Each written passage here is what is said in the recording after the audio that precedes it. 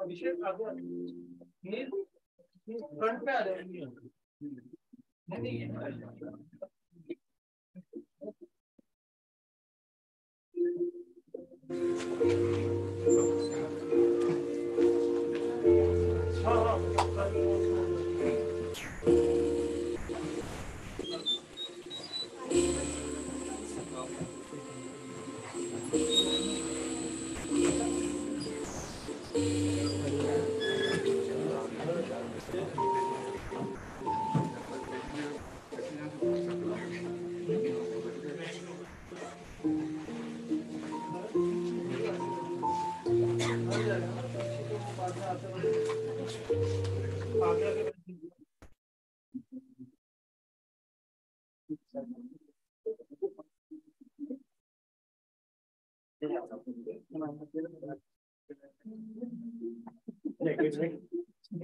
अरे गया था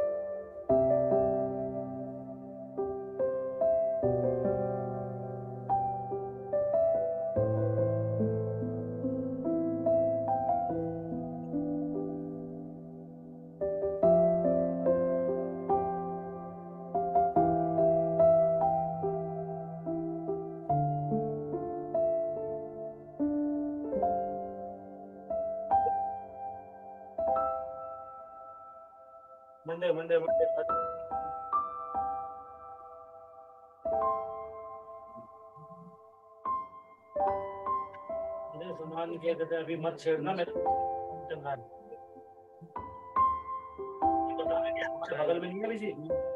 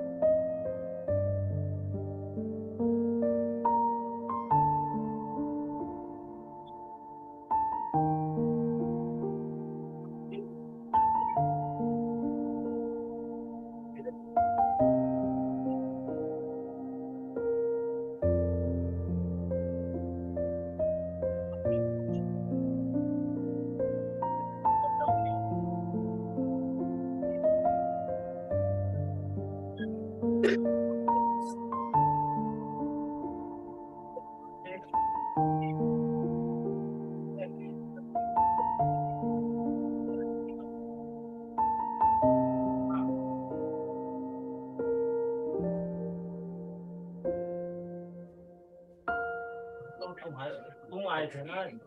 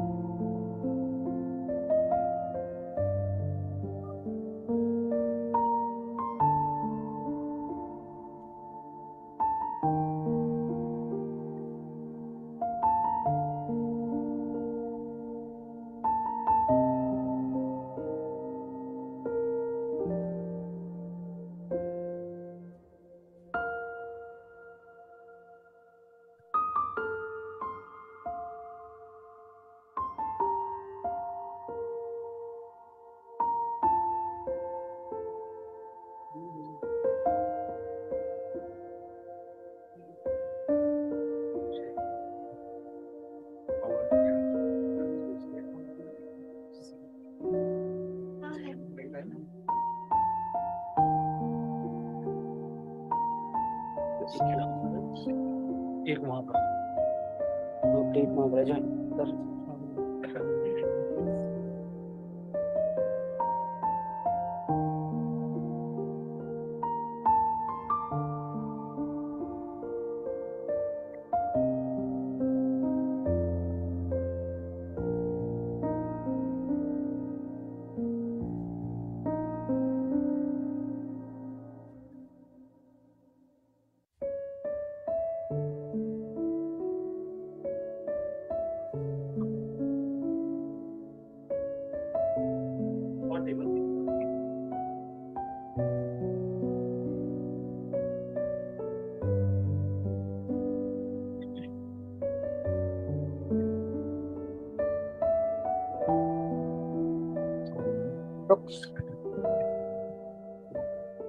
Meeting is being recorded.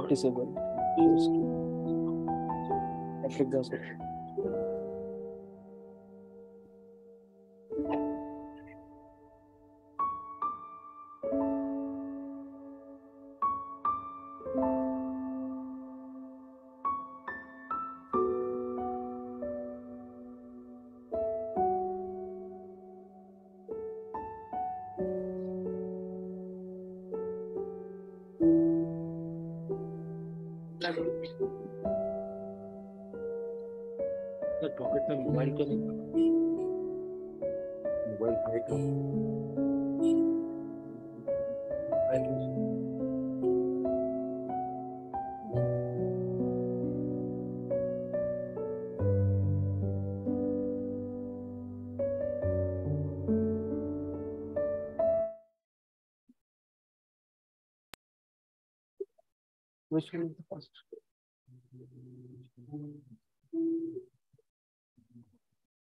Yeah, so probably I'll go to the other talk. Which one? This is for the supermassive. Yeah, thanks, thanks. Presenter तो नहीं चाहिए आपको pointer चाहिए बस हाँ ठीक है माउस से माउस से हो तो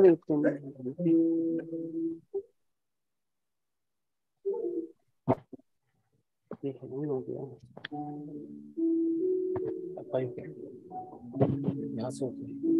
In ye curse. Hide करा इसको. Hide नहीं हो रहा इसमें. कर्सर होगा ना कर्सर नहीं दिख रहा इसका रिपोर्ट इसका आएगा cursor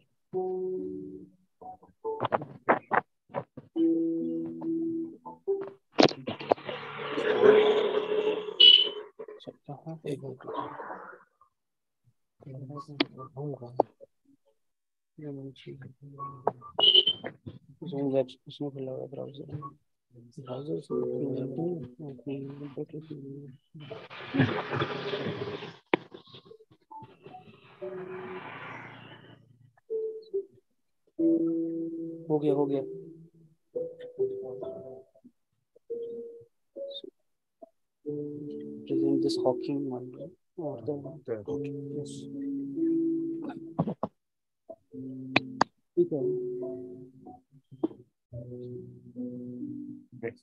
Thanks, thanks a lot. So shall I begin? No, sir.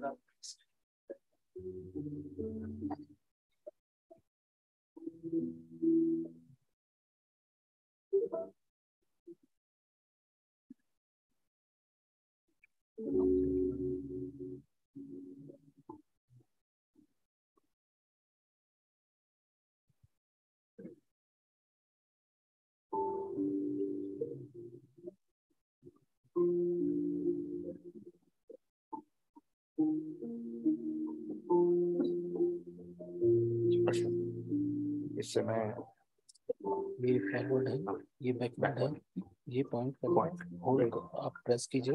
हाँ। और होल्ड कीजिए। जस्ट या ओके सर ये कर्सर से ही हो सकता है।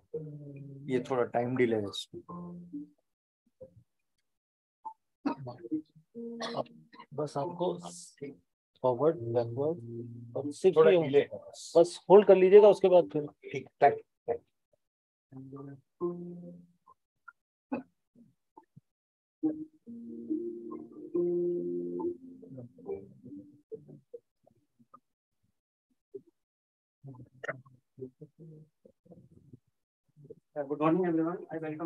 for the third day of camp.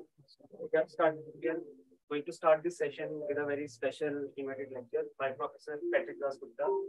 Many of you might already know him. So Professor Patrick, Patrick Das Gupta is a professor at Department of Physics and Astrophysics at University of Delhi. So he started uh, uh, his career in this field uh, from when he got the National Science Talent Award Scholarship. Then he did his uh, integrated MSc from BITS Pilani. Then he joined theoretical astrophysics group at TIFR to obtain his PhD. Then he he was a postdoc at IUCAA and he also visited University of Wales and Observatory at Paris to learn about the gravitational wave data analysis.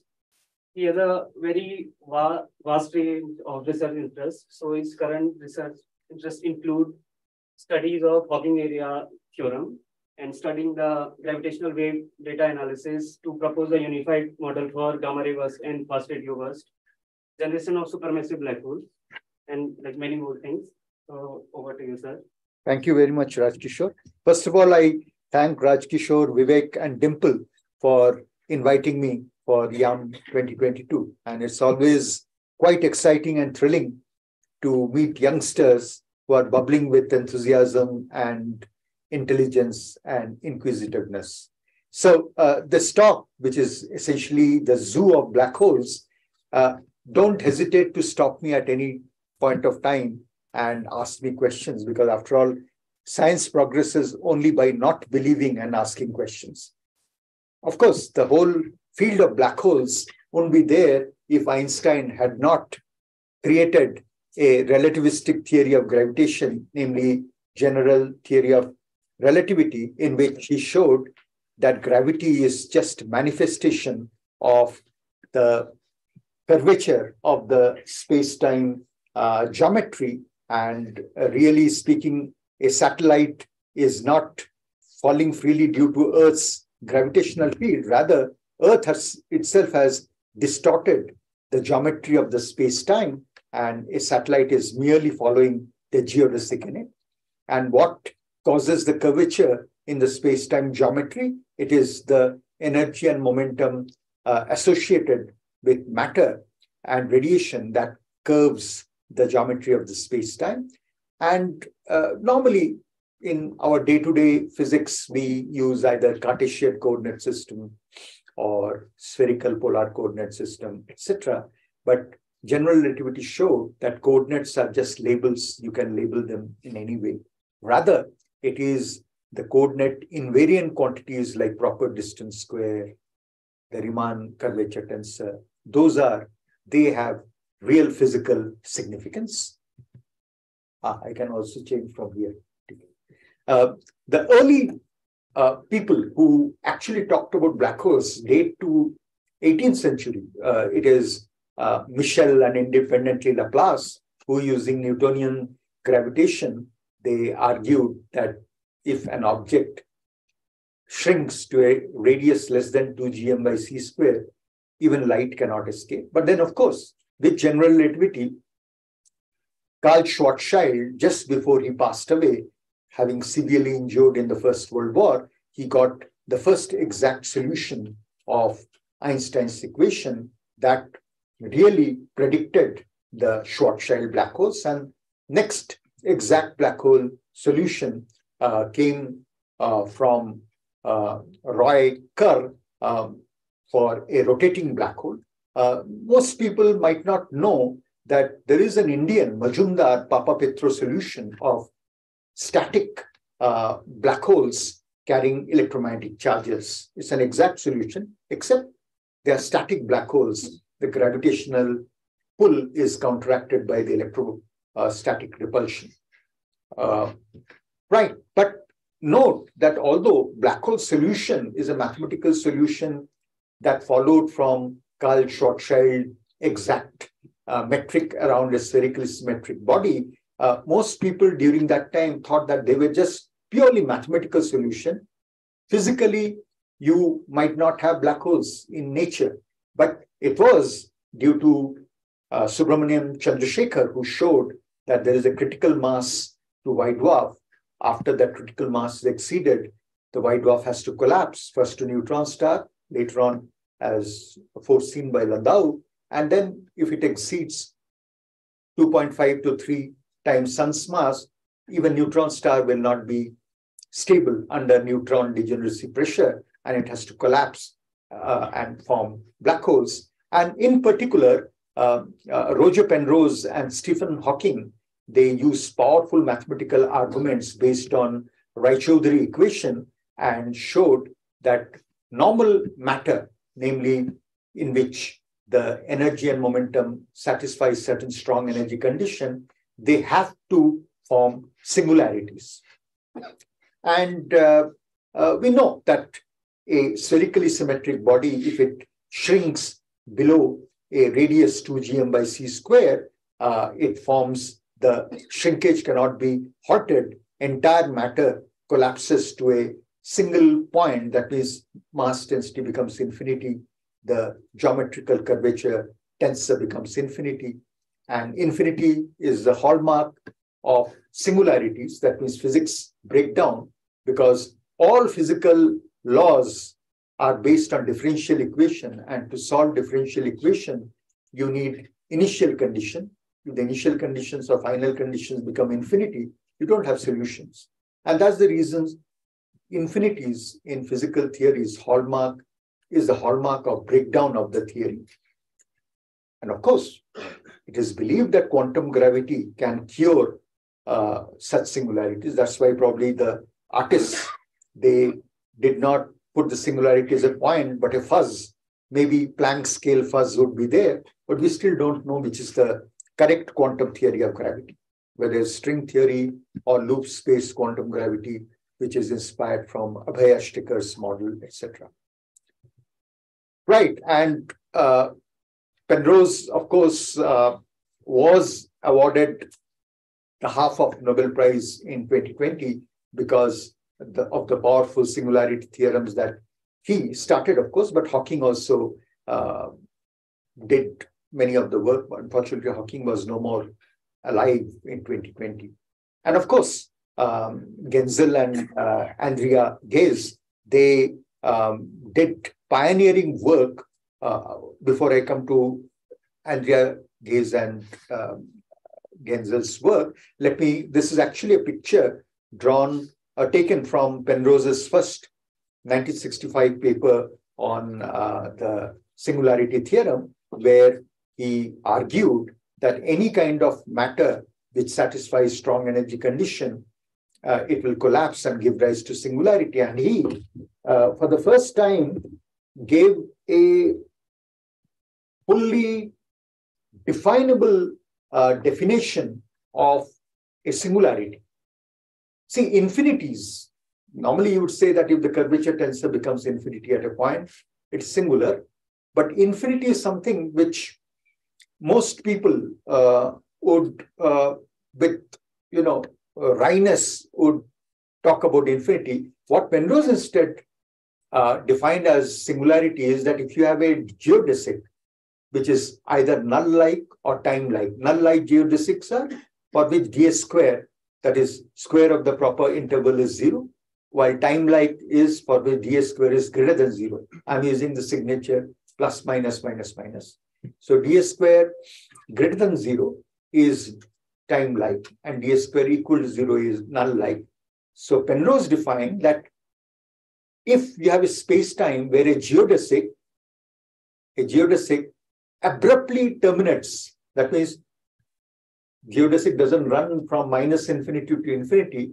but there's a termination, then there is a singularity in the space-time. That's a more uh, practical definition of a singularity. And Penrose, uh, I am told also Carter contributed to it. So strictly speaking, according to Hawking, this diagram, which is called normally Penrose diagram, is according to Hawking in one of his lectures, he pointed to Penrose that truly speaking, this diagram should be called Carter-Penrose diagram. So I don't know. Hawking must have been right, of course. Um, so this Carter-Penrose diagram, where Penrose introduced conformal transformation to shrink infinity to finite distances, is a very uh, neat way of, in a uh, bounded space, characterize the space-time geometry. So a black hole, this is of course a, two-dimensional plus three-dimensional way of looking at three plus one-dimensional space-time, uh, where matter collapses and when a uh, horizon is formed, here the light cone gets tilted and therefore future directed light cone, you can see the future directed light cone, the light rays can only hit the singularity. They can't come out. This is one way of representing. While in the Penrose diagram, those who are mathematically minded, this is also very nicely portrayed that in the Penrose diagram, uh, the speed of light c is taken to be unity so that light cone trajectories move in 45 degrees lines. And using the conformal uh, transformation, the singular point is this saw-like uh, fashion. It this is the singularity, while the horizon, event horizon, is this. And every from this point, if light is emitted, they will make 45 degree angle. So this light ray, if it enters the horizon, it goes in because even in inside the light cone, if you take a future light cone, all light will end up at the singularity. Okay. So this also summarizes what is happening. Why is the horizon so special that within the horizon, future directed light ray, they can't come out of the horizon and go to spatial infinity because future directed light rays, they will be going this, this, they will eventually hit the singularity. Anyway, those this is for those who are mathematically minded. Uh, but then uh, in real world, mathematics is all fine. It's beautiful, aesthetic, logical, precise, but it has to make connection with the real world.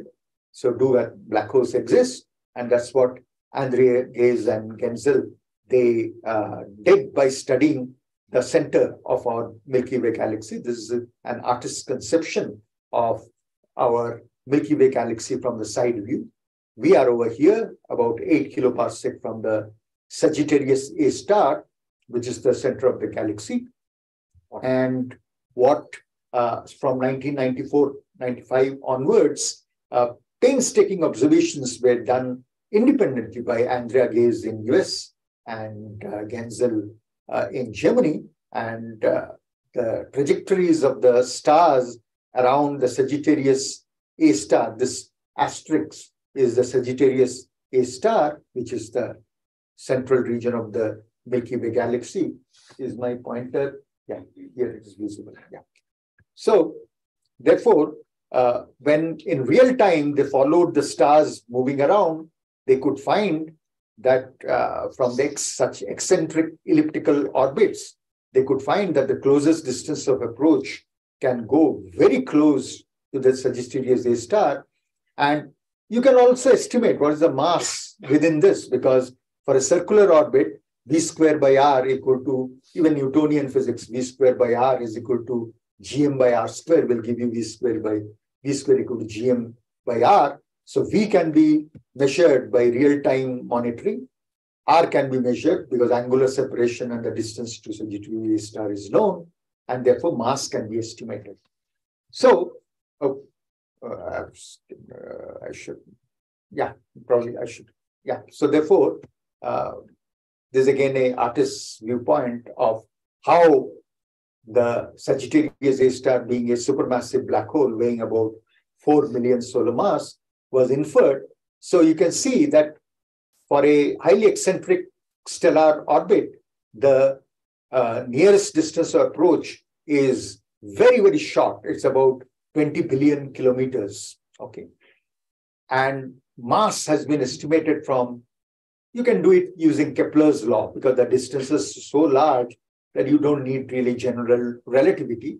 So using Kepler's law itself, you can uh, estimate what is the central mass that is causing this highly eccentrical bound orbit. And the mass turns out to be about 4 into 10 to the power 6 solar mass, while 20 billion kilometer being the nearest distance, the only astrophysical object you can think of is a black. Because you can't have uh, a such a massive object of radius 20 billion kilometers and yet be stable. So both observation and a little bit of theory, the stability of stars from general astrophysical consideration tells us that this object necessarily has to be a black hole. But there are, of course, even before all this, there were evidences of black holes. In fact, first evidence of black hole came from the X-ray source Cygnus X1 way back in 1970s.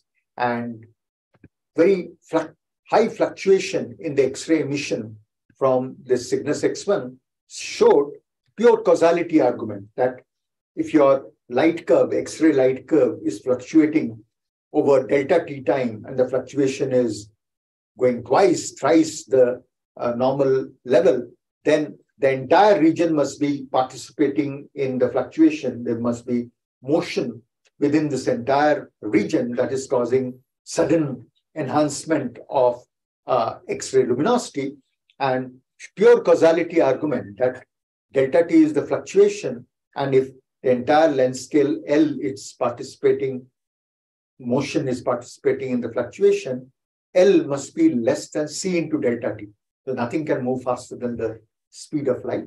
So C into delta t forms the upper limit to the size. From there, they estimated the scale associated with the central mass and they inferred it can only be a black hole. So Cygnus X1 was the first evidence. Of course, these are all indirect evidences for black holes. And uh, then um, we have the first quasar was detected by Martin Schmidt in 1964. And uh, the then whole, you know, uh, galaxies, I mean, it's a pun, galaxies of active galactic nuclei uh, were discovered, whether it is quasars, radio galaxies, Seyfert galaxies, starburst galaxies, and so on. And uh, most of these could be only explained by accretion uh, around black hole. The idea germinated, uh, I think, first by Salpeter and by Lynden-Bell. Lynden-Bell talked about disks, although he didn't give the full mathematical solution of a disk, which came from Shakura and Sunyaev and then later Pringle. But the instead of Bondi's kind of spherical accretion, Lynden-Bell had argued about a disk accretion and to explain quasar emission. So a cartoon uh, representing it is that if you have differentially rotating um, swirling plasma going around a black hole, then the differential rotation would cause rubbing between elements and cause heating and release of copious number of X-ray photons. But of course, there are many unsolved questions as to what is the cause of the viscosity. Is it magnetic viscosity? It, it is a combination of turbulence and magnetic viscosity. So this is a, a field which is uh, still very exciting and people like um, Raj Kishore and Indranil Chattopadhyay's group or Shantanu group like Shomik and all, they have been doing a lot of work in this uh, area. And uh, so active galactic nuclei like quasars, blazars, radio galaxies, they were uh, also evidence for black holes because uh, when quasars were discovered, there was a whole lot of uncertainty as to what is the central in, engine. But then with the pioneering work followed following Salpeter, Lynden-Bell, people like mm, Martin Rees, Begelman, uh, Blandford, slowly, it turned out that the best way to describe all these are uh, if you have a black hole and uh, plasma going around the black hole, and essentially it is the gravitational, uh, in New, from Newtonian point of view, is the gravitational potential energy, but those who know general relativity will uh, also uh, vouch by this formula that if you have a Schwarzschild black hole, if you have a particle static uh, at radius r, its energy is 1 minus uh, rs by r square root into rest mass energy of the particle. So if you go very close to the Schwarzschild radius, its energy actually goes towards zero.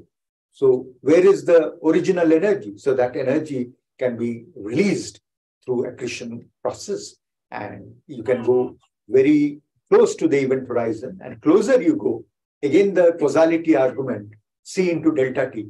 If you go, if the emission is taking place over small size, then time uh, scale of variability can be uh, very, very tiny. So essentially general relativity uh, essentially explaining the high time variability that is seen in blazars and quasars and also great efficiency because remember black hole accretion is the most efficient other than matter antimatter annihilation uh, except for that black hole central engine is the most efficient engine much more efficient than nuclear fusion okay you can estimate the nuclear fusion efficiency by uh, 4 proton rest energy minus helium rest energy divided by 4 proton energy that efficiency, I think, is close to 0.01, while black hole efficiency is close to 0.3 or 0.1, something like that.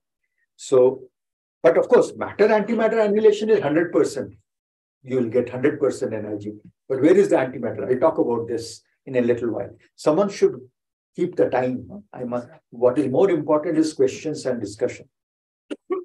and then came the unified model of the active galactic nuclei, where you have a central supermassive black hole and there is a accretion disk. Accretion disk can be barely visible here. Okay. Just the tiny portion. And there's a dust torus because you have to explain the infrared emission also. So scattering um, of normal uh, optical photons by the dust will cause infrared and the jet by the warped up helical magnetic field, etc and uh, the helical magnetic field would collimate the jets and so on. So by viewing, so this is for the unified model, if your if your line of sight is along the jet, then you will see it as a blazar. While if your line of sight is perpendicular uh, to the jet axis, then you will see it as a radio galaxy and so on. But the unified model, one there are certain caveats because uh, one of the features which unified model doesn't quite uh, explain, again, uh, you know, I'm talking 20 years back what the situation is. Those who are currently working like Raj Kishore or Shomik, they'll be able to uh, point out more. Uh, to the best of my knowledge, most classical radio galaxies where you have two lobes, jets, have I got a picture of classical uh, radio galaxy. Yeah, it's a, there's a classical radio galaxies. You have a elliptical galaxy and false color, of course, the radiators are false color. These are all in radio emission. So you have double jet ending up at radial lobes. And the central region of the elliptical galaxies has been, ha, has been resolved by uh, the Hubble Space Telescope. Probably the central dot is the accretion disk. But again, you can't resolve it really. And there's a dust torus and all that stuff. Um, and uh, uh, the key point is most of the classical radio galaxies, they're all elliptical. While Seyferts and QSOs, not the quasars, quasars are the radio loud QSOs, while QSOs, which are not radio loud, are called in in my PhD time, these are the classification, QSOs, QSI. So most radio sources, powerful radio sources are associated with the elliptical galaxies, while Seyferts are spiral galaxies.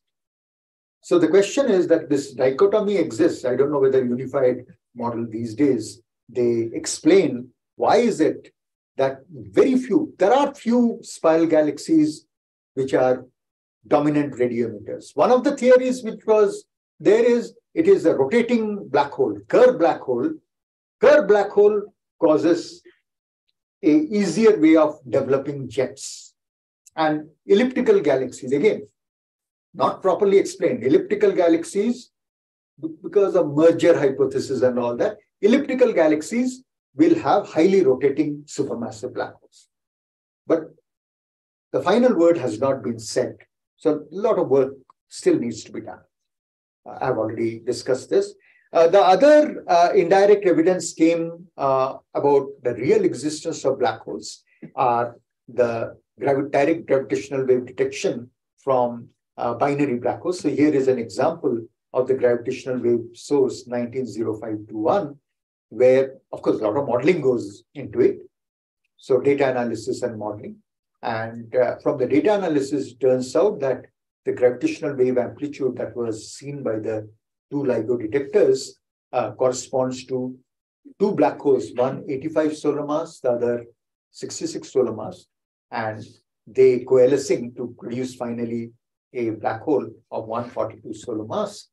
And in most of the black hole binary uh, source leading to gravitational wave, the final object, there's a ringing. And this ringing is a hallmark of the quasi-normal modes of a black hole, which was first predicted uh, that time by a PhD student, uh, uh, C.V. Vishveshwara, who was doing his PhD in Maryland. Uh, in 1972, he wrote a Nature paper saying that if you perturb a black hole, Schwarzschild black hole, by sending a gravitational wave, the event horizon rings like a bell and you have a decaying gravitational wave signature. Then later on, many people uh, contributed to the work, and this whole area is now called quasi-normal modes of black holes. And in many of the gravitational wave detection, the final, of course, the statistical confidence level is not so high. The final, you can see actually a decaying gravitational wave signature. And so if one later on, if the gravitational wave detectors see a proper quasi-normal mode signature, that will be the direct confirmation of a black hole. All other results mark, and here in this very hall during the RETCO, I had given a talk and I said that all uh, except quasi-normal mode is indirect. Someone, this was way back in 2015, I think. Huh? So that time Event Horizon Telescope had not come. Some people pointed out, oh, Event Horizon Telescope will directly detect. I said, no, they can't, because horizon by itself is the locus of points from which even radiation can't come. So how do you know that it's a black hole? So, uh, so to the best of my understanding, the only two direct signature of black hole is the quasi-normal mode when you disturb a black hole and see the ringing phase and the Hawking radiation. These are the only two direct uh, signatures of black hole. So of course, the Event Horizon Telescope first made its uh, claim about M87, but do you really see a black hole here? The real answer is no. You don't see the black hole. You only see that there is a dark region and there is radiation from around it. Of course, this hinting black hole, but how do you know it's not a uh, object whose gravitational pull is so strong that photons here have got redshifted? You don't see the photons. How do you know it's the event horizon? Event horizon meaning it is a uh, one-way membrane. So that's why now they will not claim that is event horizon, but it's really the photon sphere. But of course, it is consistent with our understanding of black hole. It's consistent. But it doesn't mean that you have actually shown that there is a mathematical surface called event horizon, in which if you have anything that goes inside the event horizon, it cannot trace back its path. It can't come out. That signature is not yet uh, there. Anyway, uh, this I can skip. These are something uh, I should go ahead with something more. Uh, yeah. So now I'll talk about primordial black holes. So primordial black holes are black holes which were which are not produced by the normal astrophysical uh, evolution of the collapse of matter. So, so therefore, primordial black holes are produced during the cosmic voyage of our universe. And we know that the standard model, which tells, tells us that the universe at large scale, where at large scale the average density of matter is homogeneous and isotropic, and therefore you can uh, describe it by a Friedmann Lemaitre Robertson Walker uh, metric.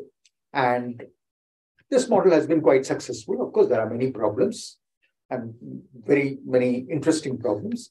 This uh, got a boost when Hubble in 1929 showed that uh, galaxies are expanding away from each other. And now we have a standard model where, of course, there's an initial singularity, which happens at the Planck time 10 to a minus 43 seconds. And then to solve certain fine-tuning problem like horizon problem, flatness problem, monopole problem, etc., you have to invoke inflation. So suddenly the scale factor exponentially expands. And then, of course, inflation has to end, and there is reheating, and all kinds of exciting particle physics processes take place, whether it is grand unified theory that causes these are all models, by the way. Grand unified theory causing inflation, and then comes the electroweak era when uh, after the electroweak phase transition, neutrinos decouple from uh, electrons, positrons, muons, tau lepton, etc. And uh, then there's a, a QCD phase transition where the quark gluons, they no longer are free, they form bound structure, hadrons are formed, and so on. Uh, and then there's a phase when the universe cools down to less than about a few thousand degree Kelvin so that protons and electrons can combine to form hydrogen atoms. And then photons no longer uh, interact because now you have neutral particles. Photons interact only with charged particles. So photons freely stream. And those freely streaming photons is what we today see as cosmic micro background radiation. And there's a period of dark phase, again, another mysterious area where the primordial stars, namely population three stars, were formed here. James Webb Space Telescope will be able to shed more light on this. And then, of course, another key problem, when, are the, when were the supermassive black holes formed? This is one of my current areas of research, because you have you see quasars uh, which are high redshift quasars having some quasars have 66 billion solar mass supermassive black holes at the center.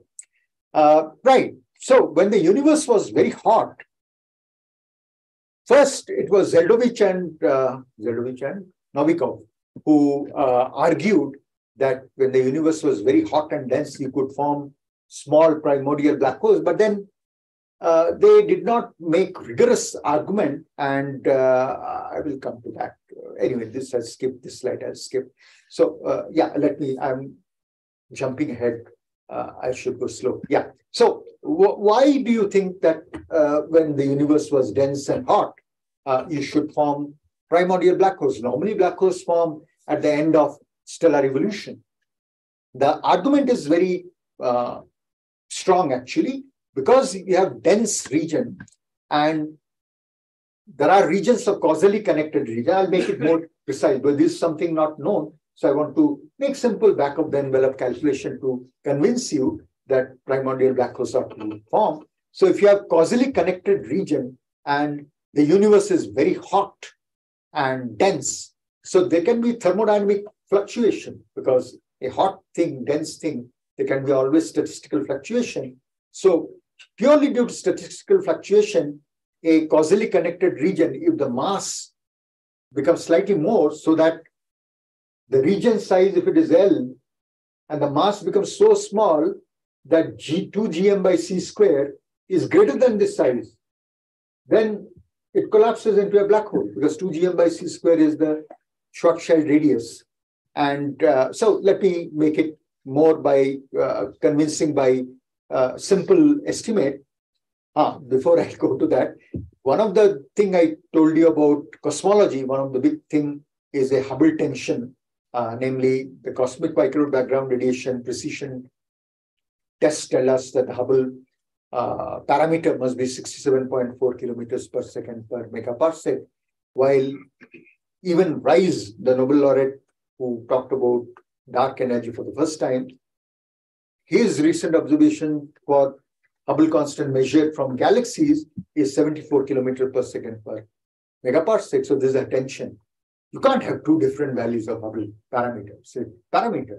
So, so there's some problem. Either there is measurement problem, errors, but then it's not exciting. A real exciting thing would be if there are no measurement errors and you get two different values, that means there is a lack of theoretical understanding in either CMBR or in the field of galaxies. Okay, uh, expansion of space between galaxies. Yeah. 10 minutes. Oh, 10 minutes. Okay. Oh, okay. I'll, I'll go quickly. So so what I was saying was that if you have an expanding universe, then you can show that at any given time, you have the Hubble parameter, which is A dot by A, where A is the scale factor and A dot is time derivative of the scale factor.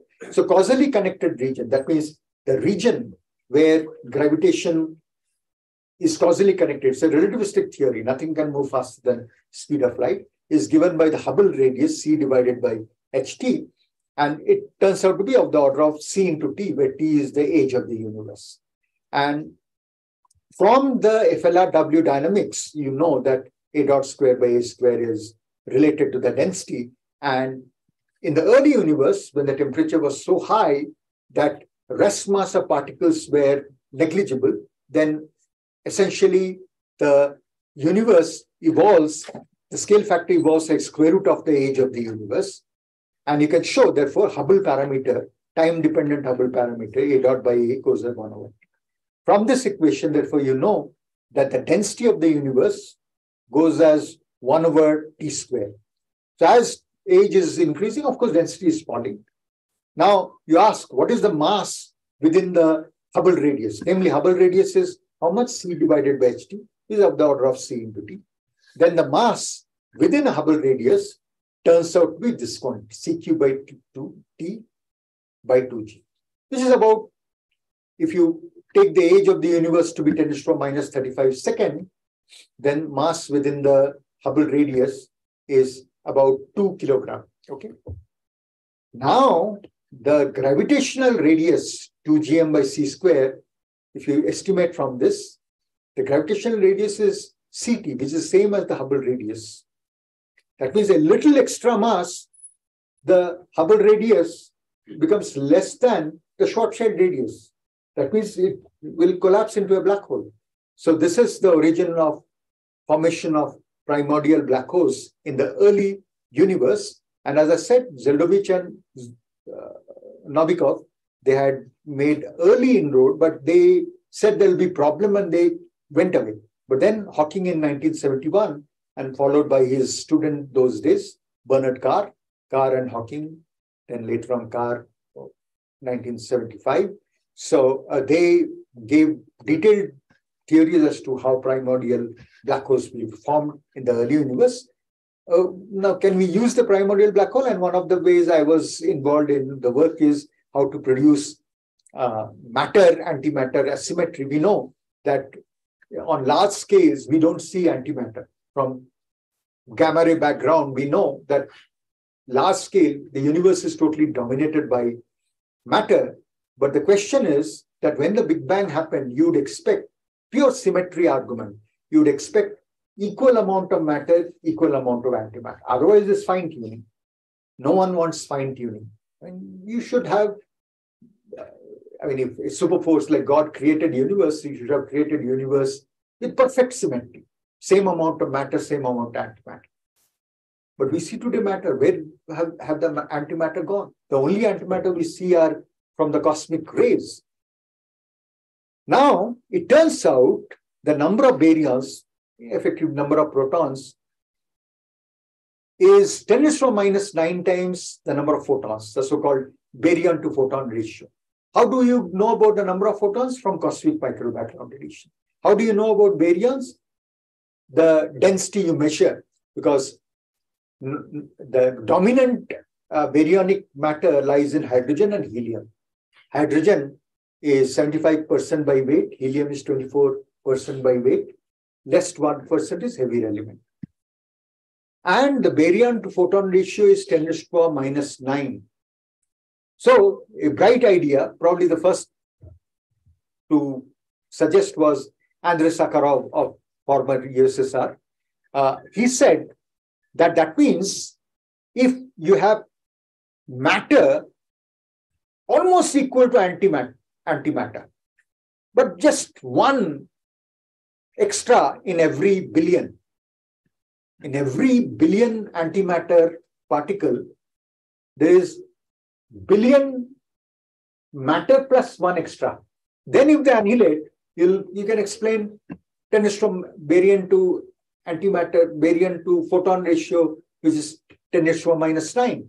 But how do you, uh, let me skip, I don't have much time. How do you eh, have this extra 1 per billion if you start with same equal? So this is a Sakharov condition for baryogenesis, how to create extra baryon if you start with same amount of baryon and uh, antibaryons that you need to have baryon number violation, you need to have charge conjugation, charge conjugation parity violation, and the process must be out of thermodynamic equilibrium. Why out of thermodynamic equilibrium? Because if thermodynamic equilibrium for every net baryon produced, you can have net antibaryon produced. So they'll cancel out.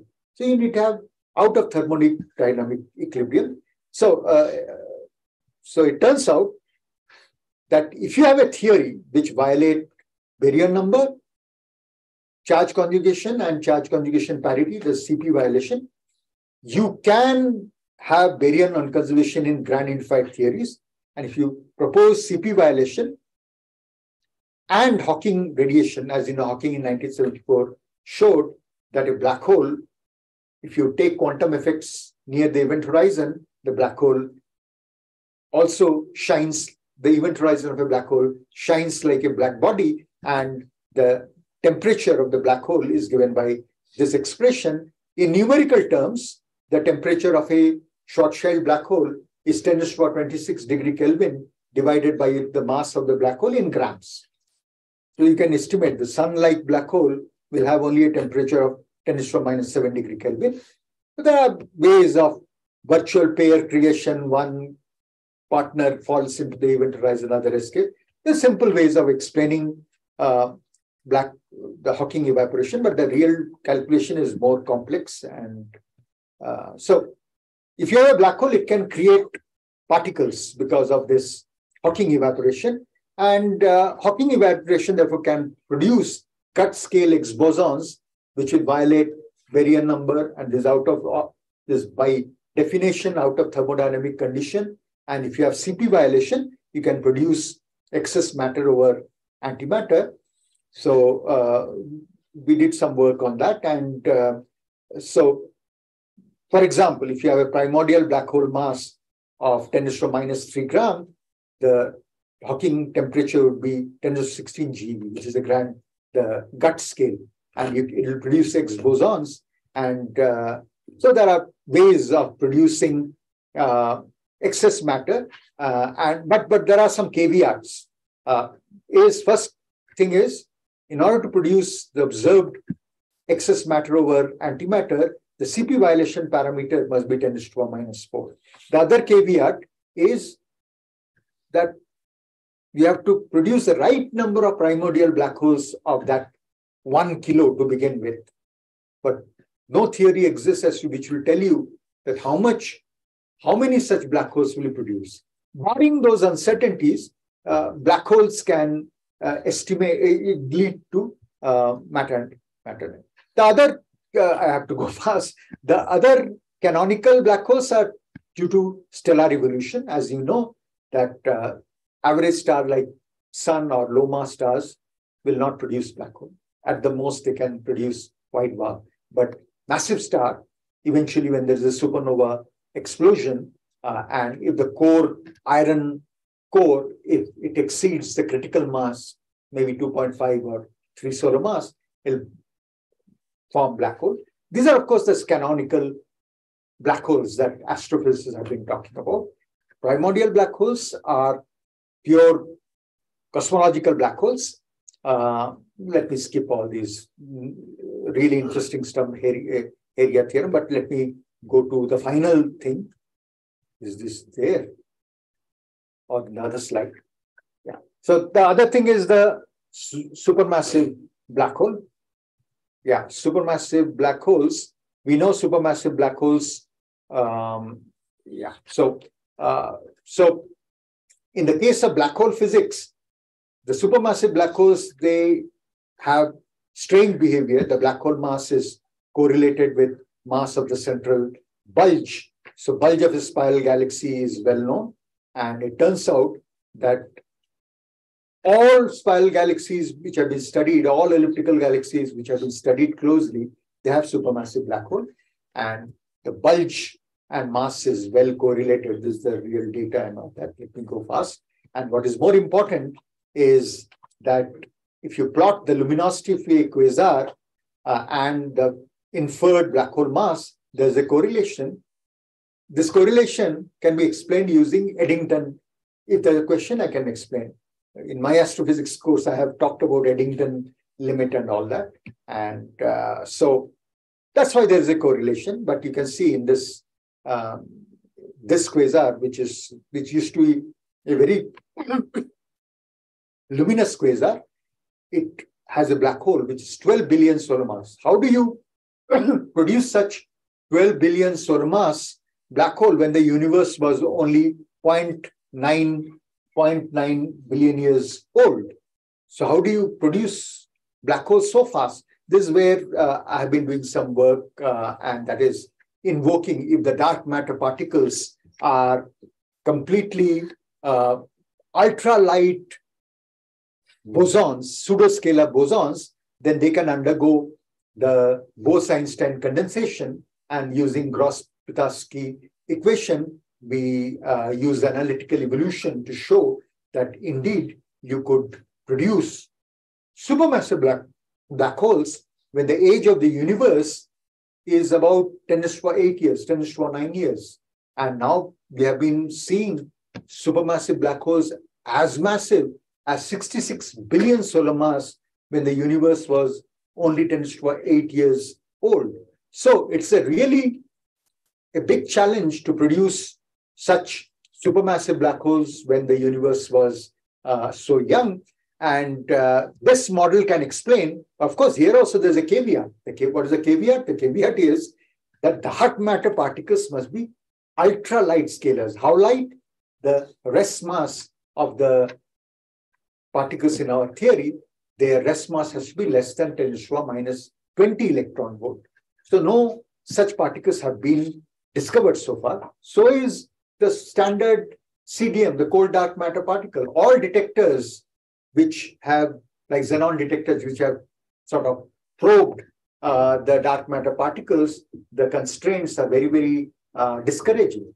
They say that if the dark matter particle are indeed uh, WIMP-like particle, their mass has to be greater than 100 to 1000 GeV, and uh, which is not a good sign for high energy physics uh, theories. I think I should, uh, there are a lot of things to talk about black holes, but I'll stop. It's more important that you ask questions and you be skeptic. Don't believe whatever I have said, because only when you ask questions and that will make me think. And I'll also learn something. So, yeah. Thank you, sir, for a very nice and informative. Now we are open for questions. Questions? Sir, uh, so I have a question like regarding the merging event. Merging, merging hypothesis, yeah. So uh, let's say the two black holes, two different mass black holes, and they have some sort of accretion disk around it. When they are merging, what sorts of effect on the accretion disk you will have? Yeah, that's a very good question. So obviously, when the two merging black holes with their respective accretion disks, they are very far apart, then the accretion disks around them are stable. But as they come closer, when the tidal forces become comparable with the gravity of one black hole on the accretion disk, then the disk will be disturbed. But of course, matter is going around. There's angular momentum. And we all know that if you have angular momentum, if there's an extra torque, the angular momentum will persist. But that's very interesting. If You have elements which will precess, and different elements will have different precession. So there's a, there's already a differential rotation in the disk, and there is a differential precession that can cause even more viscosity and more fluctuation in the uh, radiation.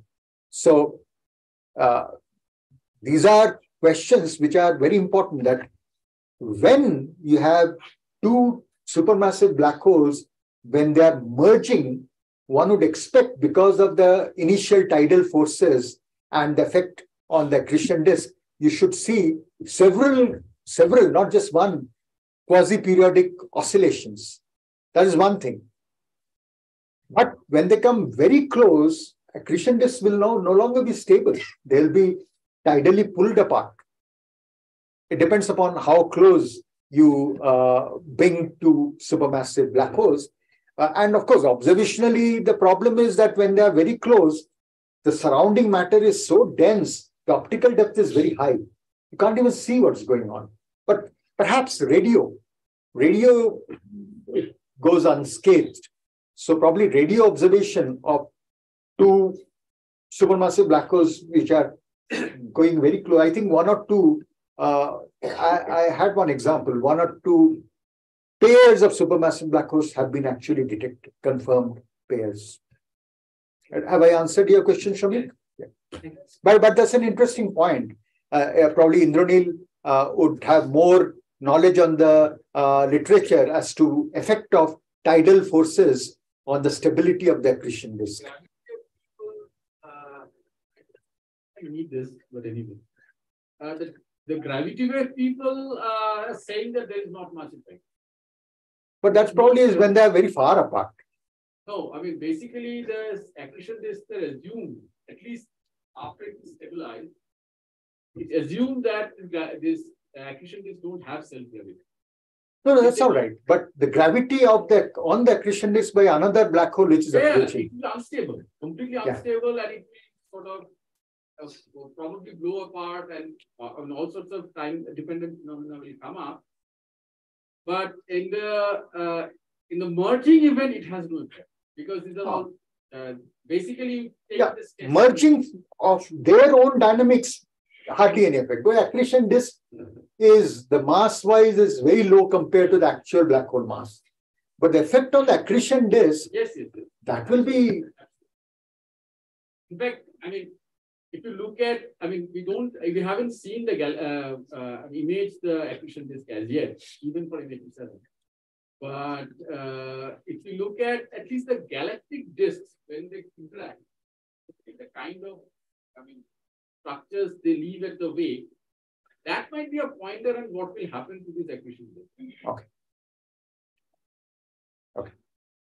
But it would be an interesting theoretical problem Oh, to uh, because you guys are doing a lot of magnetohydrodynamics. So if you now switch on a external gravitational force,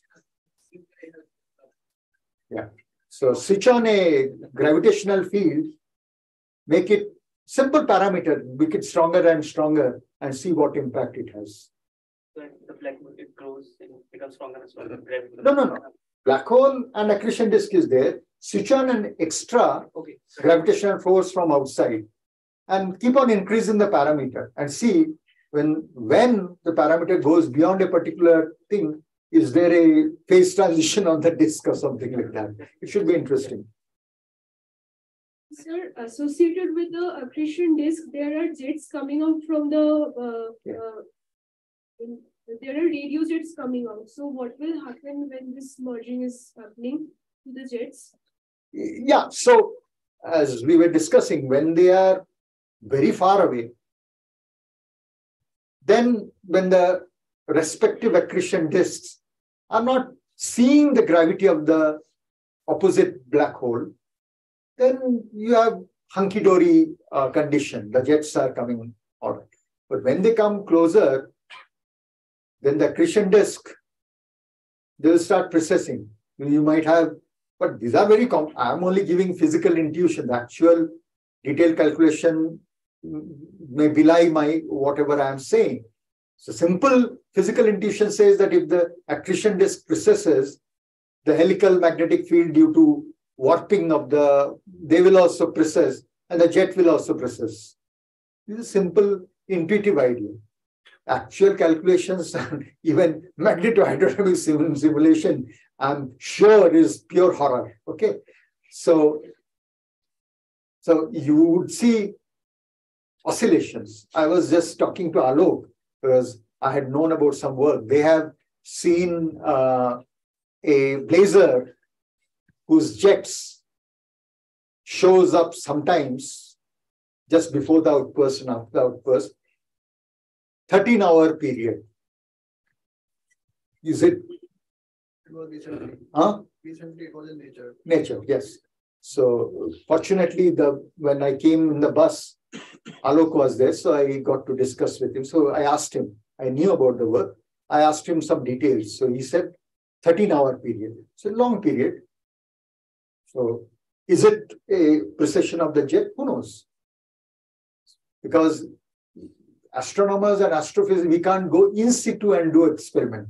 We can only interpret whatever data uh, we get here.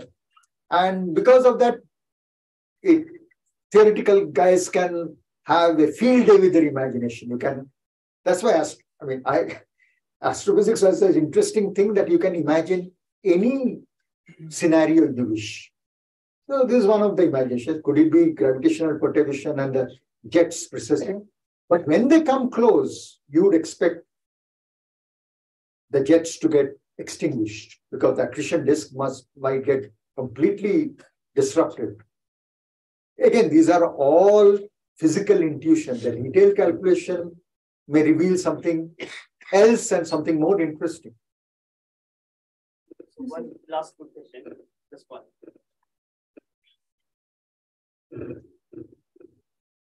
So how is this uh, Hawking radiation realized when we say that no information can come out of a black hole? Hmm. Yeah. So, yeah. So, uh, yeah. So, this is a still the bottom line has not been written. So, the idea is very simple that if you have a this is the information loss paradox uh, picture. So, you have a black hole which form, and Hawking showed that if you have a black hole, then the event horizon acts like a black body and it's constantly emitting thermal particles.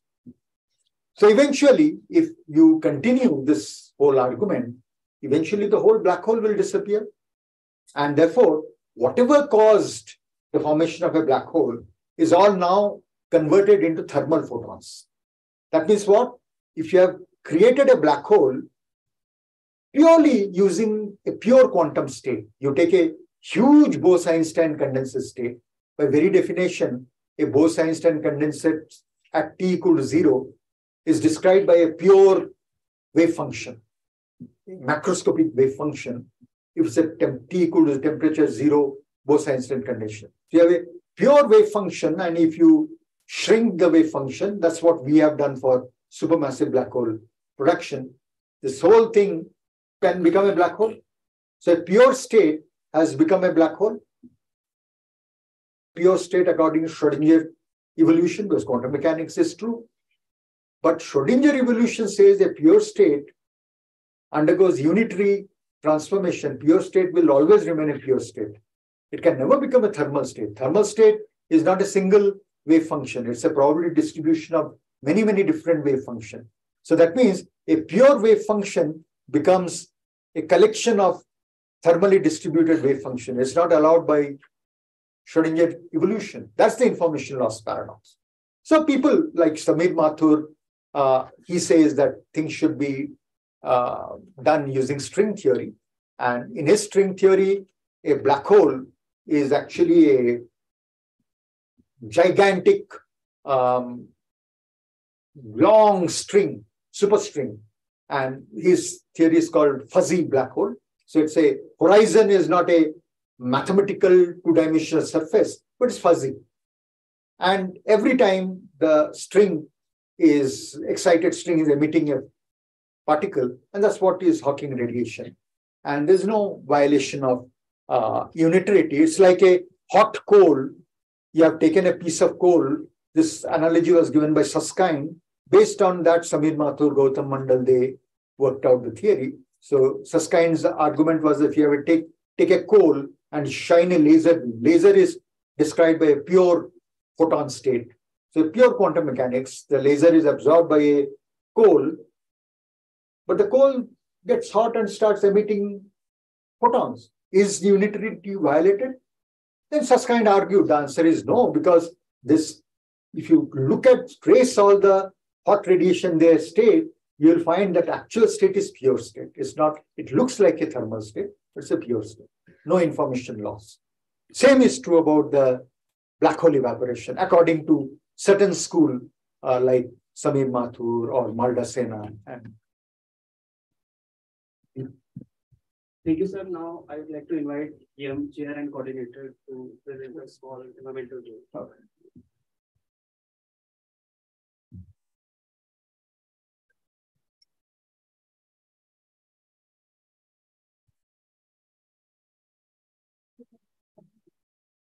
Okay,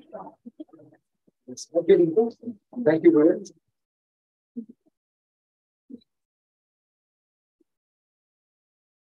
The act.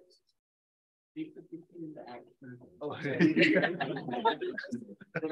Okay. You don't want to have loss of information. Sorry. So maybe you can do it.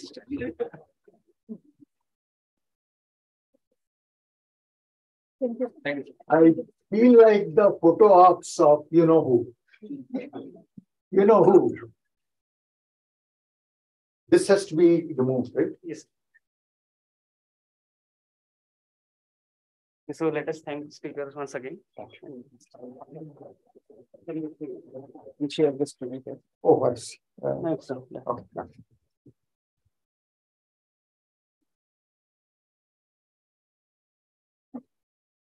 So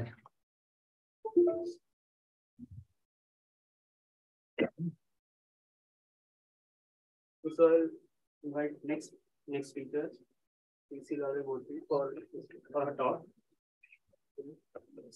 Actually,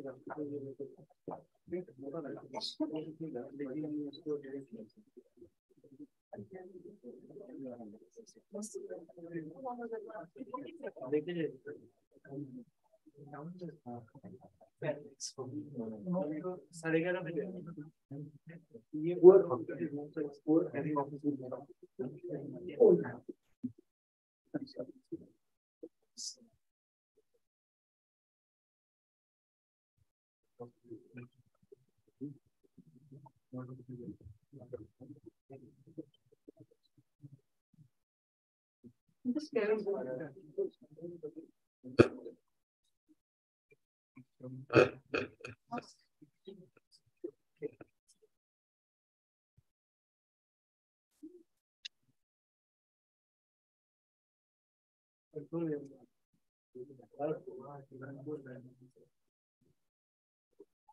have twelve minutes. I will give you a reminder at ten.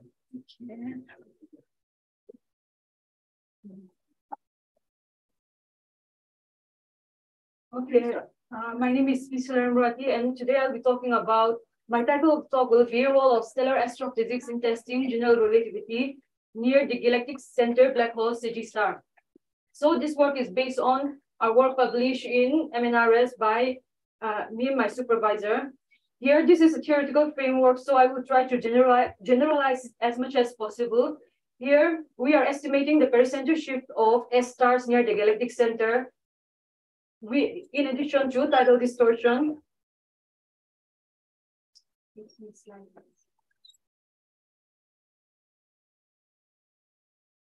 So what we uh, our main probe are galactic center, black hole, and S stars.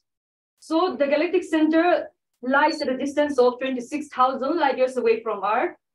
So it was first discovered as a radio source by Karl Jansky working at, at, the Bell Laboratory. Then ever since then, there are many theories to ask what may be, what may lies at the galactic center. So in the year 1971, Lynden-Bell, and Rees proposed that all, like all other galaxies are expected to host a supermassive black hole, our galaxy, our galactic center may indeed hold a, a supermassive black hole. So the, the first indirect evidence that the galactic center is a supermassive black hole was put forward by two groups, one from one group led by Andrea Ghez from UCLA and the other by Reinhard Genzel from uh, MP group, where they have observed about four S stars near the galactic center for 16 years.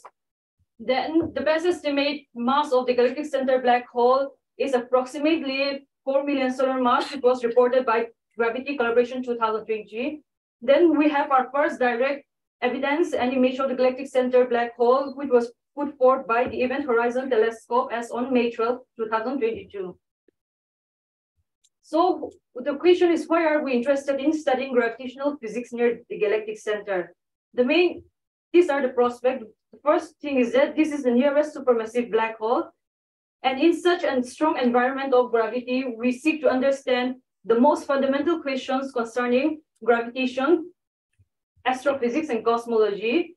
And the next point is that our current description of gravity, which is general relativity, is being a classical theory is expected to undergo modification at very strong field of gravity. Here, when I mention strong field of gravity, it's measured by G, which is gravitational constant Gm by c squared f, the A being the radius. So in the solar system, this is about 10 to the power minus 5. And in the environment of neutron star, it found to be 0.1. So it will be extreme near the galactic center black hole. So understanding this gravity in a strong environment will also give us insight into the problem of star formation in the presence of supermassive black hole as well. Here, are the existing astronomical test near Sagittarius A star, which includes both theoretical simulation and observational work. And here in the first, here, here on 2018, near in the environment of galactic center through S2 star, we have first evidence of, I mean, the here near the galactic center black hole through S2 star, GR again has successfully passed its test. So the big question is, why do we still insist on testing general relativity near Sagittarius star? The main reason is that this S2 star lies at about uh, uh, a, a 1000 AU from the galactic center. And we want to, and in order to test this here in, and for testing this general relativity, we want to go as, as near as possible near the singularity. However, in this work, we have started working with the semi-major axis from 30 AU till 500 AU, 30 AU being the inner, innermost stable circular orbit near the black hole. So here are other main probe, these S stars. These S stars lies within 0.01 parsec of the galactic center black hole, having eccentricity E equals to 0.9 and inclination I equals to 90 degree. The eccentricity is chosen uh, uh, by Hill's mechanism and resonant relaxation method. And this inclination I equals to 90 degree is such that we want to have the maximum rate of pericenter shift. And this considered as star fall under the category of young type B stars. And these S stars, if I, as I have mentioned before, have been continuously monitored by two groups over the past 16 years for testing gravity near Sagittarius star. So in this work, we'll be estimating I, we have estimated percentage shift through S stars from general relativistic effect and tidal distortion effect. So here are the main contributions from general, general relativistic effect, which includes Schwarzschild precession of the third post-Newtonian effect, uh, spin or frame dragging effect, and quadrupole moment effect. This frame dragging effect happens when uh, a rotating object drags along its space-time and forces it to co-rotate with it. And this both frame dragging effect and quadrupole moment are consequence of spin-induced effect. So here, this is uh, here my main percentage shift. This is not the rate, the main percentage shift uh, for arising from general relativistic effect. MBH is nothing but the mass of the galactic center black hole here. RP rather indicates the pericenter distance. A is a semi-major axis, and E arises from uh, the eccentricity. And chi, this chi is rather the spin parameter of the black hole. So in addition to the general relativistic effect, we have considered tidal distortion effects. What happens is that when the stars orbit the Sagittarius star, so it depends depending upon the tidal radius, it will either be completely broken down or will co-rotate with the black hole. And this equation number two, equation number two determines the tidal radius and depends upon the mass of the black hole and the mass radius of the, uh, the stars rotating around the black hole. And equation three represents the tidal distortion effect arising, which we have included in percentage shift.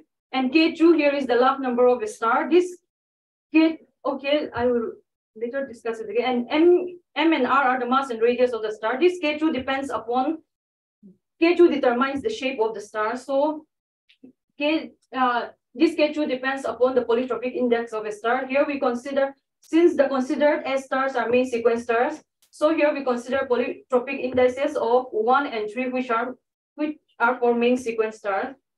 And here are the mass radius relations which have been used. At the time of our work, the, the low mass stars relation, uh, the mass relation for low mass stars near the galactic center was recorded by Eker 2018. However, till date, there were no mass relations for high mass stars.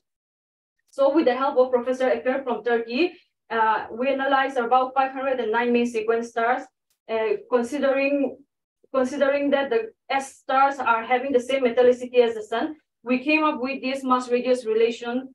Uh, so this was one of the highlight of our work as well. So uh, question is yes, sir. M yeah.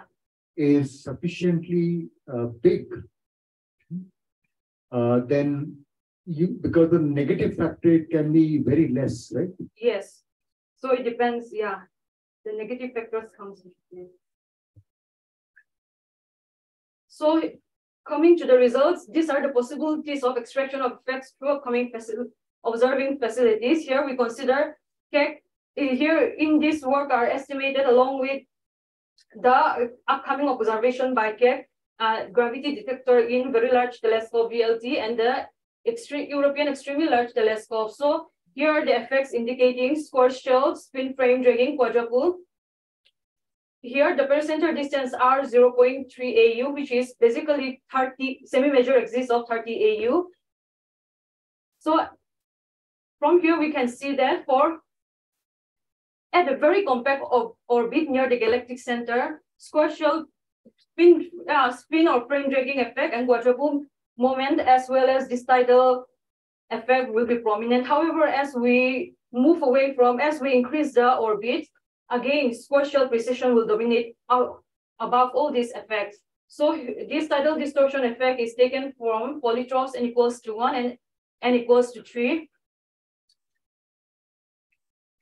This is for n equals to three. And we can see that uh, the possibility of detecting this, extracting particular effects will be more prominent for uh, n equals to, polytropes n equals to one for tidal distortion effect.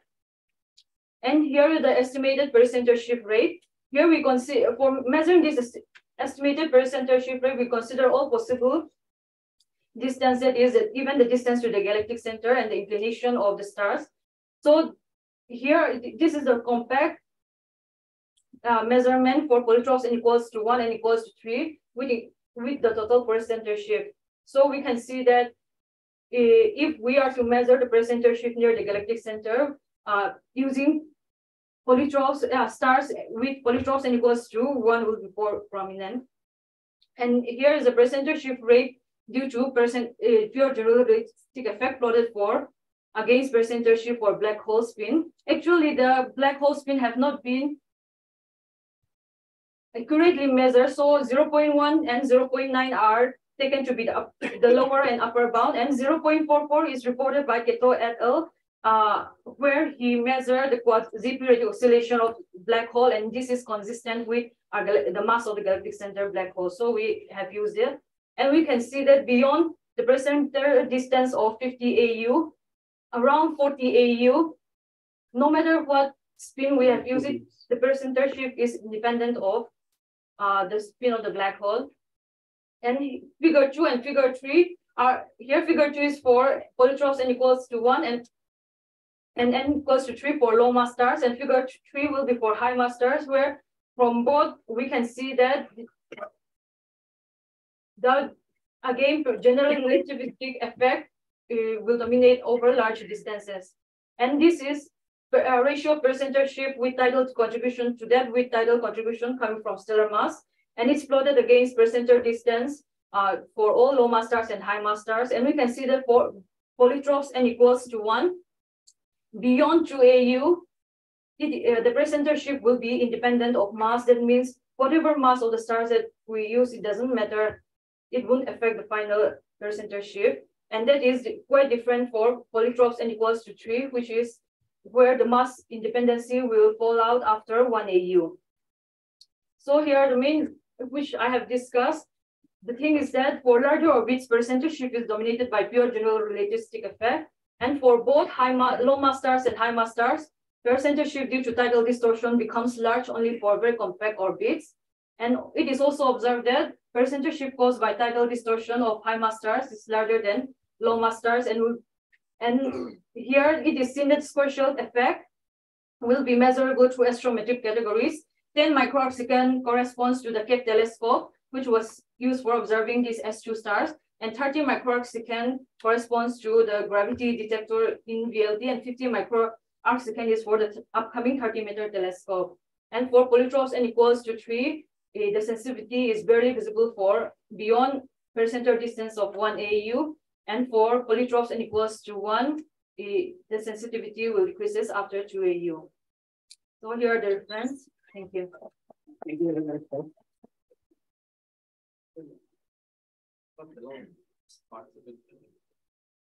Anyone?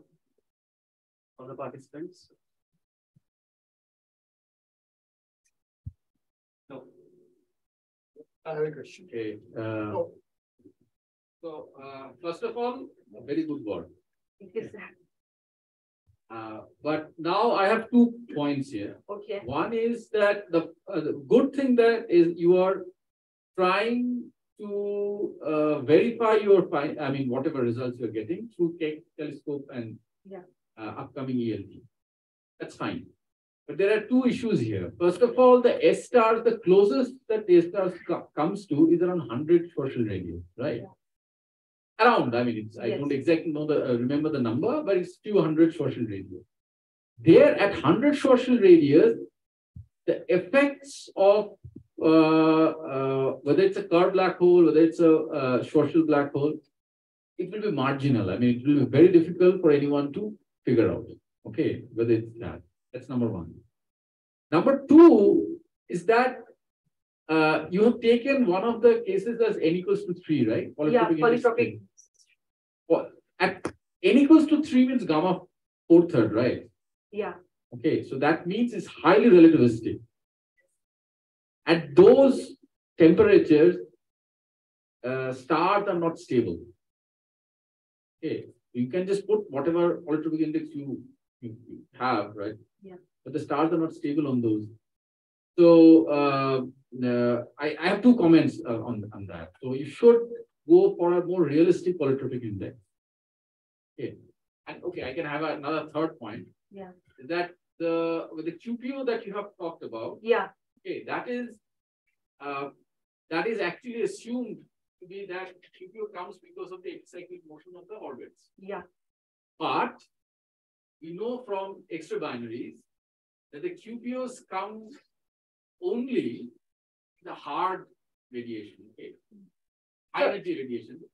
Okay. Those are not produced by matter or by Sir, yeah, this Kato when he reported this chi equals to 0.42 QPO, he's measuring this uh, seismology through the equation. So he make assumption that it's consistent with the uh, the mass of the galactic center black hole. No, that is a different matter. Yeah. That is a different matter. You take a mass and then how do you produce the QPO? That is okay. So that, that perturbation they are talking about is actually the perturbation of orbits. Okay, but QPOs in general has been seen from a not from the thermal uh, uh, radiations, but on in the power law emission. Power law emissions does not come from orbit. I mean matter or by Yeah.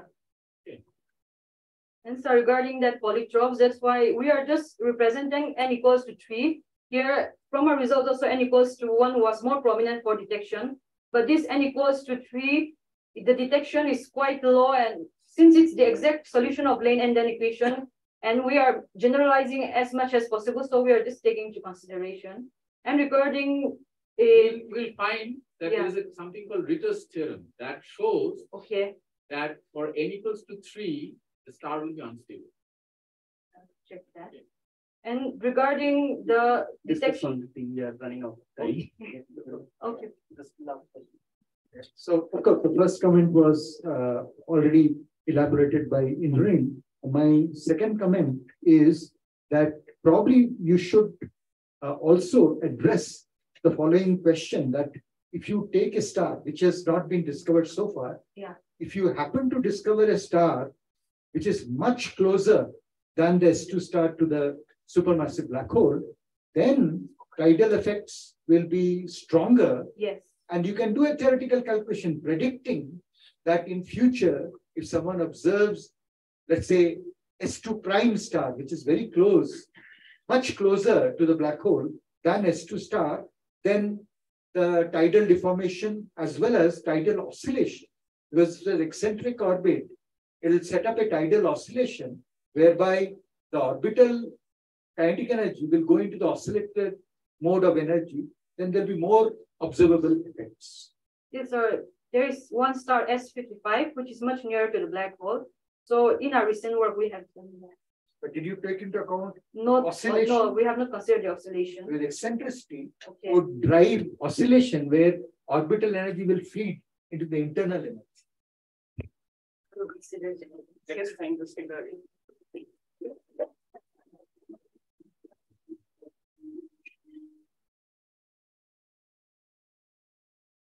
Next talk is by Amit Kumar. He will talk about environmental effects in galaxy clusters. Um, we have twelve minutes, so we'll give you a reminder. right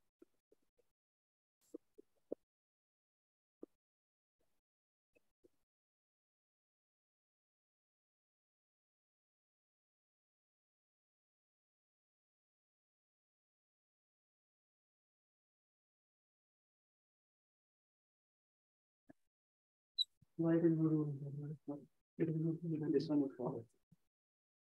First one is pointed. Hi everyone, I am Amit, uh, working with Professor Surhud More in the field of weak gravitational lensing at IUCAA. Here I am supposed to present our earlier work of which was on environmental effects in galaxy clusters. So talking about galaxy clusters, uh, we think them as a collection of hundreds of galaxies. How does they look like? This is how do they look if you see them in only presence of baryonic component only if you add dark matter on top of it, this is how cool the things look like. Now, at a center, at the center of a typical galaxy cluster, you find a bright big galaxy, which we call the central galaxy of the cluster, and the rest of the galaxies in the clusters are known as the satellite galaxies. Now, the thing is that there are various processes going on in the galaxy cluster, which can affect the evolution of these satellite galaxies. Why? Because these satellite galaxies are residing there and uh, orbiting there and evolving there. Okay. So what kind of effects which can, uh, uh, which kind of effects are there which can affect the evolution of these satellite galaxies. Like there are effects like tidal stripping, which is very obvious, which can remove the mass mainly from the outskirts in, at first. And then there are effects, there are other effects like uh, galaxy harassment. Uh, what happens in galaxy harassment is like uh, if there is a spiral galaxy, uh, it uh, may go through multiple collisions with the other galaxies and uh, may turn out into a elliptical galaxy. There is another effect which is called ram pressure stripping. What happens in that effect is like uh, the gas from the satellite galaxy is uh, removed and which affects star formation. Okay, so there are various effects which can uh, going on in this galaxy cluster which can affect the evolution of this satellite galaxy. The question we are asking is that what is the effect of these environmental effect environmental uh, scenario on effect on dark matter distribution around the satellite galaxy okay so okay the technique we use to answer this question is weak gravitational lensing what weak gravitational lensing is so everybody knows what is gravitational lensing in gravitational lensing there is a source lens and the observer the light emitted from the source is uh, deflected by the lens which is present between the source and the observer okay so there is a possibility of uh, seeing the multiple images of the same source. This regime is called strong gravitational lensing. There is another, another regime of lensing which is called weak gravitational lensing. Here you don't observe multiple images of the same source. Instead of that, you what you observe is the distorted image of the source. What I mean by the distorted image of the source is that if imagine there is a circular source, it will be amplified. That means it will be bigger circle and its shape will be distorted, means it will be like ellipse. Okay. So here I'm showing you for demonstration, there is a figure. Uh, on the left, you are seeing there are multiple sources uh, which are shown in circular at first. So now you are putting a lens in front of them in the right figure, and you are seeing that images of these sources uh, are getting distorted, and these distortions are more if the these sources are close to it in the projective space, close to the lens in the projective space. And if you go far from the lens, then these resources die down. Okay, so you can understand that uh, what you, okay, let me just go. Okay, first thing is that before going to another thing, uh, these, okay, this weak lensing is done statistically. Why you do you, why do you do it in statistically? Is because, see, uh, I said that these sources are circular, but in general, galaxies need not to be circular. They may they are elliptical. So uh, what ha happens is then so okay, just say that uh, okay, uh, the galaxies are elliptical, but they are randomly oriented because there is no preferential direction in the universe. So if you average out the ellipticities of all the galaxies, it should go to zero. But now you are putting a lens in front of them. So what does the lens do is these distort all the galaxies in a coherent fashion. So if you average out the earlier case, it was going to zero, but now this will be non-zero. That, that's what we see, what we measure in the weak gravitational lensing. What, uh, what I'm again emphasizing, what we are measuring is the ellipticity. This is our signal. Me means we measure the shapes in the sky. That's simple. Okay. In order to make, okay, before going uh, further, I'm showing you uh, here equation which is uh, on the left hand side, there is some quantity, on the right hand side, there is some quantity. On the right hand side, there is a quantity gamma T average, which is known as the tangential component of the shear, which is related to the shape of these uh, shape of these galaxies. Okay.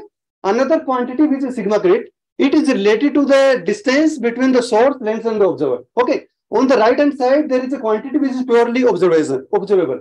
On the left hand side, there is a quantity which is purely method, uh, purely purely analytical. You can calculate the expression of delta sigma assuming some lens profile. Okay.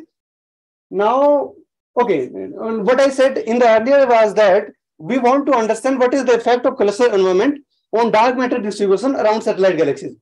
When I say that what is the effect of dark matter distribution, so okay, uh, I said that uh, the mass more okay, I might have not said that the more the mass of these lens, more is the distortion in the shapes of these galaxies. Okay, more is this distortion. Now, we, as we want to understand what is the effect on mass distribution, we will be measuring the mass distribution. That means the shapes around the satellites. We want to compare it with something. We will be comparing it with the galaxies which don't reside in galaxy cluster. Okay, so the, we construct a catalog. Okay, before going there, let me tell you. Okay, so I, we are doing weak radius lensing, and I said that in lensing you need source, lens, and the observer. And I said that we need to measure the shapes of the source galaxies. So you for the very good shape measurements, we use a survey called Hyper hypersuprime time survey, which give you very good measurement of shapes of these background source galaxies. Okay. Now there is source, you need the uh, lens around which you are uh, trying to see the, uh, the distortion. The lenses we are using the satellite galaxy from one of the uh, cluster finding algorithm, which is uh, which is named as redMaPPer cluster finding algorithm. What this algorithm gives you is the thus the uh, the uh, catalog of satellite galaxies. We took the we take the satellite galaxies from this cluster and we see what these satellite uh, what is the distortion in the shape of these sources around these uh, satellite galaxies. Okay. Now, the thing is that what I said is that we want to compare this, uh, uh, this, this distortion in background sources uh, around, so the, this distortion in background sources, if you compare around the satellite with another kind of galaxies, which don't reside in the cluster environment, what do I mean by that is that? So, so comparing the distortion around satellite and with another kind of galaxy will give you the difference between uh, difference or what is the uh, effect this cluster environment is causing uh, to on satellite galaxies. So we construct a catalog uh, which is no uh, of galaxies which uh, are not residing in cluster but residing in a field environment and we choose these galaxies from SDSS but we make sure that these galaxies which are choosing from field are exactly matching to the properties of our satellite galaxy. By that what I mean is that See, we are matching these galaxies in the field and uh, corresponding to our satellites in UGRIZ, uh, UGRIZ band the, uh, magnitude. That means we are matching them in photometry. Uh, means we are matching their stellar properties. Now we also match them in color. Matching in them color and magnitude makes sure that our uh, baryonic properties of our satellite galaxies and our field galaxies are same. Okay. Now anything which is caused will be uh, will be due to the, uh, the environment of the galaxy cluster and will be only on the dark matter because we have matched in the uh, baryonic component. Okay. Okay. For the sake of time, do I have time? Oh, for, so I will skip the uh, theoretical part means the modeling part uh, so that I can discuss the result. So just remember that I am trying to probe the mass distribution effect. So mass distribution effect around a satellite galaxy.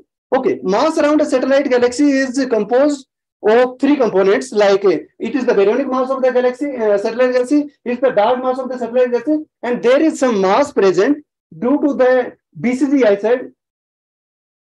So there is a central galaxy here, and you are looking at the mass distribution around this satellite galaxy. So there is some mass due to this galaxy around here we are calculating the signal, I mean the, the those distortion as a function of distance from the satellite galaxy. Okay, uh, as you are seeing that uh, if you are talking about these regions, then the effect on the uh, the mass will be mainly due to the satellite galaxy only.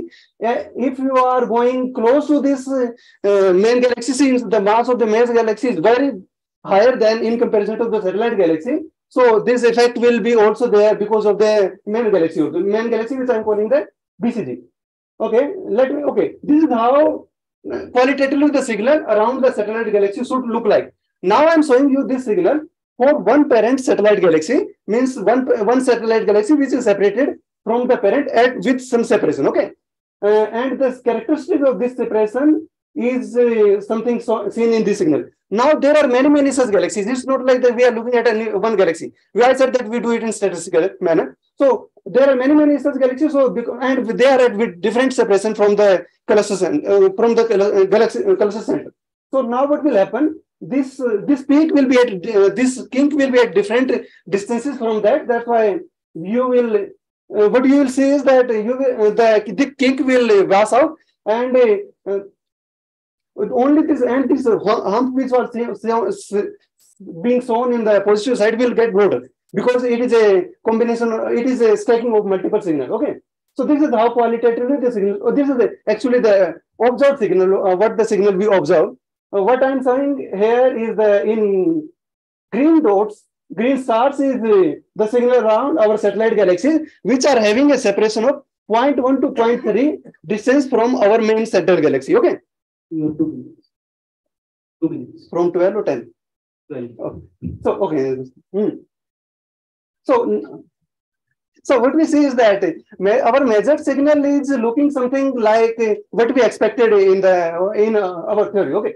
Now the thing is that uh, okay. So I skip the modeling. So what I'm telling you is that now we make a physical intuitive model for the satellite galaxy for mass distribution around the satellite galaxy, taking into account various physical scenarios like uh, how much far this parent galaxy is, uh, and what is the mass of the parent galaxy, what is the mass of satellite galaxy, what is the stellar baryonic mass of the satellite galaxy. So we take all these into account and we model our signal. We have a model, we have the data, so we use some MCMC uh, parameter estimation. Uh, uh, posterior estimation and we fit the data. So now you see that uh, the model, our model is uh, uh, fitting the data quite well. Now the thing is that you need to consider three reasons. So this reason is significant. Okay, so the if I talk about this reason, this reason here it is at very much closer to the center of the satellite. So remember this axis was from the center of the satellite galaxy. So this region is very very close uh, to the satellite galaxy. So here only the baryonic component of the satellite uh, matters. Now, if you move forward, it's the halo mass of the satellite, and this is something which is the characteristic of the uh, the mass of the BCG, which we are saying. Okay. Now we wanted to compare this distribution around this field galaxy. Let's see around the signal around those galaxies. Okay. Now the question was like, uh, is the mass of four satellite galaxies same for the field galaxies or not? Uh, we see the signal around the field galaxy. You see that the signal around field galaxy is consistently above than the signal of the uh, the satellite galaxy. And I said that the, this signal means these distortions are related to the mass of the lens. Okay. So means if the signal is higher, that means the mass of the field galaxies is higher than the satellite galaxy. Okay.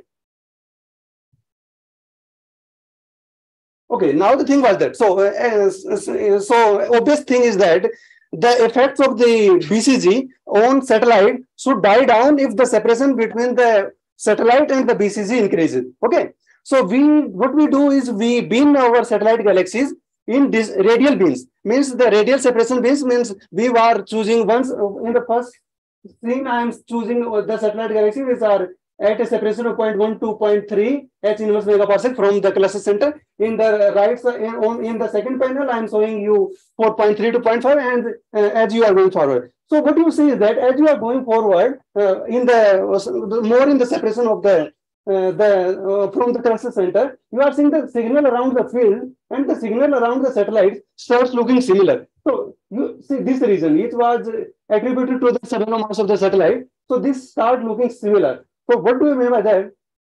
So the obvious question is that. So uh, we had matched them in baryonic mass. Now we are seeing that their halo mass is coming different. So that means is there some different stellar to halo mass relation for satellite galaxies and field galaxy? And there is some another scenario also, which I also talk about in briefly. Uh, so okay.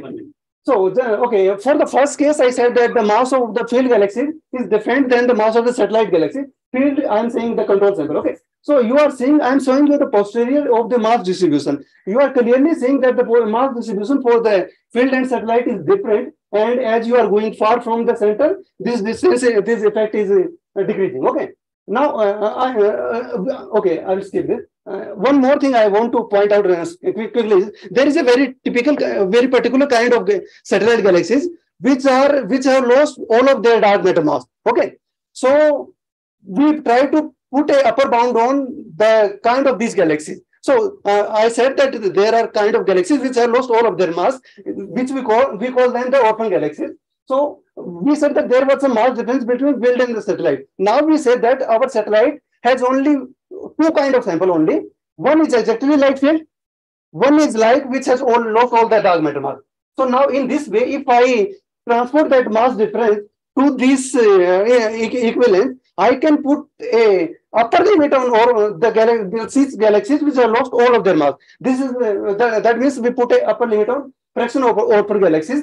So what are these orphan galaxies lose lose their dark matter mass because of multiple pericentric passes around the, around the BCG. So now expect that if the distance between the satellite and BCG is less, it is a larger probability that it will become open. If you go far, then there is less probability, which also we see in the trend that the uh, fraction of these galaxies are decreasing. This is our first our direct uh, limit on this kind of galaxies. I am overshooting, so I I will skip it. I will, uh, and uh, Just thank the speaker. The question is, one question we can take. Anyone, anyone from the participants?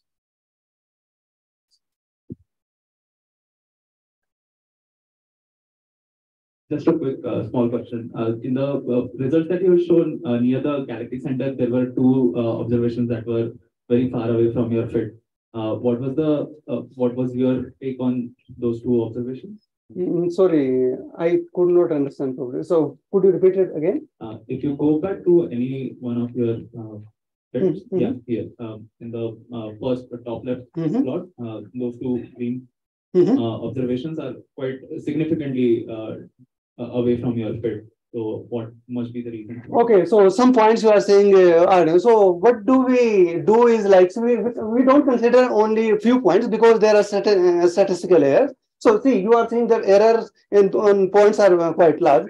So if you see as a whole, uh, like uh, 20 points for this first bin, 20 for second, third, fourth, you see how many points are away from your model.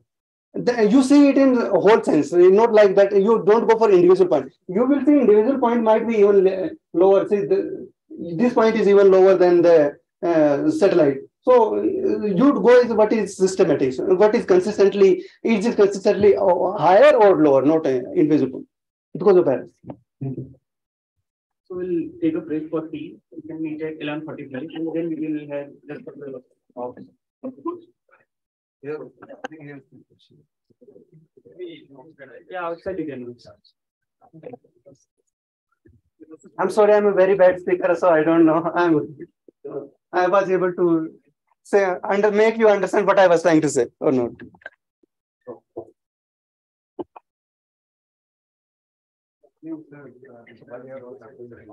Uh, yeah, yeah, uh, as well, uh,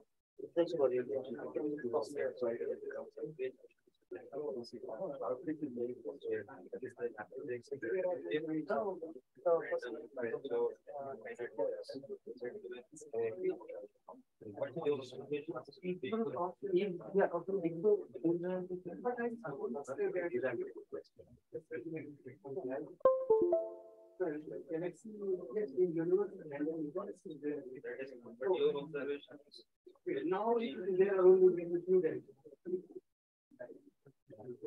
There. Number. So this won't be. And we this. I am sitting there, but I'm different.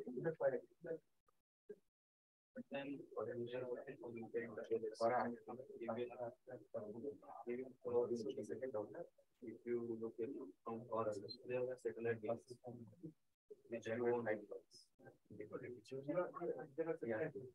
Which are not over,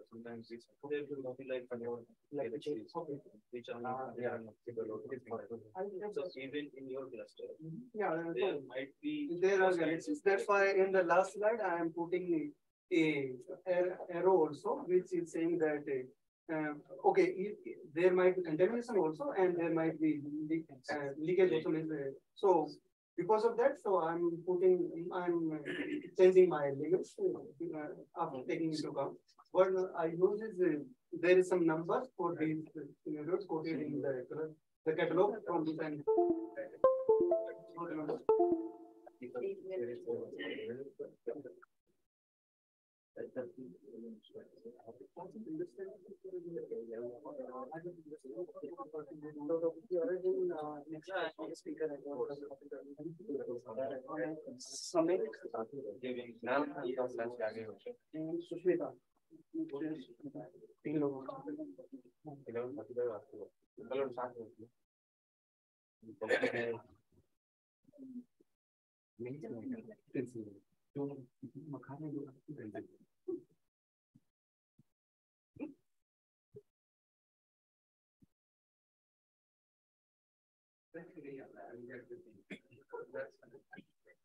under.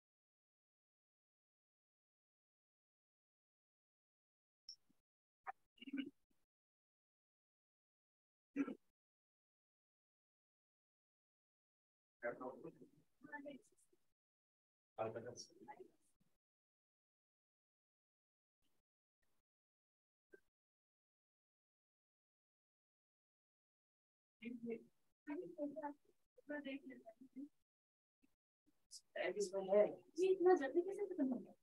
नहीं खत्म नहीं हुआ अभी दो top है बाद में अभी दो टॉप तो वो अभी होगा बाद में। हाँ, अभी वी आर रनिंग लेट 11:45 से बोल रहा है तो फ़र्स्ट वाली टॉप के लिए थोड़ा लेट हो गया। वही मैं सोच रही थी। इसको भेजा है. उसके बाद ना फिर सेकंड सेशन शुरू हो जाएगा। हाँ उसका से तो मेरा भी। हाँ हाँ, तो उसने कॉपी ले ली can you send me the link on WhatsApp Slack वाले को भी बुला लेता हूँ। इसके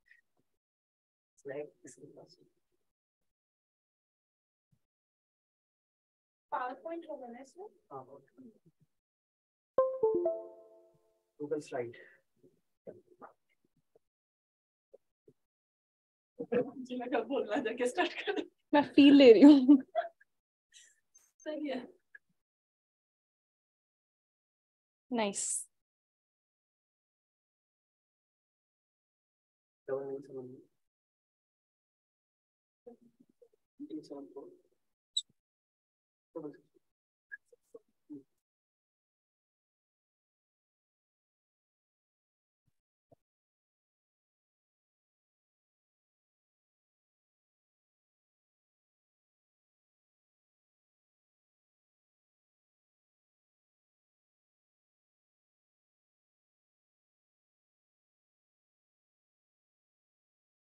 आपके पास इसका रिमोट कंट्रोल है ना?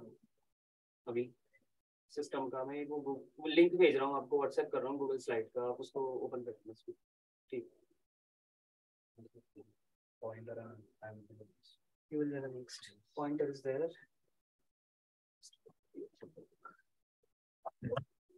Savish Yes. Uh, yeah, I'm twenty. One is field light,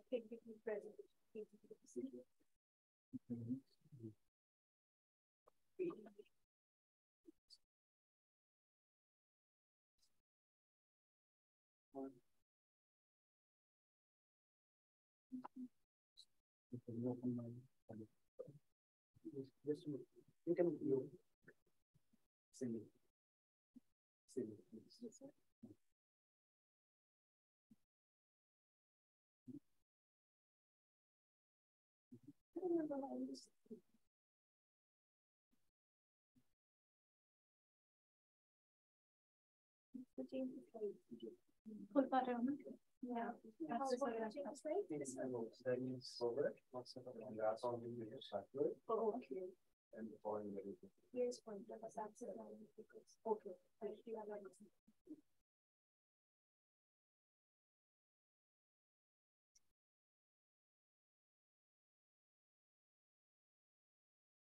Someone might look at my photo. Mhm.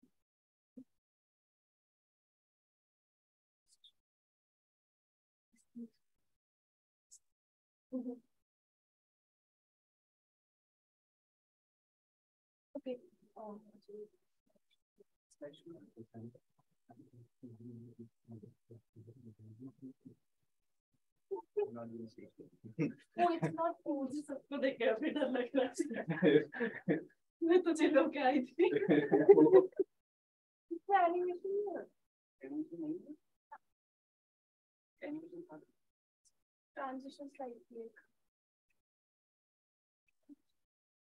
हाँ यहाँ पे भी था इतना प्यारा सा।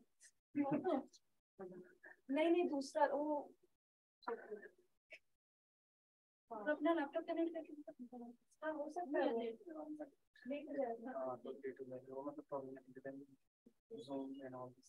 Oh, this was so. Oh, shit. keep here, ना Can I- You can, uh, okay, so manage your talk.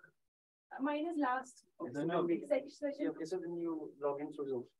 Mhm. I will ask, um, yeah, I will ask Javed to allow you to share screen. Just turn off your mic and camera. Okay. Yeah. अरे जैसे वो मैंने करा था ना वो वो अच्छी कनेक्ट करा था हाँ हाँ मैंने तो रिपोर्ट किया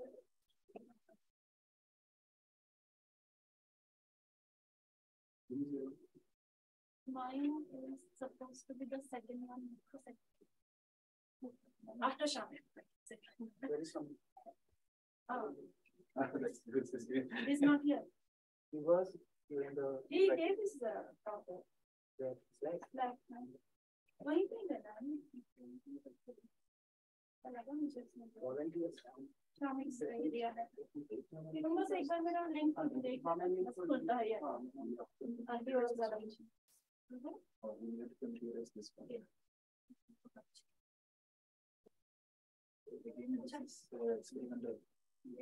It's observation. Observation. I have to go up.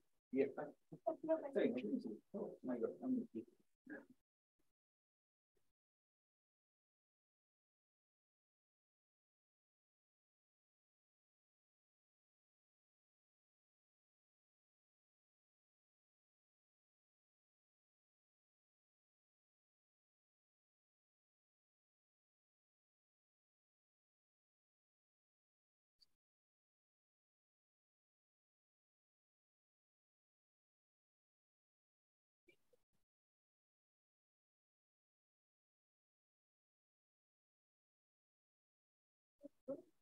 हाँ मैंने सीखी लेकिन हमने इस दौर का खोल दिया वो।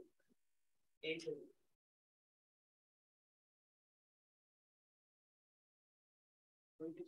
हाँ हाँ आप ये वाला खोल रहे हो वो एक्सेस मांगेगा शायद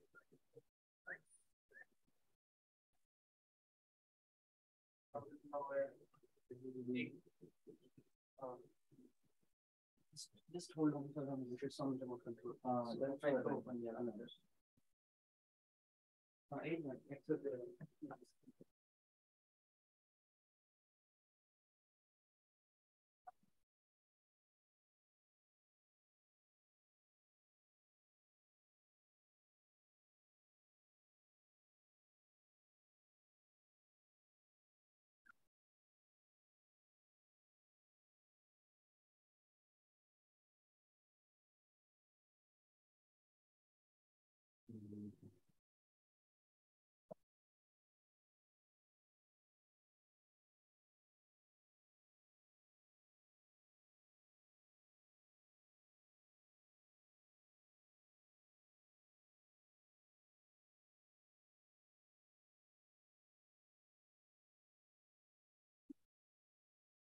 eight minutes, exit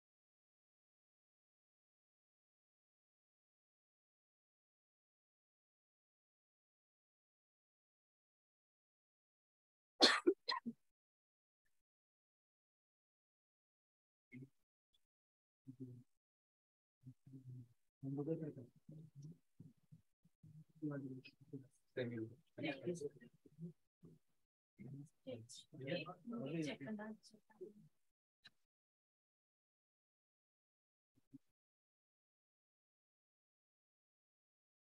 Check on that. Um, Okay, हाँ बस हो गया बाकी सब बाकी सब चलेगा हाँ हाँ बाकी सब सुन रहे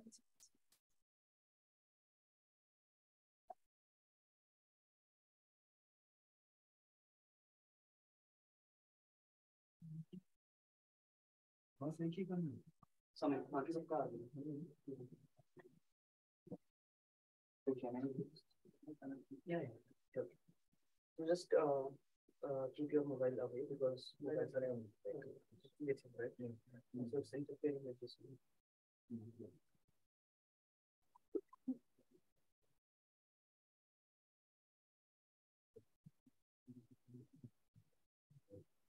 Hello. Hey, is it audible? Yeah, it's audible. Same.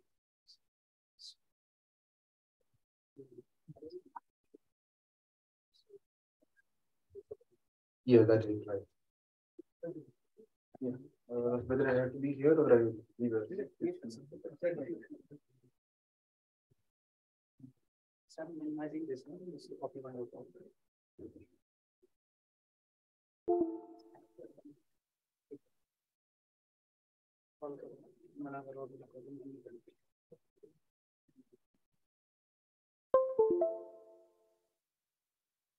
Oh, somebody.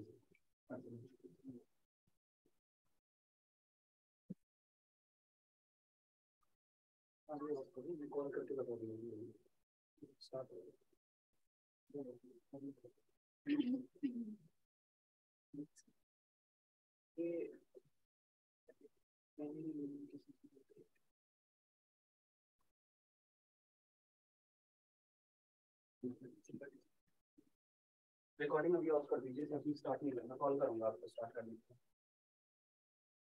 लिए। वहाँ पर है।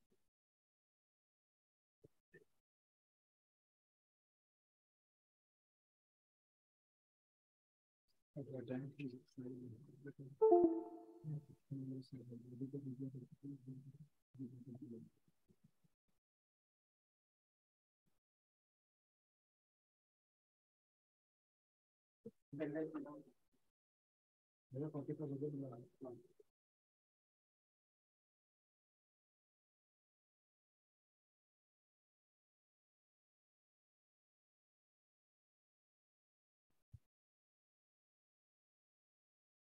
uh, statue?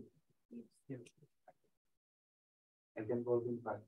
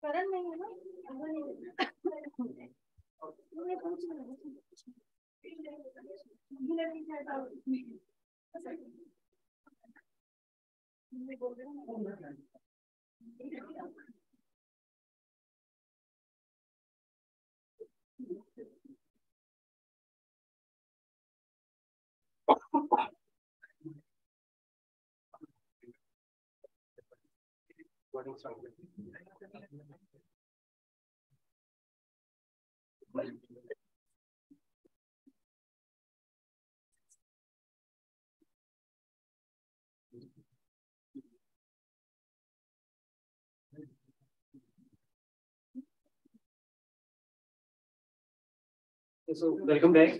Now we have a talk by Semin Javier. He will talk about an exact model for evaluating black black holes in cosmological space time. We have twelve minutes. I will give you a reminder at ten. Can I start? Yeah, you can start. Oh, okay. Basically, it's a quite theoretical one. So listen me up please for ten minutes. So It will be fine. Okay. Already giving warning. So I'm going to present an analytical model for black hole evaporation in a cosmological space time. Basically, this is the curve, uh, figure, basically. Don't consider about these experiments, whatever the people are doing, no worry. Only we are considering the range for the for primordial black hole. We will be considering range from 10 to the power 15 grams to 10 to the 50 grams. Basically, that means actually basic assumption behind this one is less than 10 to the power 15 grams would have been evaporated out for the current epoch. And the black holes, whatever be the black holes we are considering, are asymptotically flat spacetime, in asymptotically flat spacetime. That physically means that the black hole is isolated black. hole. So, for evaporating black holes, as Patrick has been pointed out, that we can find Hawking temperature and entropy. Then Hawking temperature is inversely proportional to mass, and this entropy is proportional to the area formed by event horizon. So naively, a Hawking radiation metric, which which is uh, represented by Vaidya metric. And the decay rate of corresponding metric is inversely proportional to mass square. This equation number three. Okay, you can see that the decay rate is inversely proportional to mass square. So for physical, much more understanding, let's plot that one. So just see this y-axis is in the magnitude is increasing to the down direction. So when we see the when the mass of the black hole is decreasing, the decay rate is larger. Physically means that when the black hole is smaller mass, it has higher evaporation rate. That means for it will be evaporate so fastly. This is the physical reason behind we are considering the less than 10 to the power 15 grams would have been evaporated for the current epoch. And we assume that the black hole is isolated black.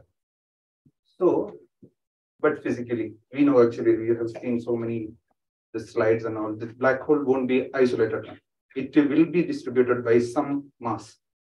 So we want to see how these rates will change for a black hole which is surrounded by some mass distribution.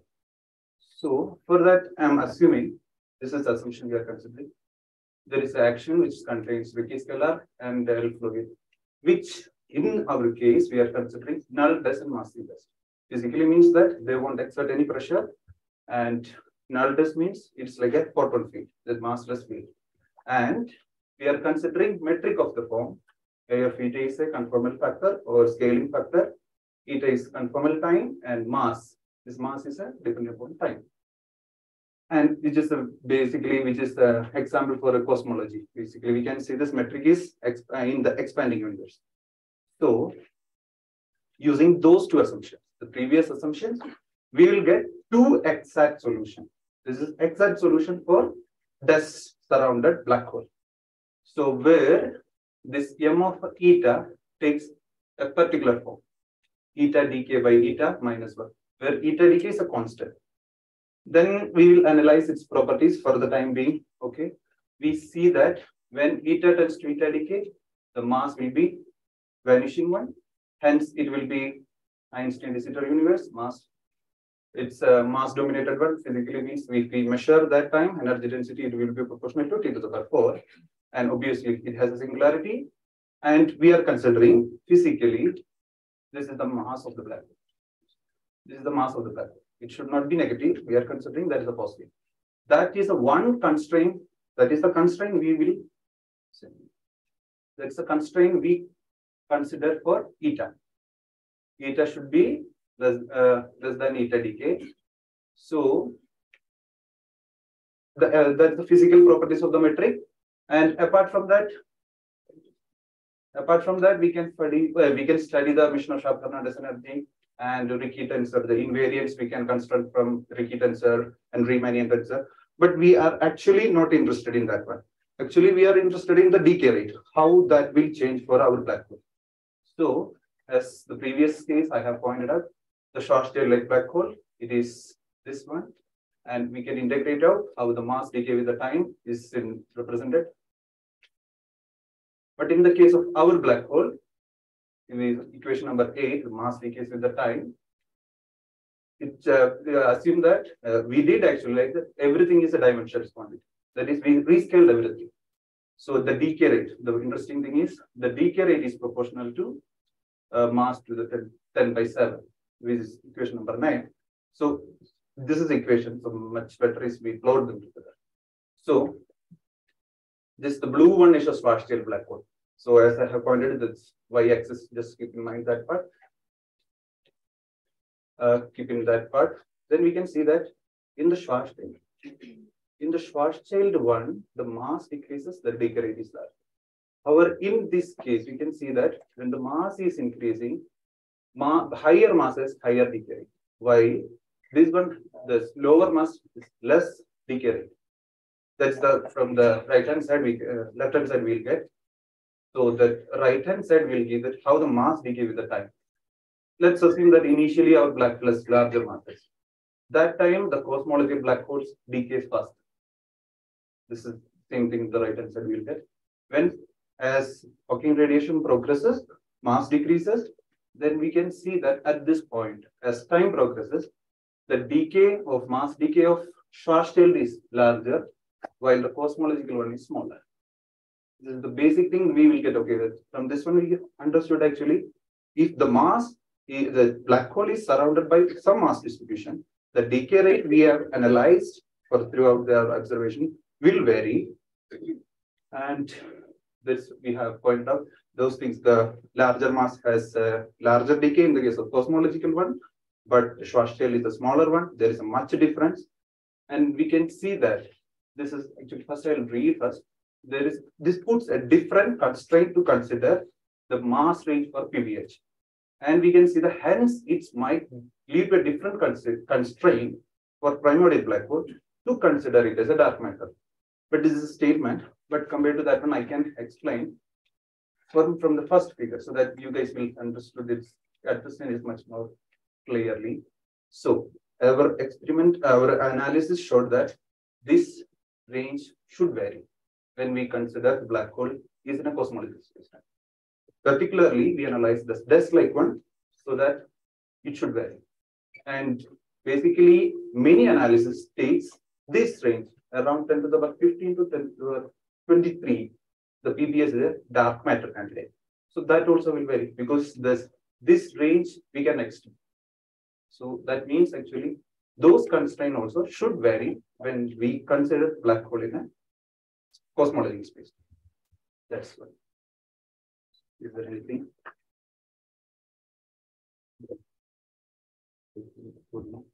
We are open for questions now.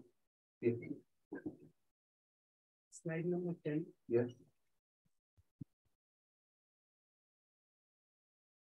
and not in the area of black holes and stars. But at the point of uh, the Schwarzschild uh, Hmm. hole and the cosmological that you created, the point, the coincide point, are Hmm. you equating the those two? uh, No, we taking are- the mass and uh, and time, and equating the co- equations that way and finding out what is. Equating means basically this one is, we are only, we are focusing on the decay rate. Decay rate, decay rate only. We are not considering, considering, particularly we are just assuming, okay, let's have initially both have higher masses. Then how the decay changes. That's only because particular things is observational field. And particularly this is my matter dominated because the black hole is surrounded by some dust. And uh, so we can change that one because if we go for observational primordial black hole, we have to get the radiation dominated area. Still, that is we have to find. Is there any experimental evidence that No, EV exists? No, sorry. That's just analytical. Anybody goes with the observational one, then it will be good. Because surrounding black hole, obviously, physically it is surrounded by some mass distribution. huh? So if we get, then it will be good. It's on assumptions only. Assumption in the sense, the physical assumption. Physical assumptions, the observation only we have to see. Basically, more concise, I can say. There is a constant, eta naught. We can assume that is our current time. This is the time which started. Okay, what will be the metric at this time, current time? So everything is there. Every data is there in the metric. Observationally, you have to constrain it. Okay, thanks. Any other questions? So probably ask, I will ask one. So the metric you are assuming is, is for the current time. right? No, it's uh, that's you can observationally you can constrain. Okay, it's uh, just so with the constants. We have not assumed any. It's a constant Gen- General. general. Okay, you can go with the observationally you can constrain. And uh, another question was like any uh, particular reason to take uh, the pressure less, uh, less fluid or The dust, Dust. dust, there, there won't be any pressure. yeah, there will be any no pressure because the dust particle will not Yeah, interact with each each other, yes. But like any particular reason not to uh, not to take uh, interacting fluid. Uh, no. No. We consider dust, that includes all the things, and it's uh, fluid thing, I don't think so, we can, we can't get it. Like uh, why I ask this because at the moment what our understanding is like whatever the matter we have around the black hole, it exhibits a fluid phenomena. So like if you That we have to go, because then if fluid means we have to get a pressure. Yeah, yeah, that's yeah. And uh, if we go, uh, that's That we have done. We are not able to deploy. That can be, like, that will be the next part of. Next part. Okay. And we build on same system. If the primer PBHs, they are built on the earlier epochs of the universe, when the universe was the radiation dominated one. Yes. So Then, then where there's no dust. uh, radiation dominated regions, it's a fixed thing, and energy density will be. I mean, I will say the redshift of ten to power seven, eight. something we have to see if so analytical solution if i'm able to obtain that that is purely matter purely matter concept just there is the those two assumptions only will give this analytical solution. This is particular solution. We won't get any other solution. And it is not related to any formation mechanism. It is valid for uh, like whichever formation mechanism valid for PBHs. i'm not sure. We obtained that for instance field equation. We are not worried about any other. That's it. Okay, Let's let us thank the speaker again.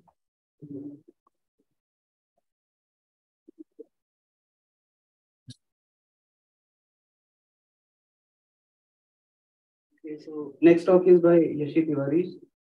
He will talk about understanding large scale CMB anomalies with the generalized non non-minimal derivative coupling during inflation. Hello, am I audible? So, similar to my previous speaker, I will also say that the- my work is a little bit theoretical, rather than logical driven. So I would like to request you to bear with me till the end. So yeah. So hi, I'm Yashi Tiwari. I'm a PhD student at IISc Bangalore.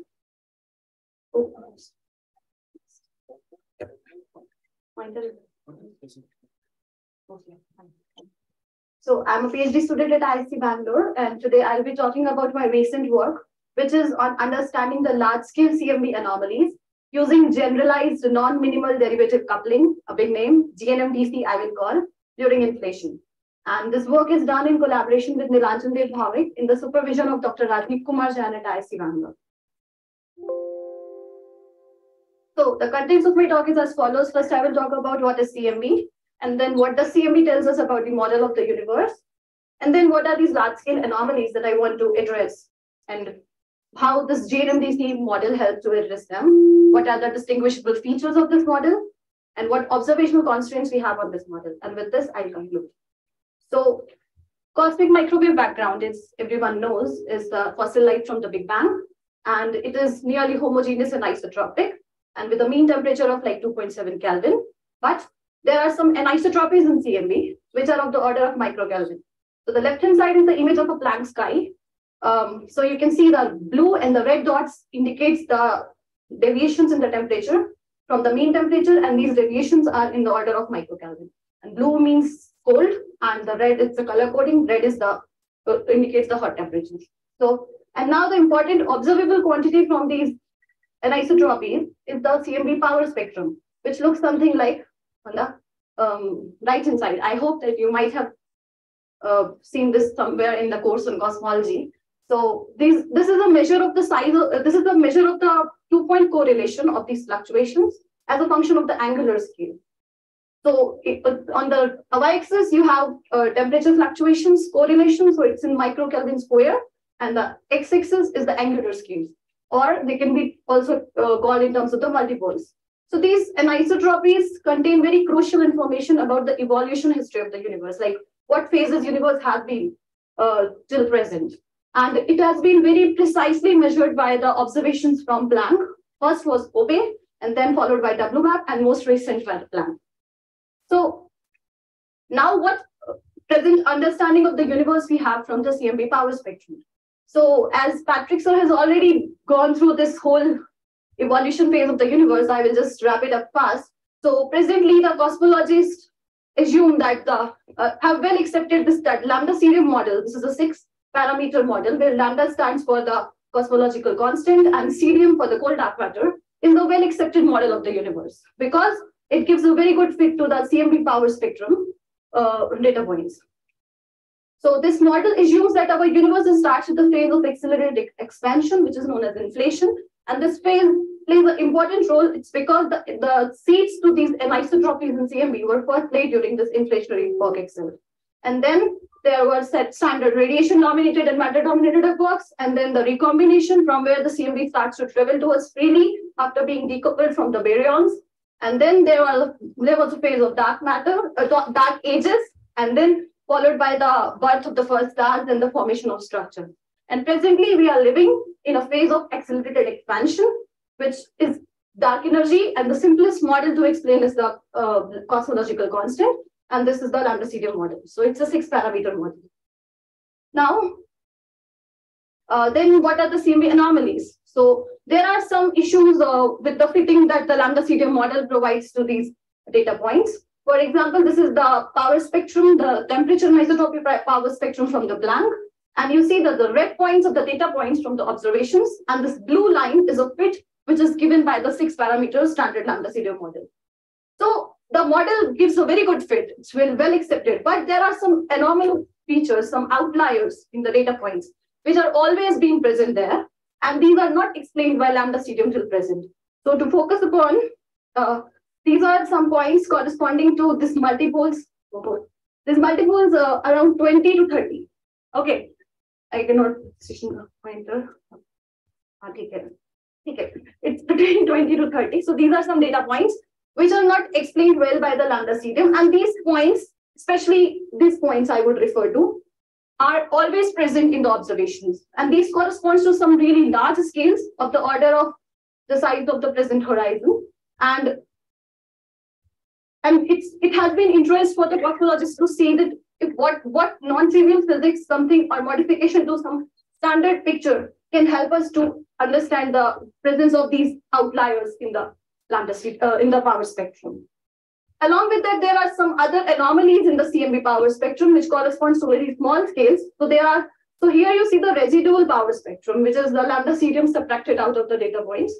So here there are some oscillatory features starting around uh, multipole of 750, which are also uh, taken as a consideration that well, there could be some non-trivial physics uh, in the very early universe which can explain these features. So yeah, uh, given that these are the CMB anomalies, so I will be focusing on understanding uh, some uh, these CMB anomalies around 20 to 30. So how people address these anomalies? So there are two approaches because these correspond to some large scales. So first approach is through the dark energy models, but due to the lack of time, I will not go into that. So you can go to the references mentioned here. What I am focusing on is uh, modifying the dynamics of the early inflationary phase. Why inflationary phase? Because the anisotropies in the CMB was first seeded during the inflationary epoch. So if there is some non-trivial dynamics during the inflation, which can be imprinted in the primordial power spectrum, and hence can also explain the presence of these anomalies in the CMB power spectrum. So there are some uh, standard approaches that people have adopted, like modifying the potential of the inflaton field. So this inflation is a period of accelerated expansion. The simplest model could be a single uh, field, uh, single scalar field uh, inflation, and uh, which has the potential. And by modifying the dynamics of the potential, one can obtain some non-trivial features in the CMB power spectrum. Uh, so, uh, not going into details, I will just go what is my method of addressing the CMB anomaly. So, we are working on introducing an extra coupling as an extension to the single field inflation model. So, this coupling is uh, interact, it is a coupling between the scalar field derivative and the Einstein tensor through a generalized coupling function, which is the theta function, which is a function of the scalar field. The scalar field is the inflaton because we are modifying the inflation, the dynamics during inflation. And I call this coupling as GNMDC, generalized non-minimal derivative coupling, just GNMDC because of the big name. So, yeah. So motivation, why we are thinking of such coupling. So as first motivation is already clear, we want some non-trivial dynamics during inflation we want to explore it that if we have such type of coupling, what uh, new physics biologically we can do in the context of inflation. And these couplings are well uh, explored in context of inflationary models. For example, formation of primordial black holes and all. So I have mentioned some references where such type of couplings have been well explored. And these couplings can be well realized uh, as some special case in the more general class of scalar tensor theory like Horndeski theory. And we are looking at the first time to uh, address the large-scale CMB anomalies using such type of coupling. So um, I don't want to go into much of the equations, but for uh, for a comparison, just to so that you can look at what changes come when we include such a coupling, I draw a comparison between the canonical single field model, which is the simplest inflation model, and what happens when we have inflation in the presence of this coupling. So the equations, for example, the action itself has a, uh, as a new interaction term, this GNMDC term, and because of which this, uh, this thing is also imprinted in the Friedmann equation and the equation for the evolution of the scalar field. So now all the equations also depend on the choice of the theta function, the coupling function we choose. And this makes these class of models phenomenologically attractive that if you decide upon, if you choose the theta function accordingly, you can have some non-trivial features in the dynamics during inflation. So this is what we will be doing. We'll be focusing on choosing a theta function in such a way that we obtain some non-trivial features in the primordial power spectrum so that they can also explain the presence of the anomalies that are discussed in the CMB power spectrum. So our working model, so one thing is that because of the complicated dynamics, sometimes the such theories where this GNMDC coupling is present can run into some inconsistencies, like some unphysical solutions or something. So to have physical solutions, we boil down to a condition that our coupling function should always be positive during the regime. I would request you to that those who are interested to know what are these inconsistencies and all, please refer to my work because it is a detailed work and it would be very difficult to sum it, sum it up in a short time. So in conclusion, just in the uh, final point is that the theta function should always be positive. And to ensure the theta function to be positive throughout, we make it a, as a sum of two terms, a global term and a local term. The global term to ensure that theta is positive throughout, even when the other local term gets negative. And this global term should also is also chosen in such a way that the strength of this coupling is decaying by the end of inflation because we do not want to disturb the standard reheating scenarios or whatever is happening after inflation. We wanted a local effect during the inflation itself. And the other term is the local term, which will give rise to some non-trivial features in the primordial power spectrum. Uh, two moments. Yeah, I'll just conclude. So this term is like this. So it has a dip-like feature with a negative amplitude and where A1 controls the amplitude, phi naught controls the position where this feature will appear, and it should correspond to some large scales. And sigma is the width of the feature. We want a local feature. So how this feature brings up in terms of the primordial power spectrum, again, not going into details here, the black dashed line is the prediction from the standard lambda CDM, which assumes that the primordial power spectrum is a nearly scale invariant power spectrum. Now, in the presence of this GNMDC coupling during inflation, you have some non-trivial features, which are like a suppression at some large scales with some decaying oscillations. And later on, these oscillations nearly superimpose with the predictions from the lambda CDM. Okay, so this is a small modification, and this type of profiles is also similar to the works which have also tried to look the same CMB anomalies. But of course, this the dynamics from which the power spectrum is arising is completely different.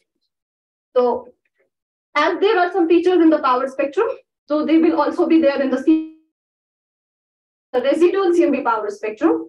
And the, you can see that the data points around 20 to 30 that I was showing as the CMB anomalies in my first plots are now well addressed by these green plots. The green are the GNMDC model for two, para, uh, two data sets. And these models are able to address these large scale anomalies um, well. And there is also some improvement in the fit to the data at some small scales also. So to conclude fast, uh, this is again, when you have a model, you bring a model, you have some model parameters, then you want to find that whether these, what are the best fit para parameter constants that you get from the observational data. For that, you do all the MCMC analysis. This is what we have done. We have some model parameters. We provide some priors, obtain some, uh, choose some data sets and obtain the best fit parameter constants on those models along with the posterior distributions.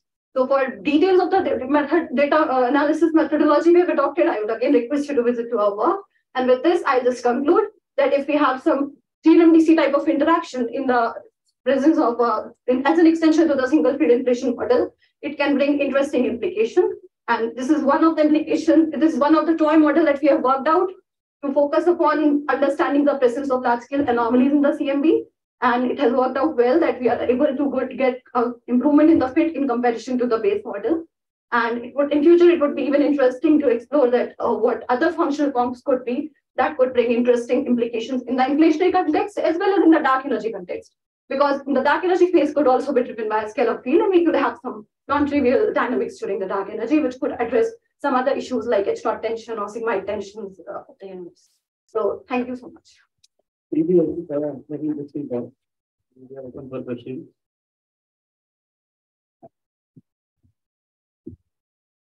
Are these anomalies same anomalies? Is it only in Planck or is it in ACT consistent with ACT and SPT data? Okay. So these are the Planck. These are the Only- same. Only in the Yes. Planck. They are not in the CMB measurements of the ACT and SPT. Uh, I am not sure, but I think they are in the Planck. Okay, and other thing is that it is related to the high L side. So the met uh, constraints on the matter density comes from a high L. Okay. So in your model, Uh, the constraints are same as the on the matter density I'm talking. So you're, uh, so you're talking about the effect of this feature on the matter power spectrum. No, only the matter density. How how are the constraints on the matter density? So Like, are they far from the metal no, no, you mean those omega, the co- constraints on observations on the omega m and all. Yeah. Those parameters are nearly same as that of the lambda CDM. We do, I do not quote it here. I'm sorry. Uh, I'm just quoting the best fit values for this uh, our model parameters, but of course these are also similar to what the Planck suggests.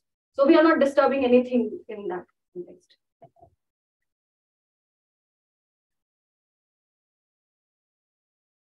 Hi, Nice talk. Uh, I have a very nice question actually. So in the beginning of your slides, you have showed the temperature fluctuation ver- versus for the CMB anomalies. Um, yeah. So for around angular scale of one degree, there is the peak, right? Temperature fluctuation. So is there any physical reason behind that? So these this this whole thing is this indicates so all the peaks indicate some different uh, uh, about the different parameters of the lambda CDM model. So the first peak indicates that the universe is flat, and these peaks corresponds to this the acoustic peaks. So yeah, so these are detailed things that we this, this is what this uh, CMB power spectrum tells us about the different parameters of the lambda CDM model. I have a question. So in your uh, model, you have two metric. One is small g mu and there is capital G. G- Capital G mu is the Einstein tensor. So this is the interaction that I'm introducing. So the in terms of the so this is the interaction which is added in, in as an extension to the canonical single field model, where the derivative of the scalar field is coupled to the Einstein tensor through a generalized coupling function. Yeah, but now due to Einstein equation, Hmm. it is equivalent, capital G mu nu Huh. is equivalent to uh, 16 uh, pi g by c4 into t mu nu. Mhm. You can feed in already. Yes. So what happens is because now by Einstein equation, capital G mu nu, if you have, if you, are you taking lambda non-zero?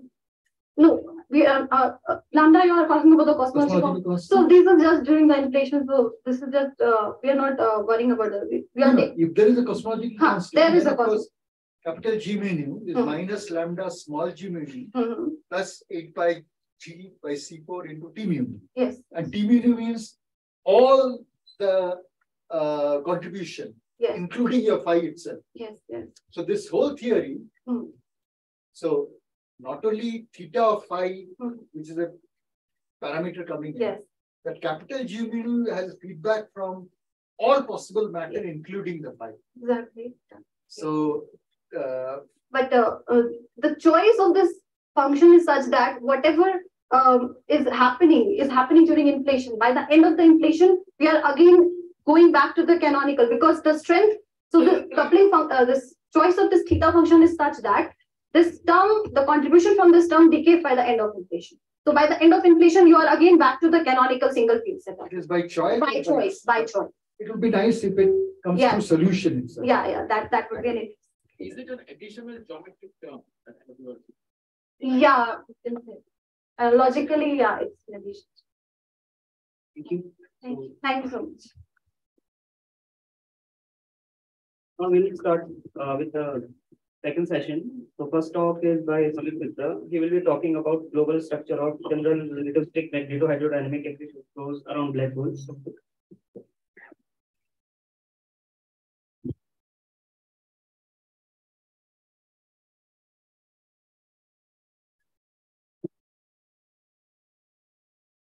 Think you have twelve minutes. Hello, you will give. Okay. That is fine.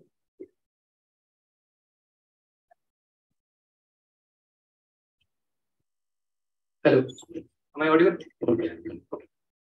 So good, good noon, everyone. Uh, I'm Shumik, and uh, today I'll be presenting my talk on global structure of general relativistic magnetohydrodynamic accretion flows around black holes. So, okay. So this is the brief outline of my talk, and particularly, I hope all of you have been have seen this right hand side image. So for me, this everything started back in 1918 when Heber Curtis actually observed in one of the night sky this curious narrow straight ray coming out of this uh, luminous object. And finally, we know that this object is the M87. And now at 2021, by the help of EHT and with the development of this advancement of computational techniques and all, we actually receive this actually image, which actually represents the central heart of this M87 and which represents that there can be a possibility of the black hole setting here. Now, the primary motivation that our work is to observe black holes. Now, how to observe them? So, in order to observe black holes, we know that black holes are black and they do not emit photons, right? So, it makes them more challenging to observe. So, we will only use the indirect detection, which is due to the accretion or the infalling matter. Now, one can ask how this matter is infalling. That dynamics is governed by the gravity of the compact object, the magnetic fields around it, and as well as the radiation pressure. Now, this image, I think most of you have already been seen by EHT. They have been taken. Now, let us imagine that there is two differentially rotating layers which are rubbing against each other, generating frictional force. And when they generate frictional force, there can be a possibility of developing a viscous torque in it. And when a viscous torque is there, it actually leads at, uh, at instability or tur turbulence, which can transport the angular momentum outwards and accretion happens. Now, what is the source for this viscosity then? So Shakura pointed out there can be a constant alpha parameter, but there is a lot of debate that what could be the possible alpha is. Now they have also raised a point that MLT turbulence could be a possible source for it. Now this actually gets confirmed when Balbus showed that even a weakly magnetic field, if it is present within the differentially rotating disk, it can actually tap the energy of the differentially rotating motion and actually develop some kind of instability, which leads to a turbulence known as the magnetorotational instability. But not always black hole engulfs matter. Sometimes black hole can throw matter out in form of ultra-relativistic jets. So this makes the understanding of accretion in a better way. So uh, my understanding is the accretion and ejection are the integral part of the system. So magnetic field can be a missing link which can actually explain these answers. Also, we should think about that what could be the possible structure of the magnetic fields around these black hole sources. Do we really know it? We actually do not. So we, I actually want to understand these two questions. Now, interestingly, last year we also uh, got the image from the EHT in the same M87 with the help of this polarization technique that this could be the possible structure of the magnetic fields, these imprints that you have seen. So we just directly jump onto the problem in two different ways. One is the theory, another one is the simulation. Now, global geodynamic simulation nowadays, everything, it is very much popular. Why it is popular? Because they have a very wide library where they can actually access the hot turbulent plasma for a wide range of spin variations for any black hole sources. And they have so, shown that this image that the EHT group or EHT telescope, radio telescope has been observed, it has been fitted very well with their simulated images. But since we all are doing, most of us are doing or familiar with the simulations, we know that the simulations are dependent on these initial seed solutions, what kind of conditions you are putting. Now, if you change the condition, the final outcome will be changed. So definitely there we have a significant scope to contribute as no steady state solutions were available for the GRMHD case. So what we are planning or what we did in our paper is that we developed a steady state accretion solution for this GRMHD flow for the first time. And we want to use our result to start a more realistic 2D, 3D GRMHD simulations with our initial condition. So this is a theoretical formalism for our work. So we have considered a axisymmetric accretion disk. This is a crude diagram that I have plotted here.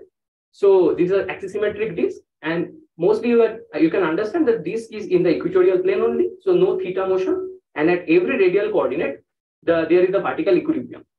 So the disk is in vertical equilibrium in both the direction and there is no theta motion. And we are considering the ideal GRMHD approximation, which is actually suggesting that the magnetic fields are frozen within the plasma. So we are only considering the two independent components, that is the radial and the toroidal magnetic fields. And this is the general Kerr metric we are solving for. And this is the governing equation, three governing equation that you can see. Now the interesting part is only within this, energy momentum tensor, which is actually showing, uh, telling us about the general relativity or the matter part, as well as the Maxwell's part, which is actually contributing for the image. So these combined for the GRMHD case. Now, when we use all these simplified equations and all the uh, approximations, we come up with these six highly nonlinear differential equation, which we solve simultaneously. And we finally obtained the very first result, which is the velocity and sound speed profile. Now, you know that whenever you are far from far away from the black hole, matter has to be subsonic in nature. But when it comes close to the event horizon, it has to reach the supersonic. So definitely the flow is actually changing its sonic state somewhere here at the dotted point where it actually crosses the sound speed. Now for this particular case, I have plotted the global structure of this accretion solution, which is represented by the Mach number, which is actually the ratio of velocity and sound speed. So this uh, rate solid line is actually the actual solution, which is actually marked by this arrowed line. And the dotted line is actually the wind solution, which we are not interested in. Uh, okay, fast marker, fast wave. So yes, uh, so here then there is the density profile and the temperature profile. And from the temperature and density, you can see that the close to the black hole, if you go, you can see that the effects are much more stronger. And the temperature is almost of the order of the virial temperature, even it is crossing that. Now, the interesting point comes when it, you can see this aspect ratio. It is actually satisfying the vertical equilibrium condition at every radius by satisfying that h by r is less than 1. Now, the interesting thing that comes here about the uh, equation of state. Here we are actually using the equation of state developed by Inorinsler and Ryu back in 2019. So what it suggests that the adiabatic index is actually a function of radial coordinate. Now, why it should be? So when the flow is far away from the black hole, the flow is non-relativistic. So gamma has to approach 5 by 3. Now, when the flow is very close to the black hole, it has to be ultra-relativistic. That means it has to be 4 by 3. So here you can clearly see that it is not ultra-relativistic, neither it is uh, non-relativistic, but it is somewhere uh, trans-relativistic in nature for our flow. Now also we have plotted this optical depth and it is showing that the disk is optically thin and mostly whatever photons we have, it is mostly uh, the radiation is almost getting away. It is not getting trapped. And these are all the magnetic field profiles which I will be talking in the next. So yeah. So the interesting thing that we need to understand is what is the effect of magnetic fields when we change the magnetic field and what will be the effect on the on the solutions. So if you look into the first plot, the S1 curve, we have fixed the outer edge magnetic field as 3.55 and the solution passes with the near critical point. Now, as we change the magnetic field strength, you can clearly see that the solution topology changes. And after certain critical value of the magnetic field, the solution no longer passes to the inner critical point. It skips to pass through the outer critical points only. And this kind of inner outer critical point solutions remain largely unexplored in case of GRMH.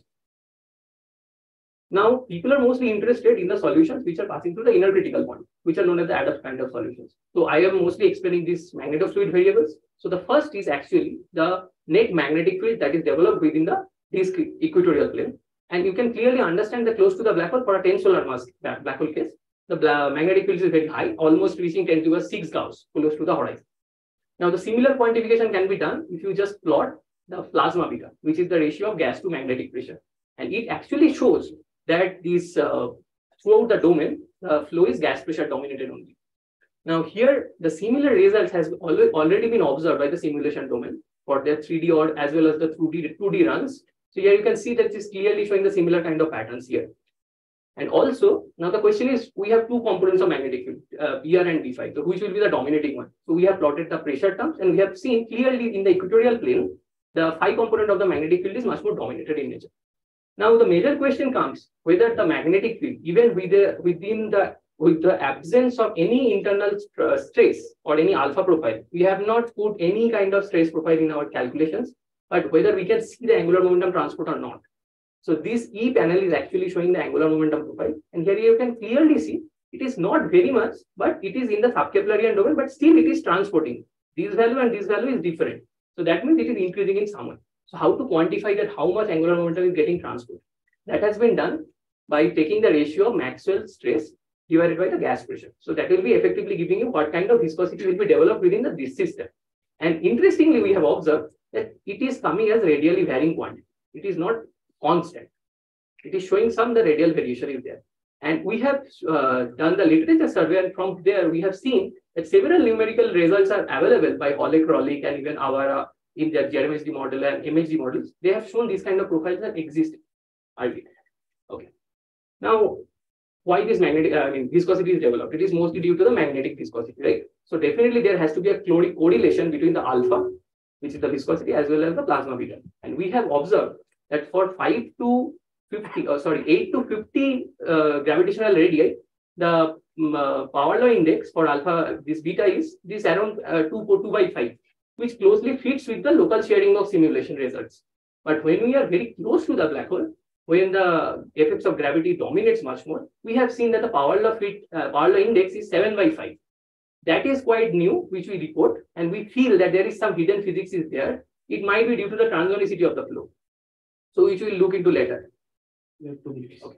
So these are some kind of law profiles that we have also obtained for the analytical solutions, and we have just uh, seen that what could be the differences that we have getting. Okay. Now the interesting part is earlier I have done the solutions fixing the outer edge of the disk. Now if we start uh, from the inner critical point and changing the magnetic fields, so we have seen that the solution topology initially was open, but now it becomes closed. Now what do I mean by closed? That means it is not connecting to the event horizon to the outer edge of the disk. Now these kind of solutions are actually unphysical in nature because it is not getting connected. So these kind of solutions are interested when you have a certain outer critical point passing branch, which is actually uh, another transonic solution, but the flow cannot pass after a certain radius because the centrifugal force is coming to the picture and it actually puts a barrier there. So there a shock transition can happen. And due to the shock transition, your flow can look like this. Suppose you have a cold matter which is coming from the outer side and it is getting actually a barrier and accumulation is there. There is a uh, density is getting higher, even the temperature, and there is a jump in the shock or the shock is forming and the topology is looking like this the inner region is getting hot and dense. So this can be a source for the swarm of hot electrons, which you can call also a Compton cloud or, or a corona. So for that, for the analytical case, you actually need to solve all these necessary shock conditions there. And we already have solved it for the GRMHD case, for even for the rotating case. So which we will be working on. And this is a particular toy model that we think that this should be there. And it is already there in literature. I mean, even Raj also worked on this kind of thing. So Interestingly, there is a recent paper that our group wrote is that what is the importance of shock? So we have seen that if we have different spin of the black holes, the shock can actually extract some amount of energy uh, if the shock is actually dissipative in nature. So we have seen that for spin zero case, it is 1%. For highly spinning black hole, it is actually 4.4%. So we are estimating, since we are getting shock for the magnetohydrodynamic case also, we can extract much more energy from this kind of shock. So we will be working on this also. So finally, this is my summary. And finally, I'll end up by saying that the steady state solutions might not be very useful in explaining the turbulence or the dynamics of the disk, but it can be very useful in understanding or giving the potential source for the seed solutions. And we have seen that several results are actually matching with the simulation, existing simulation results with our exact solutions. So definitely these kind of steady state solutions could provide more realistic 2D, 3D geometry results uh, in near future. So thank you. Thank you for You can look into here actually for the details of the work and you can find me here. We'll take questions.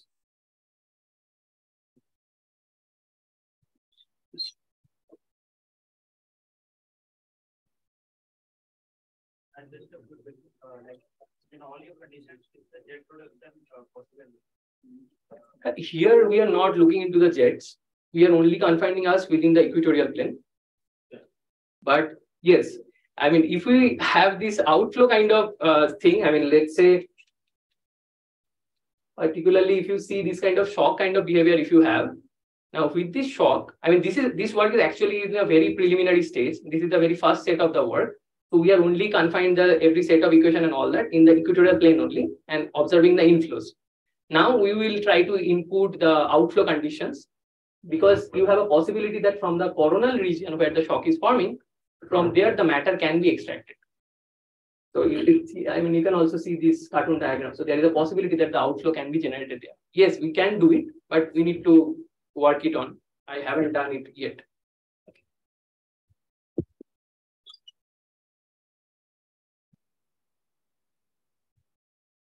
Hi, nice talk. So I, I this is far away from my field, but uh, I, I would like to ask uh, if there is a, a shock uh, Hmm. in the basis and vibration. So do we expect any uh, non-thermal emission from there? Uh, observations? So usually I am not very sure, but uh, from We have a these, magnetic field also. Yeah, yeah, we have magnetic It will compress the magnetic field. Yeah. So there'll be synchrotron, yeah, non-thermal. yeah, yeah, I mean, uh, synchrotron kind of thing, I have, I'm just working on it actually. I have implemented the synchrotron part now. So I, I mean, unless I know the results, I cannot tell you, but usually if you have a magnetic field, there is a chance that you have synchrotron, obviously. And other than that, you have Bremsstrahlung. So Bremsstrahlung is anyway there, free free emission, but synchrotron emission you can always have. In general, we see that accretion disk uh, like emissions are in like represented by thermal models and only. No, no, So, uh, yeah. Yeah. So I haven't seen anyone talking about non-thermal. I think uh, synchrotron emissions are have been reported uh, Um, several. Not. Power law. Yeah, there is a power law tail actually. I mean, like nu to the power minus alpha. Okay, This kind of power law tail is there, right? Okay. Thank you. Okay, uh, good talk. Uh, several issues. First of all, uh, first of all, you have a shock, right? Yeah. But you have not quantified what kind of a shock it is. Is it a fast shock? Right. Is it an intermediate shock or is it a slow shock? Unlikely it will be a slow shock, but it, it might be fast or intermediate. Okay. If it's a fast shock, then fast shock has this uh, this uh, property of generating transverse magnetic field. So now if you have, you're coming with BR and B phi, at the first shot, you will be able to see some BZ as well. I mean, there's a B B theta. B theta. You should be able to measure what is the B theta there if you have shot. Okay. And once you have the B theta, then your production of jet is not much of a problem. Hmm. Okay. So uh, you could have just checked whether it is a fast shock or not. Okay. I mean, usually the kind of Mach number profile that I have taken, it is uh, the definition from the. quantify it. Yeah, You can't I understand, yeah. right? Okay. Because the moment you say it's a fast shock, there will be ranges, right? Yes. There will be this something called the switch on shocks. Okay, so you will have a fast switch on shock. So where you don't see an a bi I mean, sorry, sort of a bipolar magnetic field. Suddenly you will see if there is a shock, there is a bipolar magnetic. In in solar MHD, people always see, see this kind of fast, slow. You know, If it is slow shock, then it's a problem. It will just switch off the magnetic. Okay. Okay. So these kind of things are there. So in MHD is extremely complicated. Yes. So you know that Mm. now. So that's number one.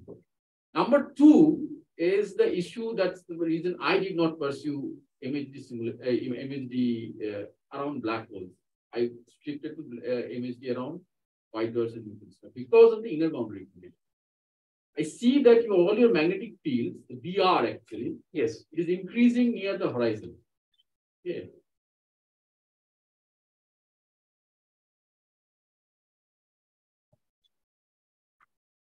My third student, Kuldeep, who started it and we, we stopped it and we were shifted to neutron star because you see the magnetic fields are approaching, uh, increasing towards the horizon.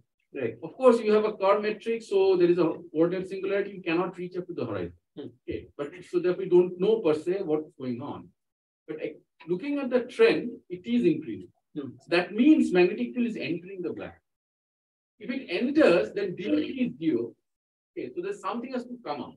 Yes. If that is the case, then you are questioning the no hair theorem. Okay, that's profound. You must understand that, right? Yes.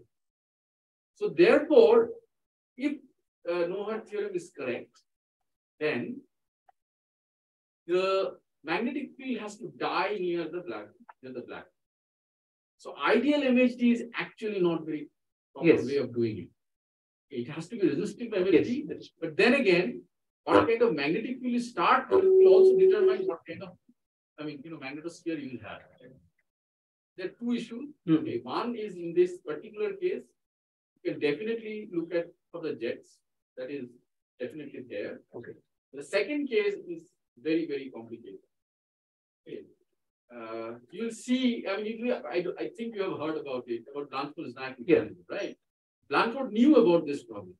So what he assumed is that the horizon is behaving like a conductor.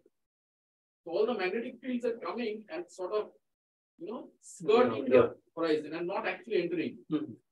So he had this, this ergosphere to generate whatever he gener- uh, wants to generate. There are some other problems with Blandford mechanism. That's a different matter. Okay, but what I'm trying to say is that the horizon issue is very, very complicated in case of Blandford. The third issue is the measurement. Okay, we can discuss it. We are running out of time. No, I mean, I can just tell you, I just think about it. Okay. It's, it's around 30 gauss they have measured, right? Yeah. 30 gauss, they have measured around uh, seven or five Schwarzschild radius. Yeah. Okay, 30 gauss.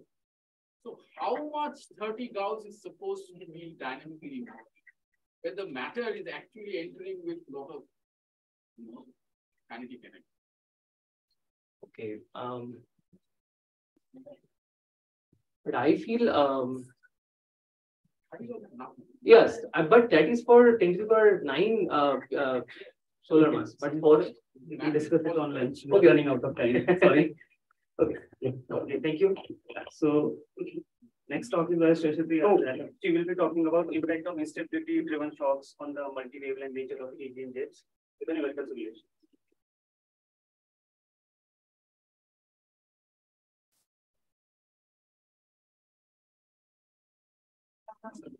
Hello.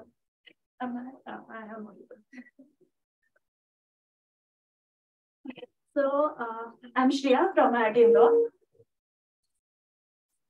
So I'll be talking about the multi-wavelength nature of uh, AGN jets through numerical simulations. Now, in the previous talk uh, given yesterday also, we have heard a lot about uh, what is this AGN and the different uh, properties of the AGN. So in the background, I have Okay. So in the background, we have, uh, sorry, which one is the background? Oh. So background, we have an artistic image of an AGN, uh, so I'll not go much to the details of it. So at the center, we have a supermassive black hole, then surrounding it, uh, surrounding to it, we have this accretion-based BLR region and etc. Then from the center, uh, center of this uh, uh, galaxy, so as we as I was talking about the AGN, so it stands for the active galactic nuclei, and it has a jet which is uh, almost like lying uh, perpendicular to the underlying accretion disk. Now, a class of the AGN where we have this uh, jet which lies along our uh, line of sight that is known as blazars.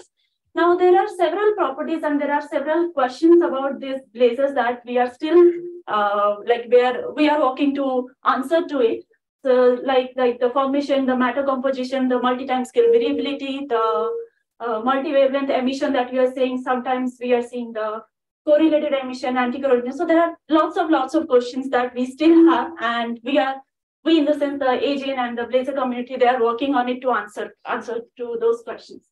Now, but uh, like in my work, what is my, my main aim is to study the impact of the MHD instabilities on the jet dynamics and the emission property. So these jets, when they passes through the intergalactic medium, it suffers to multiple MHD instabilities. So what MHD instabilities such as kink instabilities, sausage or Kelvin-Helmholtz instabilities, depending on the uh, surrounding, depending on the jet properties, etc. So my goal is to understand how these in, uh, instabilities are affecting the jet dynamics and the observed emission features such as the uh, variability or the multivariate emissions, etc. Now, in this case here, I have shown an uh, uh, model, like uh, kind of a model for this uh, blazar emission. So where I am mainly focusing on uh, this region, basically the propagation region, because this jet has like the launching region, the propagation region, and then we have the termination part. So I think Shamik, what uh, he talked about, it's more over close to the launching region. I will be focusing on mostly the propagation region and the termination region that includes this uh, lobes and everything. So what I aim to study is uh, there is this, uh, because of the presence of the MHD instabilities in the jets, there is the generation of the shocks and how these shocks are affecting the multi-wavelength observation. That, that, that was the title of my talk. Now, since I was uh, also that include that I will be talking about this through the numerical simulation. So what what we meant by that, so first we need to set up our model. So we need to have our data so that we can understand from those, by analyzing those data, we can understand whatever we aim to study.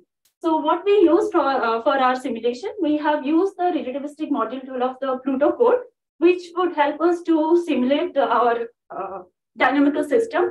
Then we use the hybrid framework of this, which has uh, basically where we incorporate the particles.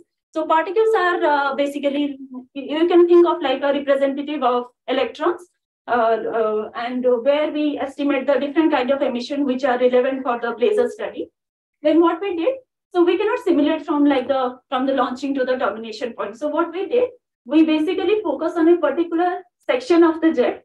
So we simulate that particular section of the jet and we try to understand the observed emission property. So in the right hand, uh, so how we simulate is that we have to initialize our run with the different properties, with the different jet properties. Like we initialize with the magnetic field, the pressure, the density, and all the uh, properties of the jet that we have to put it in, in our simulation so that we have a realistic, kind of realistic jet in front of us. So what we did, we simulate a particular plasma column. So where we gave a velocity in the z direction. That uh, these are all the initial conditions. That is at t equal to zero, we gave all this initial conditions. Now we can see that.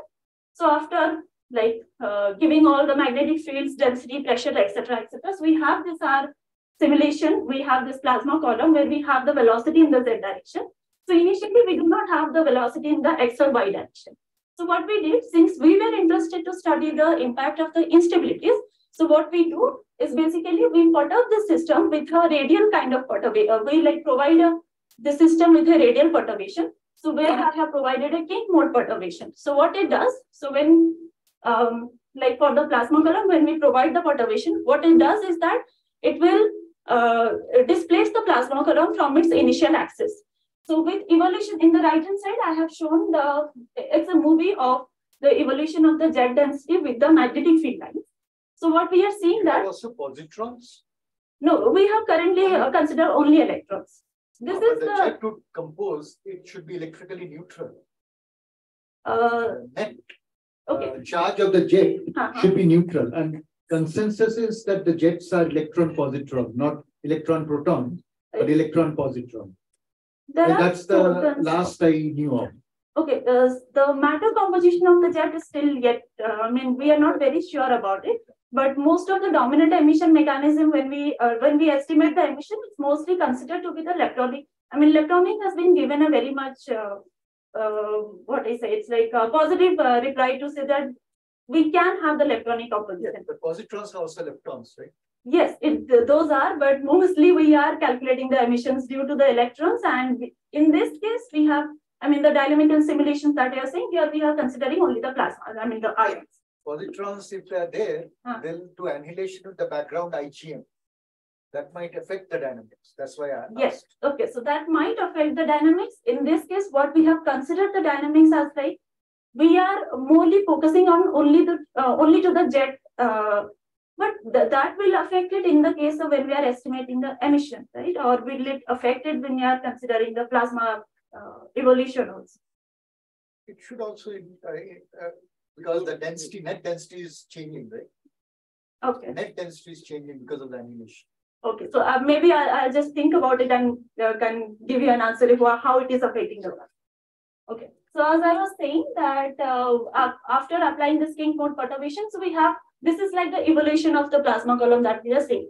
Now we can see that with evolution of the instability, the plasma column is getting distorted, and the plasma that we have inside this that is also kind of getting distorted, and somewhere it is getting turbulent along with the magnetic field lines. And those turbulent region can give rise to the production of the shocks and how these shocks are affecting the emission that I'll be discussing further.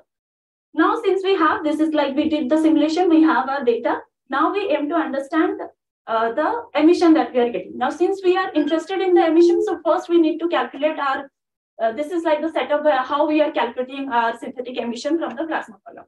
So in this work, we are mainly con- uh, like uh, concerned about the electronic processes like the synchrotron and the external Compton because these are like the one of uh, these are the most uh, relevant emission mechanisms that we see in the blazar case.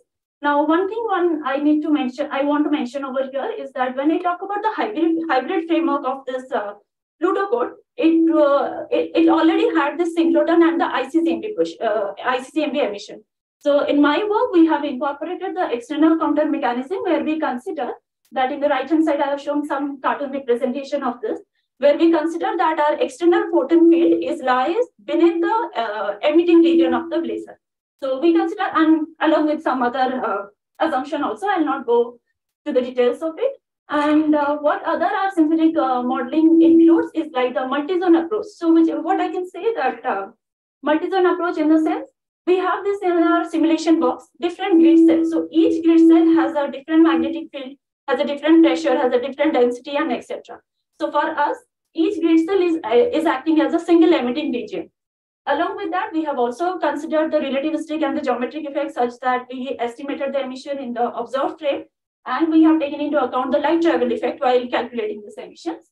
And these are like some sort of uh, details when we are estimating the emission. I don't think I have much time, so I'll just go faster. Now, what? Okay, sorry. sorry, I'll go more fast. Okay, so this is where I'm showing the multivariate light curve. So what we have done, we have estimated the synchrotron and the external Compton emission uh, from this uh, particular plasma column by considering an observer making a 5 degree angle with respect to the axis of the column. So in short, if I want to explain, so here this uh, yellow shaded region that we are showing here, uh, it's basically to indicate a region where, where we are seeing a, some sort of activity in the different uh, frequency band.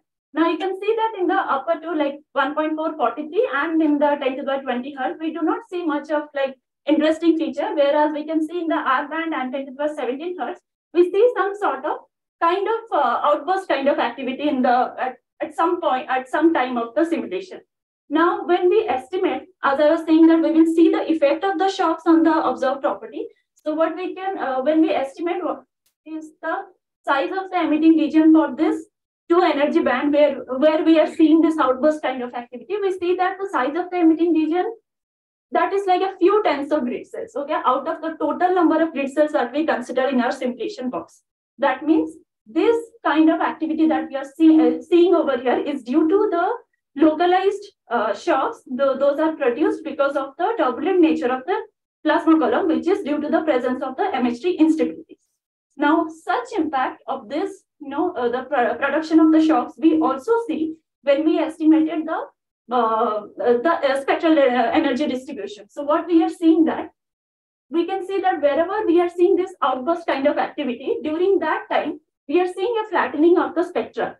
And that flattening of the spectra is because of the production of the shocks. Now, because those shocks will generate highly energetic electron, and those highly energetic electrons are responsible for the flattening of the uh, spectra that we are seeing over here. And similar kind of uh, results we have also like uh, observed previously from different kind of numerical simulations and observed uh, observational uh, signatures also.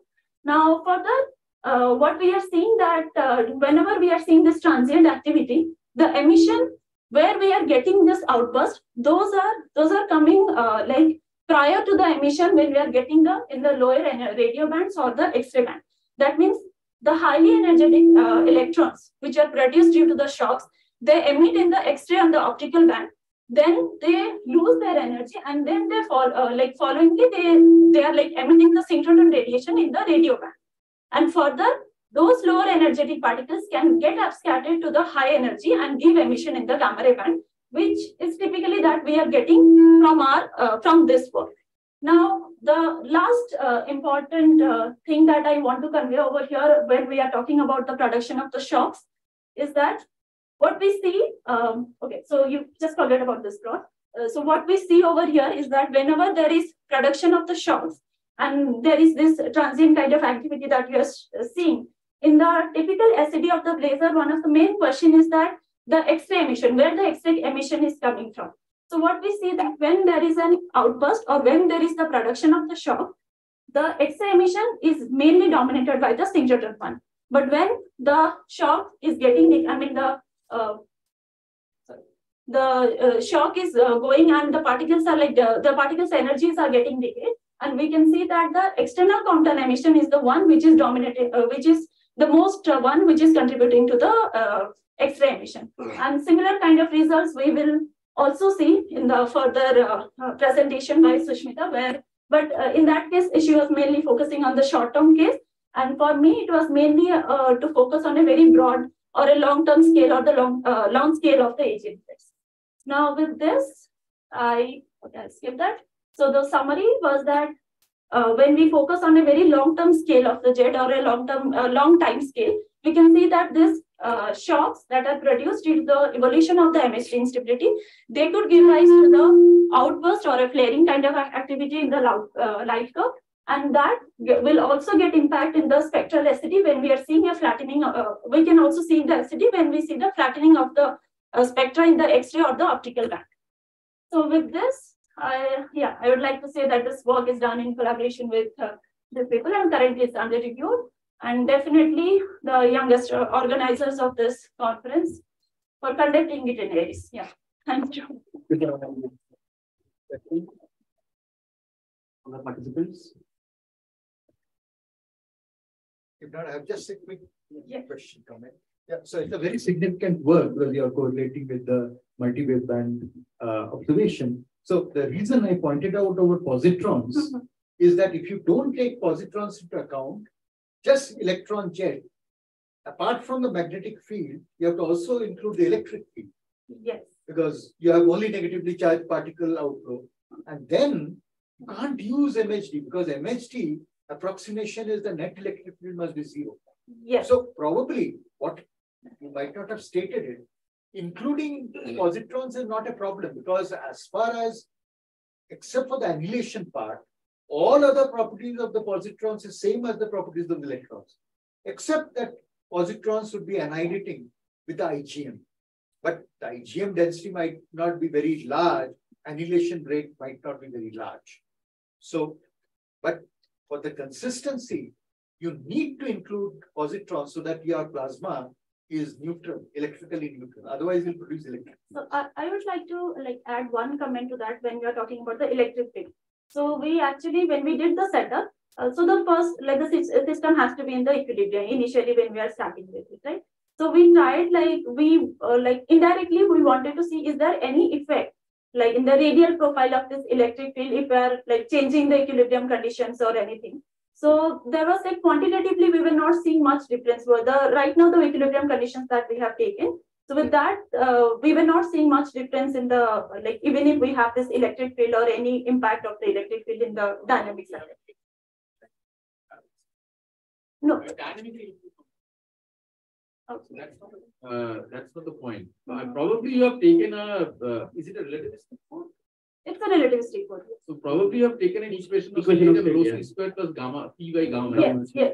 It does not contain, so it assumes it's charge neutral. Okay. Yeah. Either it's by protons or by electrons. By electric.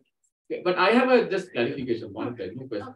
Clarification is, in a simulation, I did not see any shock forming. Where are Oh. the shocks forming? Uh, those uh, that is because I have shown it's a 3D random, uh, basically a 3D rendering one. So if I if I can see that the pressure pressure plot or the density, we will see mostly the uh. We will see. So, sorry. uh, so it's uh, mostly in the region where we are where uh, where we are having this kink instability. It's uh, the curved cases. There where there we are seeing the shocks. I mean, I have not shown the plot over here. If I can like show you later on the pressure plot or something, it is moreover where we are having the maximum magnetic pressure or the B phi is the strong one. Mostly the kink region, we are getting the pre- shocks there.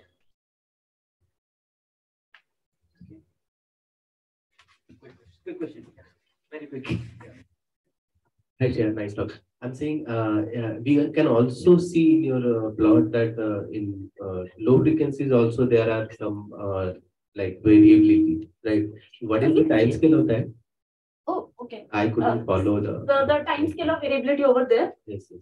Uh, okay, I don't remember much, but it's definitely the time scale is getting increased when we go to the radio to the far one, uh, because um, maybe the exact time if you want, I can just see the paper and tell you. Okay, because- like we can talk later. Yeah, yeah, sure. But here we are, uh, the each data point is correspond to like in, in our simulation is four months big data.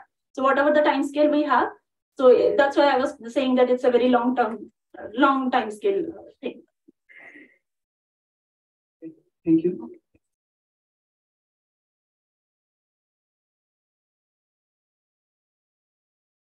Okay, so next talk is by Subhadev Gori. He will be talking about bounce on the ultralight bosons from the Event Horizon, Horizon Telescope observation of Sagittarius A star.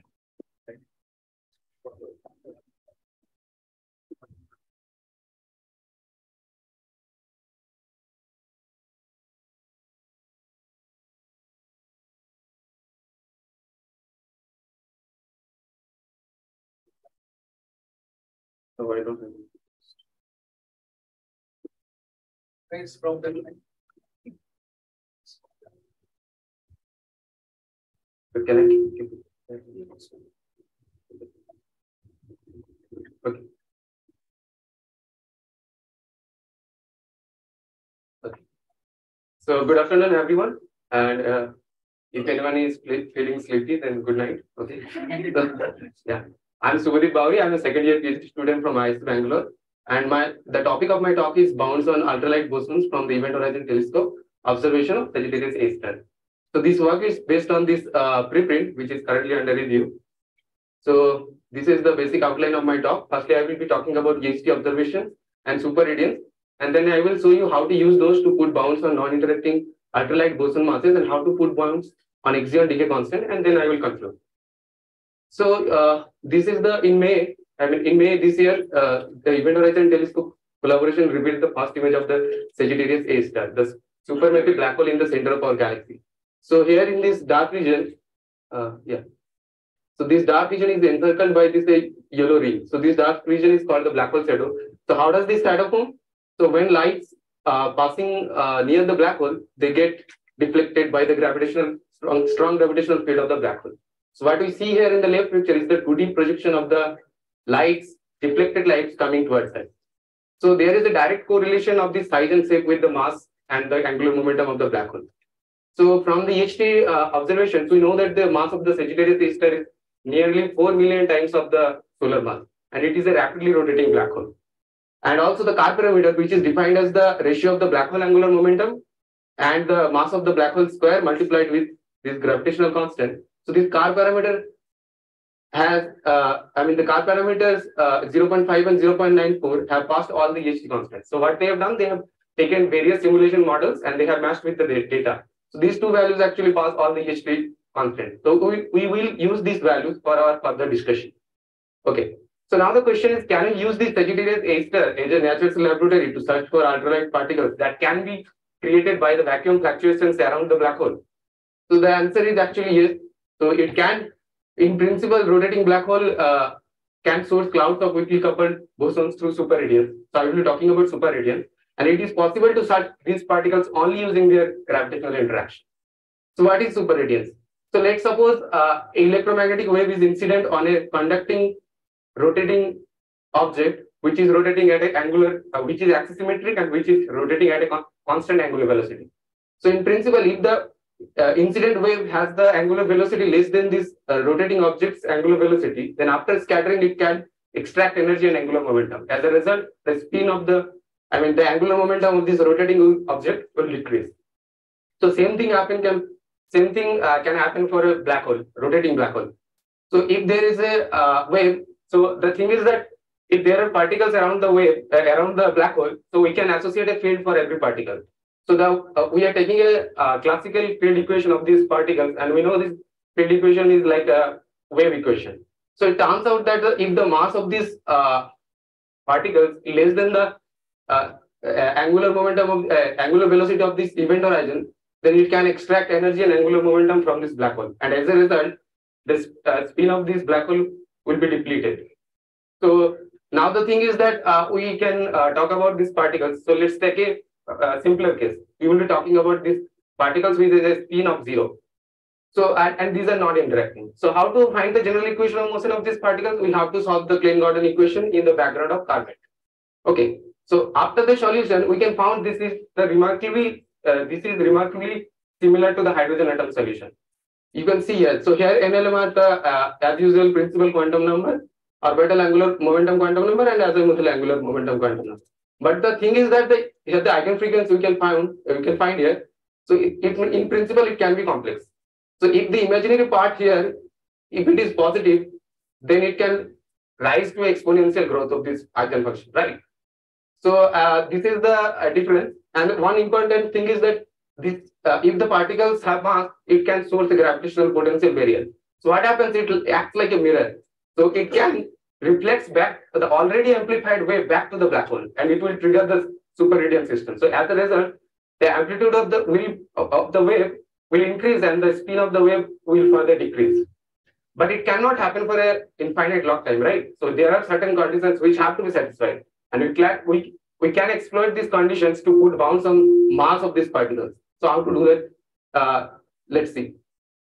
So we have seen that uh, that the if the eigenfrequency, uh, if the angular uh, velocity of this particle is less than the uh, angular velocity of the uh, event horizon, then there is a superradiance happening. So here the m is the uh, dominant m is the azimuthal quantum number we have seen here. So what happens that NLM has the uh, this NLM has the value 211 for the dominant growing mode. Okay.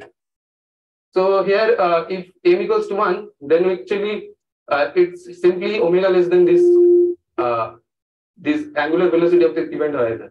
So uh, a detailed analysis shows us that this uh, omega is approximately equal to the mass of this scalar, and this uh, capital omega h we can found using this equation.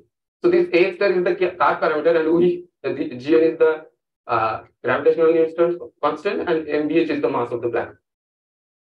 So from the event horizon telescope observations, we know this the mass of this black hole of the Sagittarius A star, and we can take A star equals to 0.95 for, for our first case. So we have seen here that for satisfying this condition, we have found this mass range. So here the axis is electron volt. So we have found this is the allowed mass range. Okay, so there is a second condition also. So what happens that uh, when uh, matters are accreting into the black hole, it forms a disk, right? So this superradiance is the energy extraction process, and this accretion is the energy injection process. So the rate, the rate of the superradiance would be higher than the accretion energy energy injection mechanism. So this relation actually, this is the instability time scale of superradiance should be less than the characteristic time scale of black hole. So what does it physically mean? Physically means that when the superradiance is happening, the growth rate, I mean the growth will happen if the black hole is not evolving as much. I mean the black hole is nearly constant. I mean it is not accreting that much. So this relation tells us about that. So we can found that uh, this using some analysis that this tau SR is related to this uh, equation where gamma is the instability growth rate and here this uh, mu s is the mass of the scalar and delta star is the spin depletion from 1 to a star. Okay. The S star can be the magnitude uh, magnitude of the S star is always between 0 and 1. And the tau BH, if we calculate analytically, we, we find that it is 10 to the power 14 years. That cannot happen because it will exist in the before the birth of our universe. So for a conservative choice, we have taken tau BH as 5 into 10 to the power 19 years, uh, 9 years. And using this relation, if we put this equation, we can find like a this equation, the, the mass of the scalar. Okay. So now the thing is, we have found this, and the mass of the black hole is 4 into 10 to the power 6 solar mass, and A star equals to 0.95. So this is the allowed mass range here. The axis is in electron volt. So from the first condition, we have seen that uh, this is the allowed mass range. From the second condition, we have found this is the allowed mass range. So if there is superradiance, this is the common region, right? So now the tricky thing is that there is no Smoking-Gunn signature of the superradiance of Sagittarius A star. So we are assuming that the spin is not depleted via superradiance because we don't know the history of the uh, black hole evolution, right? So if there is uh, no spin depletion via superradiance, then this is the excluded mass ratio. Now we can repeat this analysis for a, another star 0.5, and we have found this this region is actually narrower. So, and we have repeated this same process for another particles for vector and tensor particles. So here A star is the 0.5 and uh, dark shade is 0.5 and the light, light side here is A star equals to 0.94. So to keep the long story long, so if there are particles around the black hole which are created uh, for the vacuum fluctuations, so the their mass range cannot be in this uh, in this region. Okay, so this is a this blue region is uh, found by Unal et al. So they have found uh, using different techniques by different black holes. So this is a kind of complementary chain. Okay, so these are the numerical values of this bound. So you can see here. So mu 19 here is the uh, mass of these particles divided by 10 to the power minus 19, 19 electron volt. And here it is A star equals to 0, 0.94 and 0.5. So we talked about the uh, non-interacting particle, but uh, due to the lack of the time, I am telling about this uh, in a very short for the self-interacting particle. So if there is self-interacting particles, we have uh, done this analysis for axion-like particles. So this is a promising dark matter candidate, which is a pseudo, uh, you know. So we have found that uh, if the, if there is if there is axion in this mass range, so their self-interaction cannot uh, fall into this range. So y-axis is the self-interaction uh, strength. So that is equals to one by their decay constant. F, is, F here is the decay constant, and x-axis is, x-axis is the mass range. So we have found that uh, if, if if there are axions, they cannot be in this region. So we have found a little parameter space, which is very little, but we have found something new, right? So yeah. So to conclude it, using the latest observation of Sagittarius A by Event Horizon Telescope, we constrain the ultralight boson masses, assuming that the black hole spin has not been depleted by superradiance. And for ultralight light axions, which is a self-interacting gas, we probe a new region of its decay constant. So thank you. Thank you for being on time. We have time for questions. Yeah. Yeah, yeah.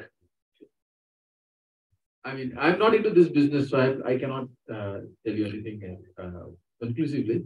But why did you take a Klein-Gordon equation and not a Dirac equation?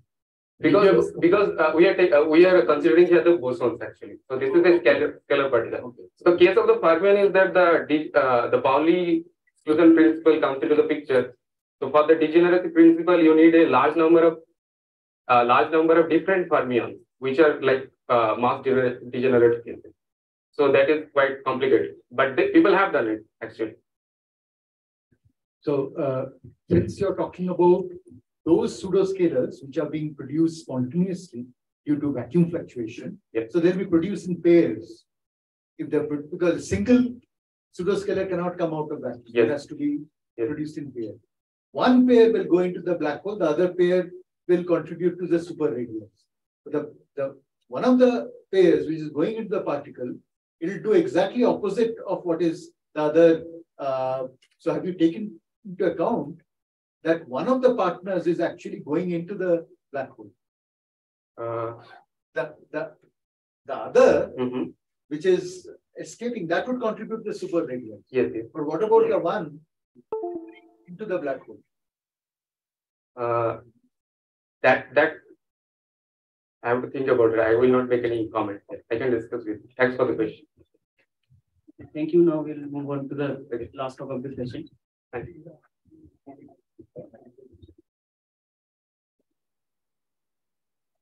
Talking to Sushmita Agarwal, we will talk about state changes due to birth of narrow jet in BL lattice. Uh, First, should I share my screen? Yeah, can share the screen. Yes. Mm-hmm. Hello? Oh, I'm audible. Use this pointer, put it on. I have to change slides with this? No, you can use it this one. Oh, well. okay.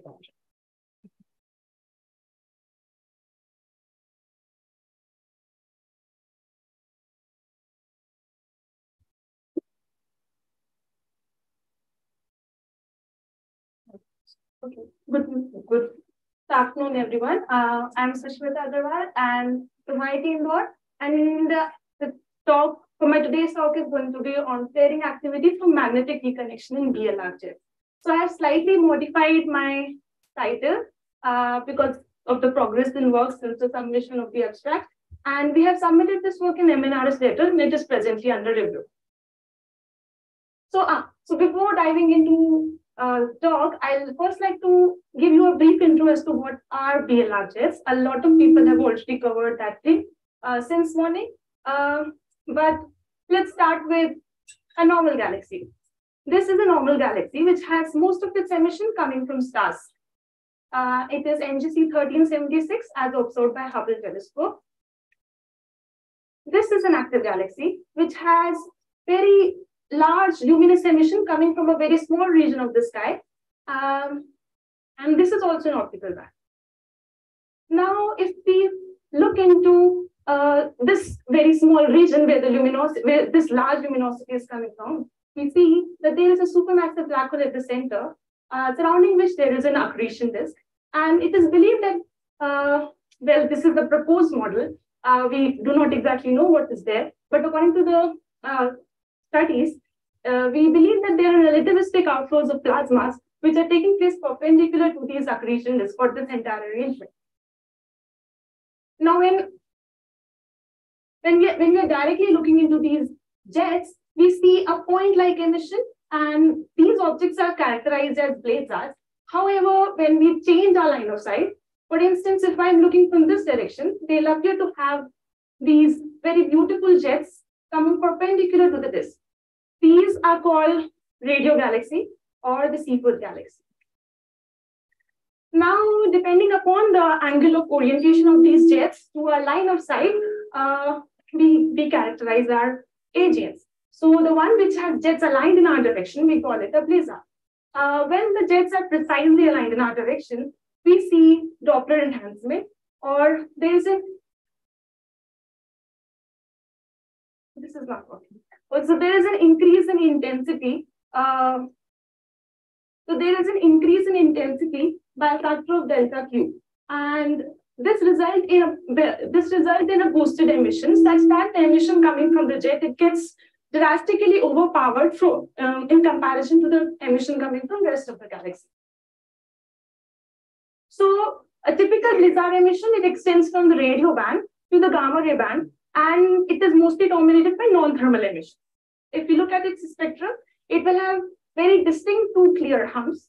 The first hump, which extends from the radio to X-ray band, it is believed that the emission process responsible for emission in this energy range, it's usually synchrotron radiation. Uh, the second hump, which extends from the X-ray to TeV range, we do not exactly know what is the process responsible for emission of photon in this energy range. So to understand how the particles are emitted in this energy range, we will we have carried out this work. Uh, the blazars can specifically be classified into FSRQs and BL Lac objects, depending upon the presence of the optical emission line. If the emission lines are absent, we see uh, two humps. But if the uh, if the most of the synchrotron emission is coming from a lower uh, energy range, that is less than 10 raised power 14 hertz, we call it a low peak BL Lac. However, if this peak is extended to higher energies, we call it a high peak BL Lac. So in this work, I am studying a BL Lac object, which is an eponymous blazar named after the category which it belongs to. Uh, this source has shown a transition from an LBL to HBL category. And although it is a BLR, but it has still shown some signs of BLR region. The source has also shown some tera electron volt emission. And interesting thing about the source is that this tera electron volt emission has a variability time scales of 13 minutes. And these 13 minutes variability time scale tells us where the emission is coming from. So 13 minutes means that the variability is smaller than the size of the black hole for this particular source. And during this activity, which was uh, which was uh, submitted by Arlen et al. in 2012, uh, they noticed that along with the tera electron volt emission, there was also radio observation at parsec scale. So how can such a small emission region be located at parsec scale? We don't understand this. So to uh, understand uh, this discrepancy in the data, we have looked at the long-term light curve of the BLR, and we find out that during 2020 to 2021, the source has shown some increased flaring activity. So we try to understand what is the physical process responsible for this increased activity in the source during this particular region. So we try to do a comparative analysis of the state 5 with the rest of the states and we find out that during state 5, the spectrum is shifted to the right. This is also uh, noticeable by the values of alpha, but during state 5, we see that there are more number of high energy photons in comparison to the state 1. So it means that there is some influx of fresh accelerated particles, or maybe there are more number of particles or high energy photons which are suddenly emitting during state 5. So to further understand the state 5, we are zooming into it and we have looked for four activity regions. The first is the region of brightest X-ray activity. We next look into the region of brightest gamma ray activity and we have chosen two other bright gamma ray periods uh, depending upon the availability of densely, uh, densely X-ray results. Uh, then we developed a multi-wavelength SEDs for the four activity regions, and we find out that Specifically, whenever the flux is increasing, let's say for October 5 and 6, I hope that the text is visible. For October 5 and 6, when,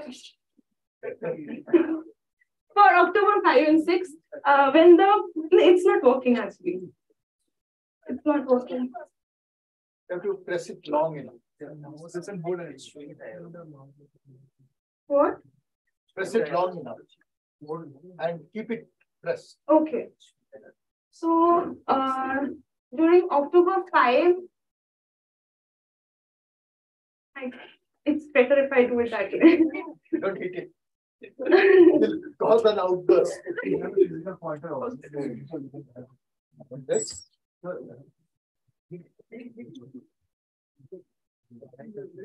Oh.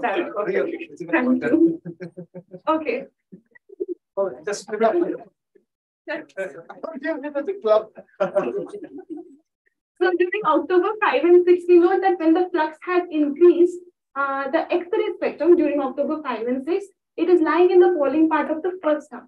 However, when the flux decays, let's say for October 15 and 16, uh, we see the blue color, uh, the X-ray spectrum, it is hardened. So there, it is lying in the rising part of the second term. If you remember my SED plot, uh, so there is a sudden transition of the X-ray state from the first term to the second term. Simultaneously, for the same periods, we noted that for October 5 and 6, in the Fermi band, the spectrum is shifted to the right. And during October 15 and 16, it is peaking at the lower energies. We see a hint of similar behavior for state 2 and 3. And for 4, this behavior was very obvious. I will further highlight this behavior in the future slides for state 4. Oh, so there was also an extension of synchrotron spectrum up to 7.5 kV. Uh, okay, so this was the region of brightest X-ray activity in the source so far. So for this period, we noted that there is a variability of 8 minutes, which is smaller than the smallest variability in the source. Uh, this is the region of the brightest gamma ray activity, and this had a variability of 46 minutes, which is consistent with the tera electron volt variability observed in this in, the, in the source. Uh, so we noted that there is an extension of synchrotron photons, synchrotron spectrum up to 7.5 keV, and during that time there was a variability of 8 minutes. From our calculation, we find out that the electrons are possibly getting accelerated to uh, 10 raised power 4 to 10 raised power 5. Also, the magnetic energies uh, are within the range of 0.3 to 2.2 Gauss. Okay, so this slide is little important because this explains our model. Uh, we propose that a possible way to explain all of these observations is that there are productions of plasmoids or small plasmoids outside the BLR because of some kink instabilities which have been observed by Jorstad et al. in 2022. And these instabilities are resulting in production of sites of magnetic reconnections where small plasmoids are formed. And these plasmoids, they are like moving randomly. And when one of the plasmoids get aligned in the direction of the observer, we see an enhanced emission along with a shift of SED to the right. So every time a mini jet is getting aligned in my direction, I am seeing a shift in SED and also an increased activity. So this is a small representation of the same. And this is the activity region 4, which I mentioned previously, in which during July 29, we noted that it is lying in the rising part of the first hump, of the second hump. And during August 1 and 3, when the flux has increased, uh, it is X-ray spectrum is lying in the falling part of the first hump. Also, the Fermi spectrum, that is the high energy spectrum, it is shifted to the right during the period of high activity. Okay. From our calculation, we also find out that shock and recollimation shock cannot explain the high Lorentzian factor required for the observed luminosities in the source. Also, the magnetic reconnection, that is our jet in jet scenario proposed by Giannios, uh, eases the constraint on the Doppler factor. And okay, so in a bigger picture, I think this work can help us uh, to predict when tera electron volt variabilities can be observed in the source uh, um, showing similar behavior. So whenever the source is showing increased activity, there is a shift in the spectrum because of which we predict that there will be increased emission in the tera electron volt bands. So these are the takeaway messages.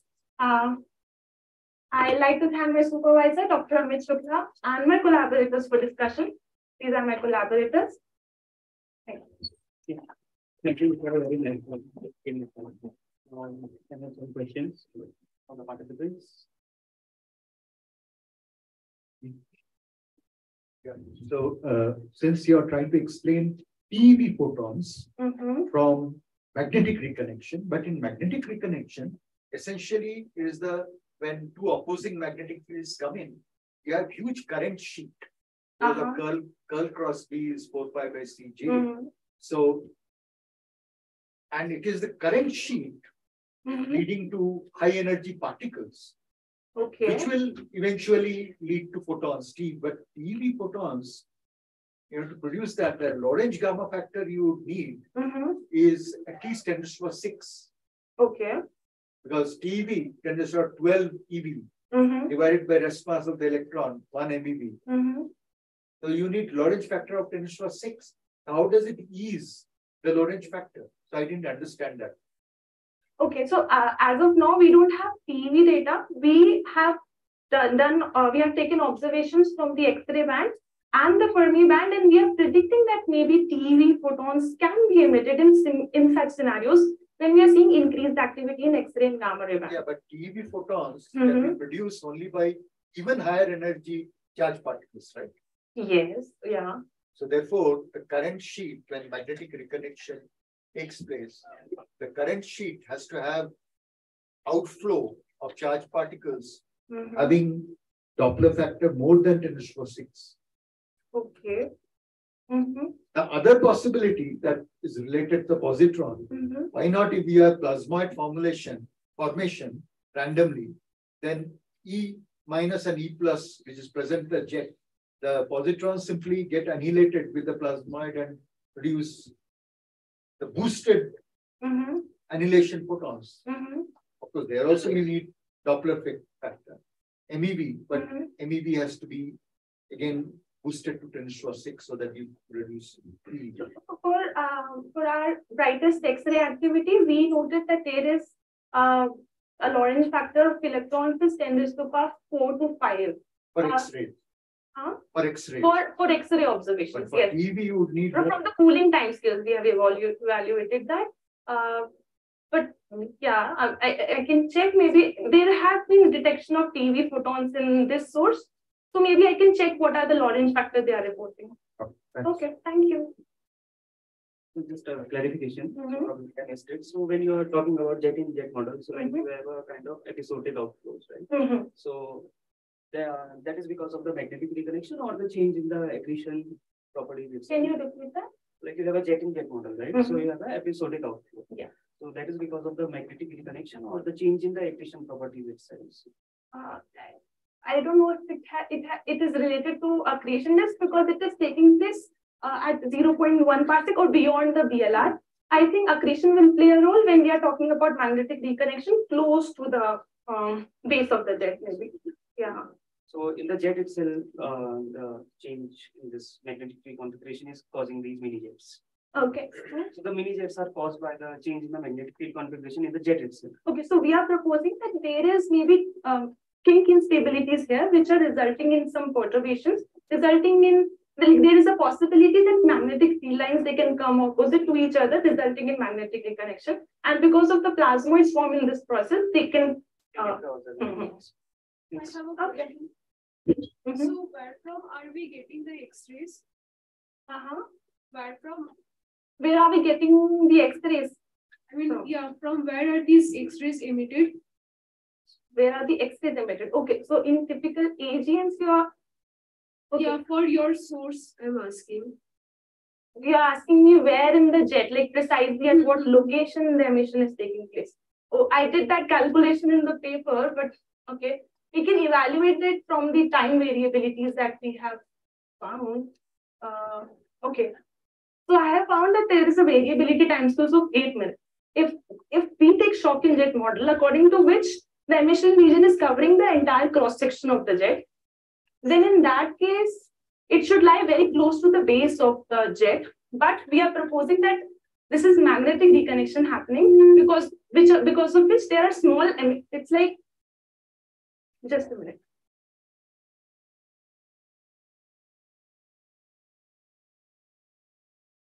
okay so we are proposing that there are very small tiny blobs like lots of small emission region outside the BLR and those small emission regions are emitting it so you are asking me where the emission region is located for X-rays then it is located beyond the BLR do you understand what BLR is? It is broadline region in AG. Okay, so thank you. So I think we'll start next session at two fifty. Yeah, so two fifteen. Therefore, we'll break for lunch. Thank you. Those who have presentations, so those who have presentation, next please come ten minutes before so that we can upload your presentation here. Uh, and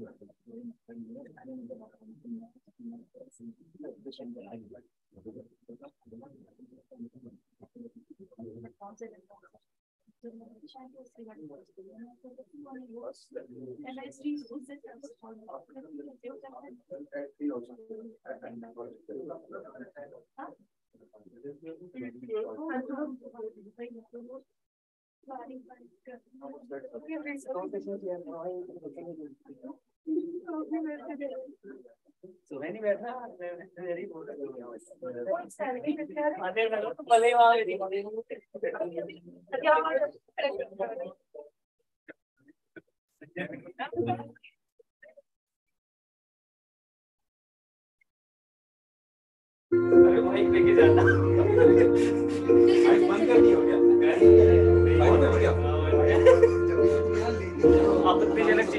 कह रहा है लेके चलो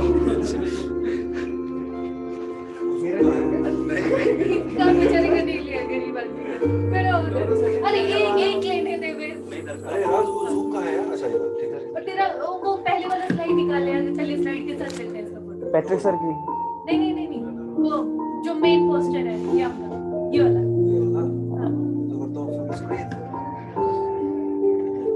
ढंग से लेना, blur मत लेना।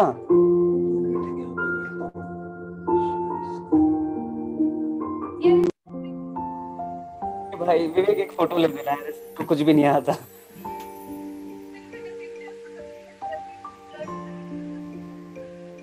फोकस ऑटो पे रख लो ना। पहले थोड़ा सा प्रेस करना। थोड़ा सा प्रेस करना, वो अपने आप फोकस कर लेगा। कुर्सियों के खाली कुर्सियों के साथ। होता है यार अलग बेइज्जती करवाओ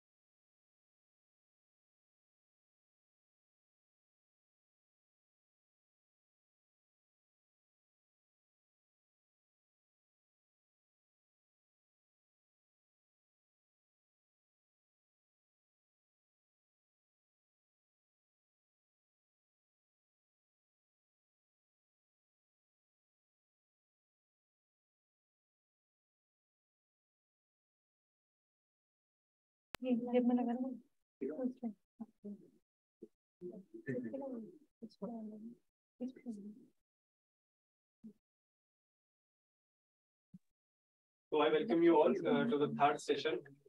नहीं चल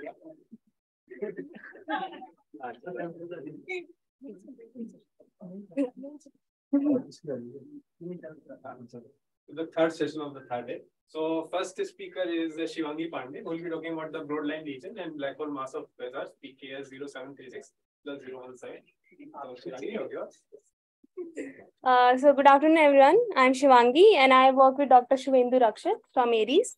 Uh, my work is based on um, estimation of masses of black holes uh, using reverberation mapping technique. And uh, for this, I have chosen this source, uh, eh, which is an FSRQ PK0736.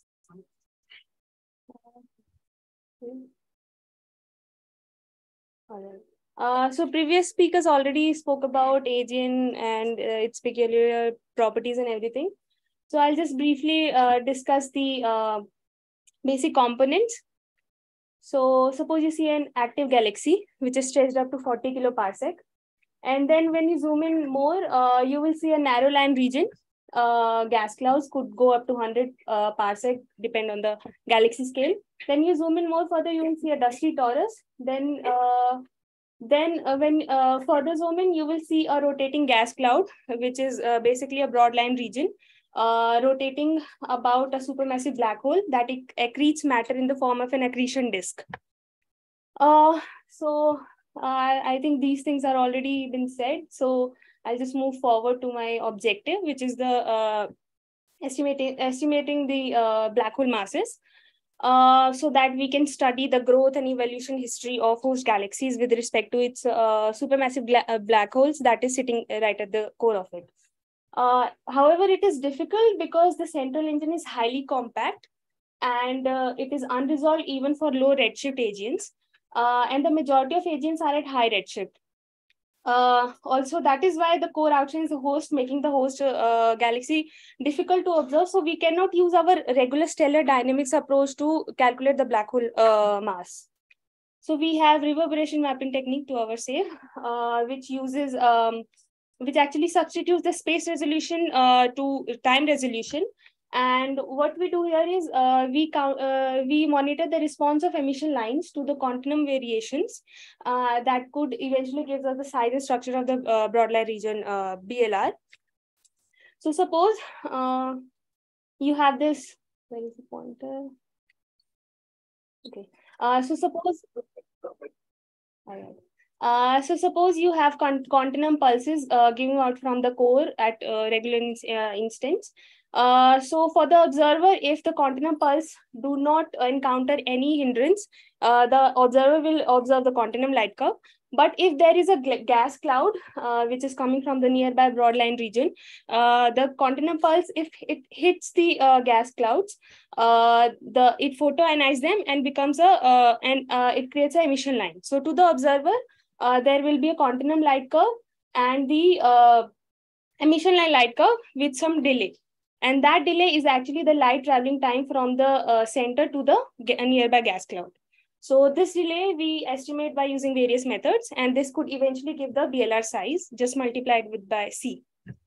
Uh, okay, so so then uh, from the Virial theorem, we can estimate the black hole mass by using all these uh, three parameters, uh, which is the BLR size coming from the lag, then the line width estimation uh, coming from the spectrum, and then uh, the scale factor, which is actually dependent upon the kinetics and structure of the BLR.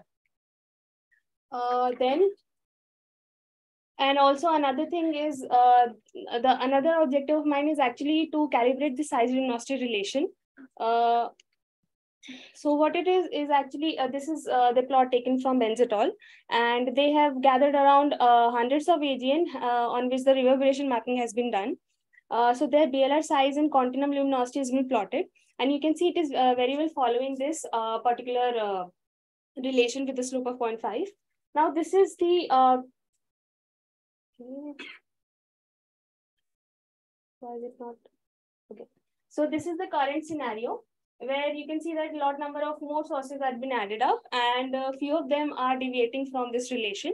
They are narrow line Seyfert ones and uh, they are said to believe that uh, they have a high uh, FE2 emission. So maybe the uh, this FE2 emission could also be incorporated in this particular relation. So overall, so to say, I want to uh, calibrate this particular relation for, with more number of AGNs and uh, so that I can estimate the black hole mass by just uh, so that uh, uh, by just using a single epoch spectra. So for that, I have chosen this source, which is uh, which is an FSRQ located at the redshift of 0.189, hosted by a giant elliptical galaxy. Uh, why I've chosen this source is because its black hole mass, uh, its uh, broadline region size, its geometry is unknown till now. And uh, the source shows strong emission lines and also the availability of long-term monitoring data is very ideal for reverberation mapping studies. So, uh, so I've taken this, uh, um, uh, the data from Steward Observatory. It's basically uh, optical V-band photometry and spectroscopic data, and also the uh, weekly bin reduced gamma ray light curve from LAT onboard Fermi. Uh, so what I want to do is I want to estimate the BLR size for this object. I want to know that whether the size luminosity relation, it, it follows the size luminosity relation or not and also how massive is the black hole in this uh, galaxy. Uh, so this is one such example spectrum. uh, taken from uh, uh, from the uh, from the data that we have taken from Steward Observatory. You can see uh, the emission lines are very strong, and uh, what I have done is um, to calculate the emission line flux, I have locally fitted the um, power law, and then I've subtracted that power law from the entire spectrum, and then I have only uh, and and then uh, as a final product I have only got these uh, emission line uh, region. So I've just directly integrated them and calculated the emission line fluxes. Uh, so uh, the similar thing I've done with all the data that I had, and then I have uh, constructed an emission line light curve. Speaking about light curve, uh, so at the top panel, uh, you can see that this is a gamma ray light curve. Uh, this is a photometric uh, V-band continuum. Uh, and then this is spectroscopic uh, uh, flux at 5100 angstrom uh, light curve, and then uh, H beta and H gamma uh, line um, line light curves. And uh, at last, this is the non-thermal dominance parameter that I will talk about in my later slides. Uh, so I would like to um, infer from this um, uh, light curve is that uh, from these light curves is basically like you can see uh, the, this region is having a, a, flaring thing and the rest of part is a quiescent state. Uh, and the same thing is reflected in the V band and the spectroscopic uh, uh, flux continuum, but not in the line emissions. So uh, we say that uh, this non-thermal uh, contribution that is coming from the jet is not affect is not affecting the broad line region emission lines. Uh, that that is why what I have done is uh, for a better estimation, I have just used the quiescent state for my study. And I have calculated this various parameters for the light curve also that I will not go through much. Then for uh, time lag estimation, um, I have used several methods. First is the inter interpolated cross correlation method. Uh, then there is uh, Javelin, and I have uh, used other two methods also. That is uh, von Neumann and Bartle estimator. Uh, so first is the cross correlation method. Uh, what cross correlation method is it actually uh, compares the degree of similarity between the two light curves. So suppose you have two light curves one is stable and another is uh, shi uh, uh, is shifted with some time. Then you will calculate the cross correlation coefficient and you will do the same thing uh, continuously. So you will uh, so eventually you will create a distribution of the cross correlation coefficient with respect to the shifted time so the peak of it will be the uh, time lag so I'm interested in the maximum cross correlation coefficient and also the 80% of the peak of that distribution, that is the centroid time lag. Uh, so these are the results. Uh, this is the autocorrelation uh, between the continuum V band and the continuum flux at 5100 angstrom. Obviously, it will give a zero time lag. Uh, then uh, on the left, this is the CCF between V band versus H beta, CCF between uh, V band versus H gamma, and obviously the S gamma region will be closer to the central engine, so uh, its lag is lesser than that. Uh, then, uh, then another method is Javelin. I will not go through it in more detail. Uh, it just that the um, results uh, from uh, from these methods also are consistent with the ICCF uh, time lag measurement.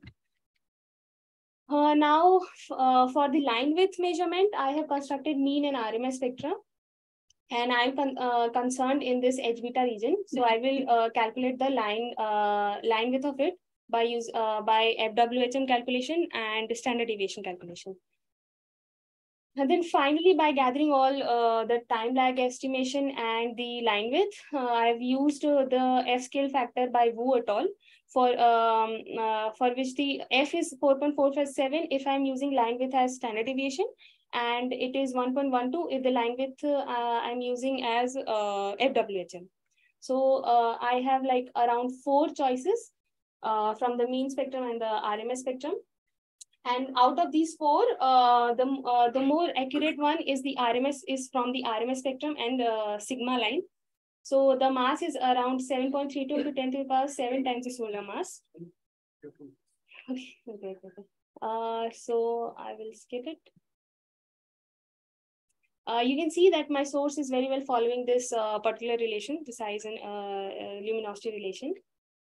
And there's another thing called uh, non-thermal dominance parameter, which is actually the ratio between the observed continuum uh, luminosity versus the predicted disk luminosity. So the observed continuum luminosity will be the mixture of the disk and jet contribution. And the predicted luminosity is uh, I have calculated by using this empirical relation, which just uses this uh, luminosity of uh, H beta line. And then, uh, so if NTD is equal to one, there is no jet contribution, no non-thermal contribution. But if it is greater than two, then it means that it is a uh, that uh, the source is having a very significant non-thermal contribution that is coming from the jet, uh, maybe. So uh, for our source, um, this uh, you can see that beyond this point, uh, all these data points are are having NTD more than two. That means it, it shows a very significant non-thermal contribution. I will skip this also. So finally, the summary. Uh, so the BLR size that I have estimated is around uh, 80 light days. Uh, the black hole mass is 7.32 into 10 to the power 7 times the solar mass. Then the continuum at 5100 angstrom is 6.13 into 10 to the power 44 erg per second. The measured continuum luminosity is actually affected by the non-thermal emission, even though I have only used the quiescent state.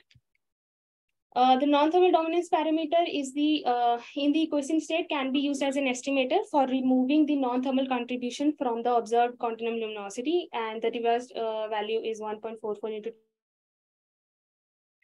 so yeah that's it. Uh, uh, so this paper so this work has been now published and for more information you can go through this. Thank you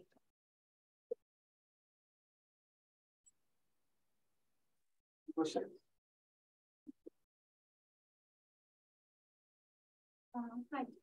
So uh, this non-thermal dominance parameter that you showed, hmm. so I have I missed it.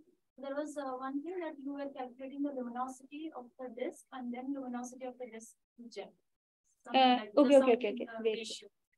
Yeah, yeah, yeah. So, So, it's do you differentiate between red, I mean, just get the flux or the yeah, like uh, whatever we are observing, it will be a, a mixture of uh, the disk and the jet, right?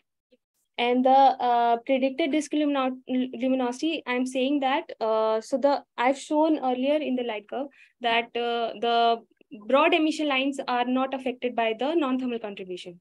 So whatever the contribution that is coming from the broad emission lines, that is actually uh, dependent upon the disk, right? So whatever the disk is giving to broadline region, the emission line will be there. So I have the luminosity for H beta. So I'm directly uh, calculating the uh, disk luminosity from it. that is your predicted disk. Yeah, that is the predicted disk And luminosity. with that, you are you have the of course the Yeah. observed luminosity. Yes, yes, yes.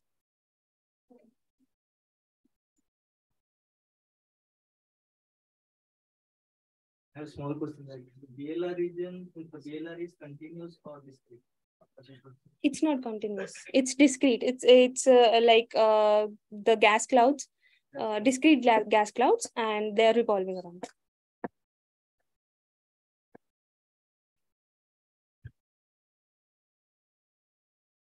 Any other questions? So let's thank the speaker.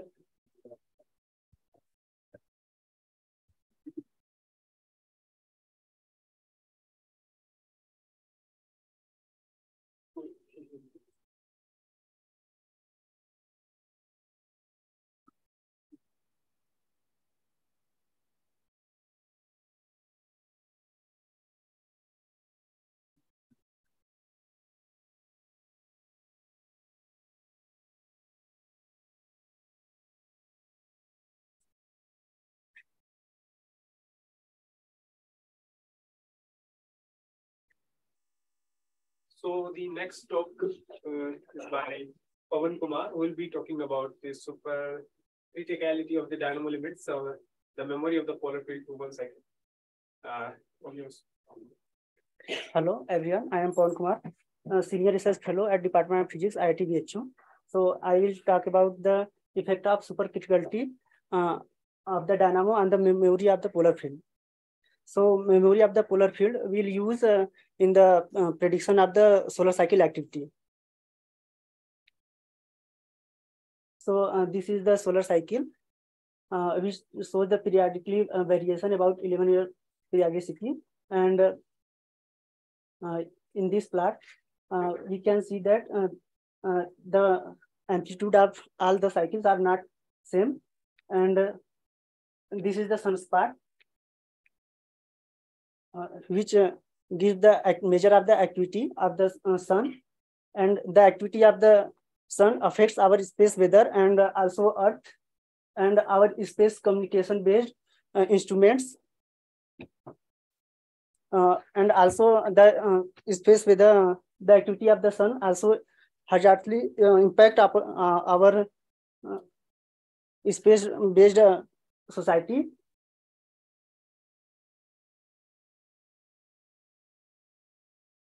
so uh, my motivation is that uh, it is believed that uh, sun has uh, two type of the magnetic field. One one has uh, toroidal field and another is the poloidal field. So for the prediction of the uh, solar activity people use the polar precursor method which is very widely known and used by scientific community uh, this is the plot which shows the variation of the polar field of the sun and solar activity black curve shows the variation of the uh, polar field with time and uh, red curve shows the solar activity. So uh, sun, uh, sun uh, reverse uh, its polarity within 11 years. So this is the time of the polar field reversal. And this is the time of the solar cycle minima. we consider uh, this uh, the time of the solar activity maximum. So in polar precursor method, uh, people use the uh, polar field at solar cycle minimum as a seed and uh, uh, predict the next cycle amplitude, next cycle amplitude, which is uh, uh, five to six years before from, from the solar activity maximum. So uh, from this method, we can predict uh, the upcoming solar activity uh, before five to six years before. So our question is, so can do we need only one previous cycle polar field for reliable prediction, or we need uh, other previous many cycle polar field for reliable prediction? And how much earlier we can predict the upcoming solar activities? So we use the dynamo model for this. So we define supercriticality of the dynamo. So super uh, supercriticality defined by dynamo numbers. So dynamo number defined by uh, d is equal to alpha zero delta omega r cube by uh, eta square, where alpha zero is the polar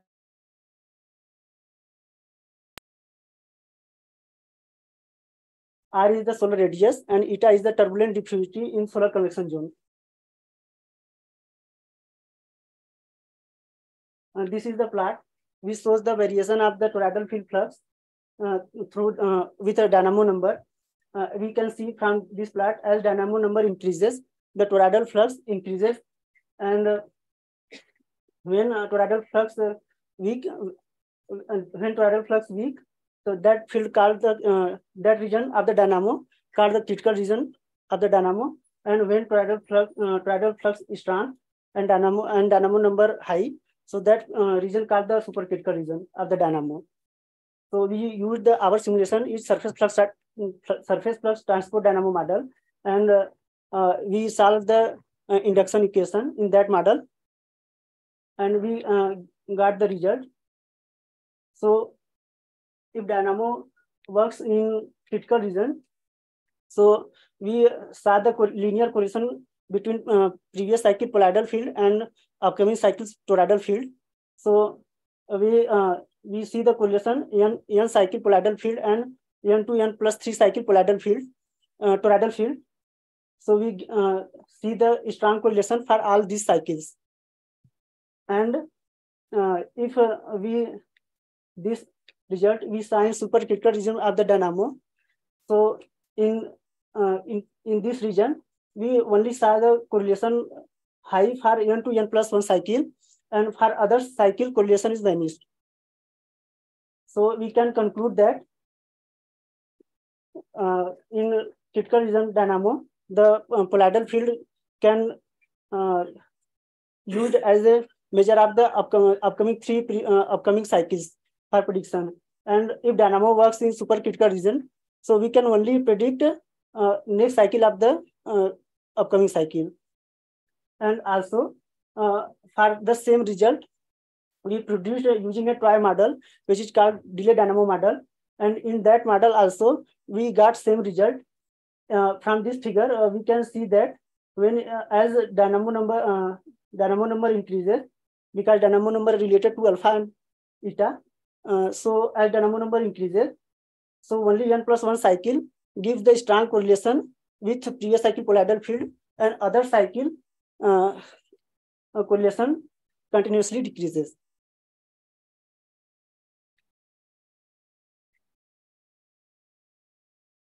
So uh, what is the physics behind going on? So this is the simple cartoon representation of the solar dynamo. So if you consider the uh, NS cycle of poloidal field, uh, which uh, which uh, goes towards uh, towards the convection zone due to meridional circulation and due to differential rotation of the sun, it gives the uh, next cycle toroidal field. So and this n, n plus one cycle toroidal field comes on the solar surface in the form of sunspot and bipolar magnetic regions.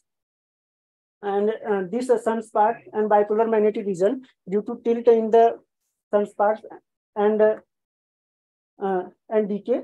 So there are a, a special mechanism works, which is called uh, Babcock-Leighton mechanism, which includes randomness and non-linearity. So uh, this uh, this toroidal field converts in, into the poloidal field for the next cycle, and this process continuously happening and goes on. So solar cycle, solar cycle continuously uh, go, goes on and uh, about 11 year periodicity.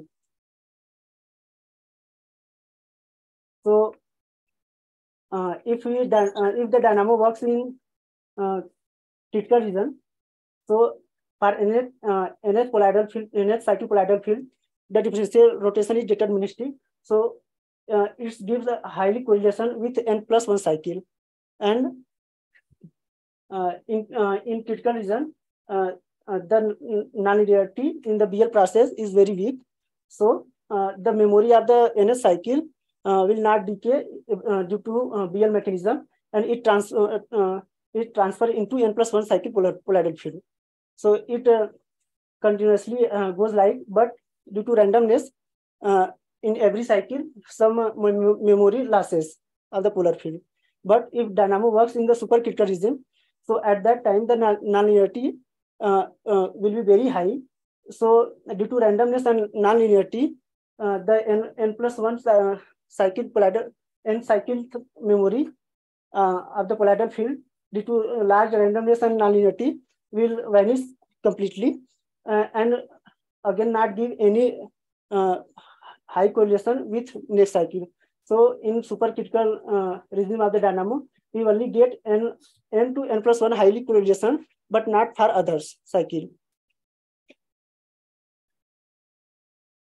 Uh, also, uh, this is the time series plot of the uh, two uh, regime of the dynamo. One is the supercritical regime and one for the critical regime. So in critical regime, we can see that minimum uh, weak magnetic events, but in supercritical re regime, we uh, do not see any weak magnetic events. So, and these uh, weak magnetic events defined as the grand minima uh, in the sun. So we can here uh, comment that uh, uh, our sun uh, uh, working in the region of the uh, critical region of the dynamo.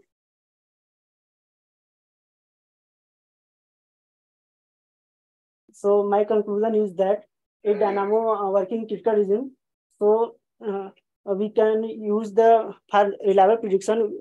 We need a three, uh, three previous cycle of polar field, and if uh, uh, our uh, if dynamo works in supercritical region, so the polar field at cycle minimum can only determine the strength of the next cycle, and the supercriticality of the dynamo uh, uh, define the memory only for one cycle. And also, as the supercriticality of the dynamo increases, uh, we see that the grand minimum like events happening in the uh, sun uh, uh, in the model we, also decreases. And also from this, we can also conclude that uh, our sun is uh, weakly supercritical. So uh, uh, this work, uh, the polar, polar, the generation of the polar field uh, in the sun do not completely understood now, but it is a very challenging process to gen the generation of the poloidal field. So it helps to understand the heliophysics also to understand the heliophysics study. Thank you.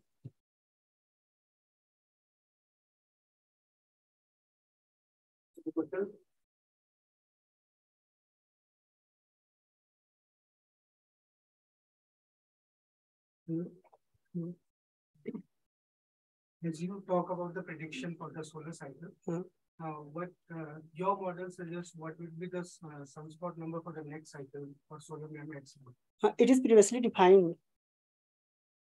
No, it's not predicting. You are predicting. Huh? Uh, I am not predicting. I'm gi-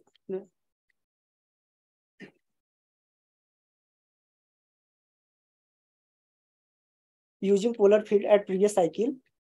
Okay, minimum. You can predict the next cycle amplitude. It, it is well established.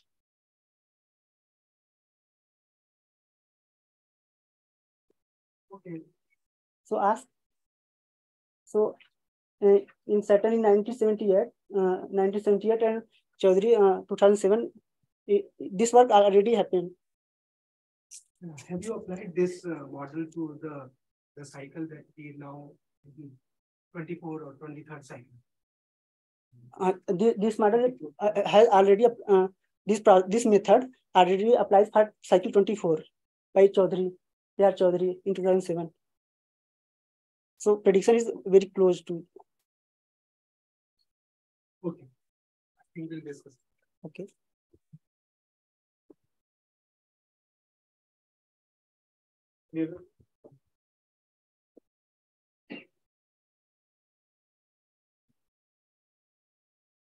Hi. So my question is like you have, you are using the polar field uh, from the Wilcox solar upgrade, did I? No, this for representation. Uh, I do simulation. So you are doing simulation, but Yeah. you are comparing it with the, the existing model. Like you have mentioned that you need, if sun is working in the supercritical limit, you need three cycles of data. No, the next cycle. no. If sun is working in critical region, so Can you go to your last slide? la-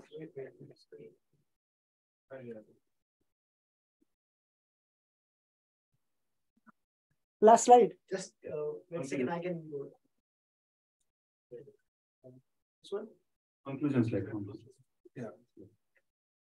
So you have mentioned that if the dynamo is working in the critical regime, Huh. then you need three cycles at least to predict the Huh. next cycle. Uh, for reliable prediction. We, uh, to we can use uh, we, we, we can use only previous cycle polar field, but if you want to good correlation and good result, so we can use uh, up to three previous cycle polar field. That means sun has a memory. working sun has memory. Up to three cycles. Huh. But sun is not working in that regime, right? No, sun is uh, uh, now sun is critical. no sun is in weekly uh, sun is working super, uh, weekly supercritical region. Case of the sun, Huh. we don't need three cycle of it. No, we need, but uh, listen. Uh, we uh, you uh, in supercritical regime, you can predict only using previous cycle polar field, but for a good correlation, uh, you uh, should have up to three previous cycle polar field. Then my point, question is that, like, if you are using the Wilcox, we have only three cycles of data. Uh, So you can only predict one cycle. yeah. So instead of Wilcox observatory polar field, why are you not going for some other proxy? So uh, for some other proxies like uh, 80 index, Yeah, like uh, scatter in the tilt angle, that is one of the important proxies. uh, but the- uh, we have observed, uh, we have only few uh, HMI data and uh, uh, how much cycle? Only two, two, two, two, three cycles. Around any event, when it, data, look at the Mount Wilson data, uh, more than 10 cycles, around 10 cycles. Uh, data. Uh, and if you look for the calcium K plage index, hmm. that is also one of the reliable proxy for uh, polar field measurement. Uh, so, so we can use only one cycle, uh, uh, one, one previous cycle polar field. Na? Yes. Be, uh, be, uh, I, uh, we have uh, 400 years of sun, solar activity data. Okay. So in sun, uh, we have only uh, saw one grand, uh, grand minimal like events and one Dalton minimal like events. Okay. So we can discuss. Yeah. we Yeah. One small question like in that angular number you have mentioned delta omega, हाँ. Angular variation. angular variation. हाँ. What is the value of that in case of the sun? But based on observation, that value is zero. I don't remember. You don't observe any change in the solar differential rotation. No, but slightly change. That's why I'm asking the number. Because statistically, it is not established. that The sun differential rotation is not.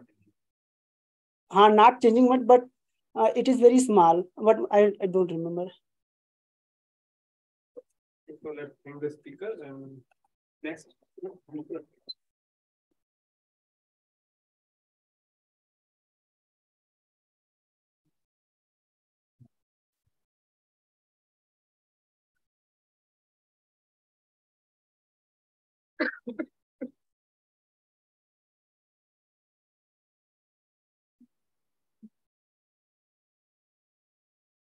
Hello.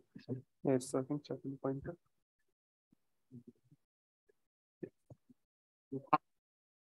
Oh, uh, I am audible? Okay. So our next speaker is Vikram Kesri Pradhan. So he'll be talking about F mode oscillation in neutron stars, role of interior composition and impact of on gravity, gravitational waves. Alright, so your service is yours. You have uh, 15, uh, 12 minutes and I'll remind you in 10. Okay. Hi, uh, I am Vikram Pradhan. I'm working uh, PhD student IUCAA under uh, Professor Debarati Chatterjee. I, I know. Okay. Okay, I will basically talk on the F oscillation of neutron star, to the roller composition and how the impact on gravitational waves. Yeah, so as of introduction, uh, the Newton stars like basically the stellar remnant of a uh, when a massive star dies up up to of a star with mass greater than 8 solar mass. They have typical mass of 2 solar mass and radius about 10 kilometer. Uh, the special about Newton star you can see from the QCD diagram. Sorry. Yeah.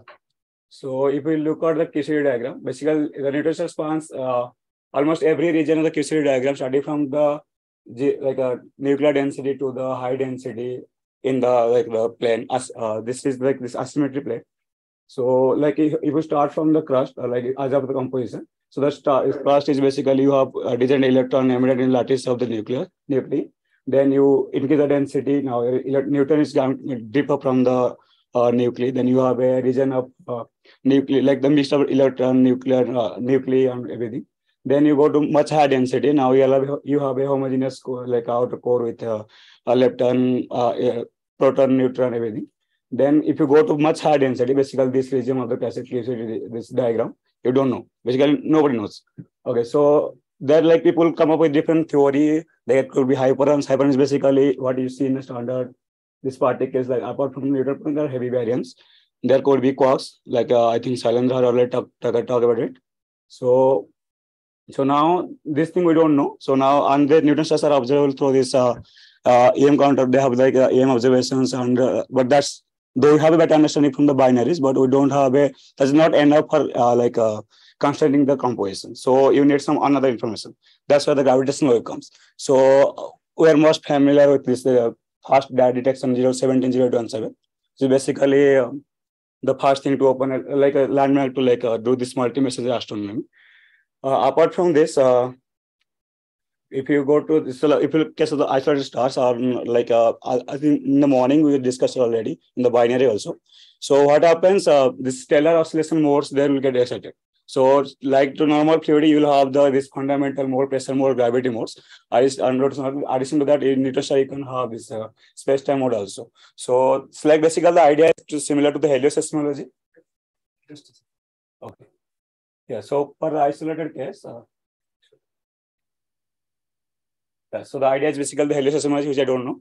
But the idea is basically if you detect uh, the, the this mode, basically when you have a gravitational radiation due to this unstable of these modes, So this compose this uh, most properties like the frequency damping time they are related to the composition, or like or the we'll see in a sec, uh, in few slides. And you can like do like do this similar thing to is what we call, and you can calculate this. Uh, you can infer the composition or the stellar properties basically. Yeah. So my uh, this from, from now on, I will focus on the cold neutrons. When I mention cold, it means that the Fermi energy of the composition is much higher than the temperature of the medium, and the non-rotating case. And I will focus on the F modes because simulation shows the F modes are the like the modes which are going to be excited during the binary as well as in the, isolated stars. Okay.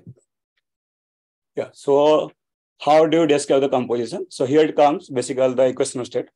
So if you want to solve the mass radius, is basically the hydrostatic hydrostatic equations. So these are the uh, mainly the Tolman, Oppenheimer, Volkoff equations, the two more familiar with the two equations. So you have the GR uh, hydrostatic equation. So the key entity for any hydrostatic equation, you know the equation of state. It's a basically precedence relationship. So here comes basically as I have shown already you, the density we don't know the region. So here comes different model. So there are basically two different family, uh, basically literature community like divided. So one is the ab initio method.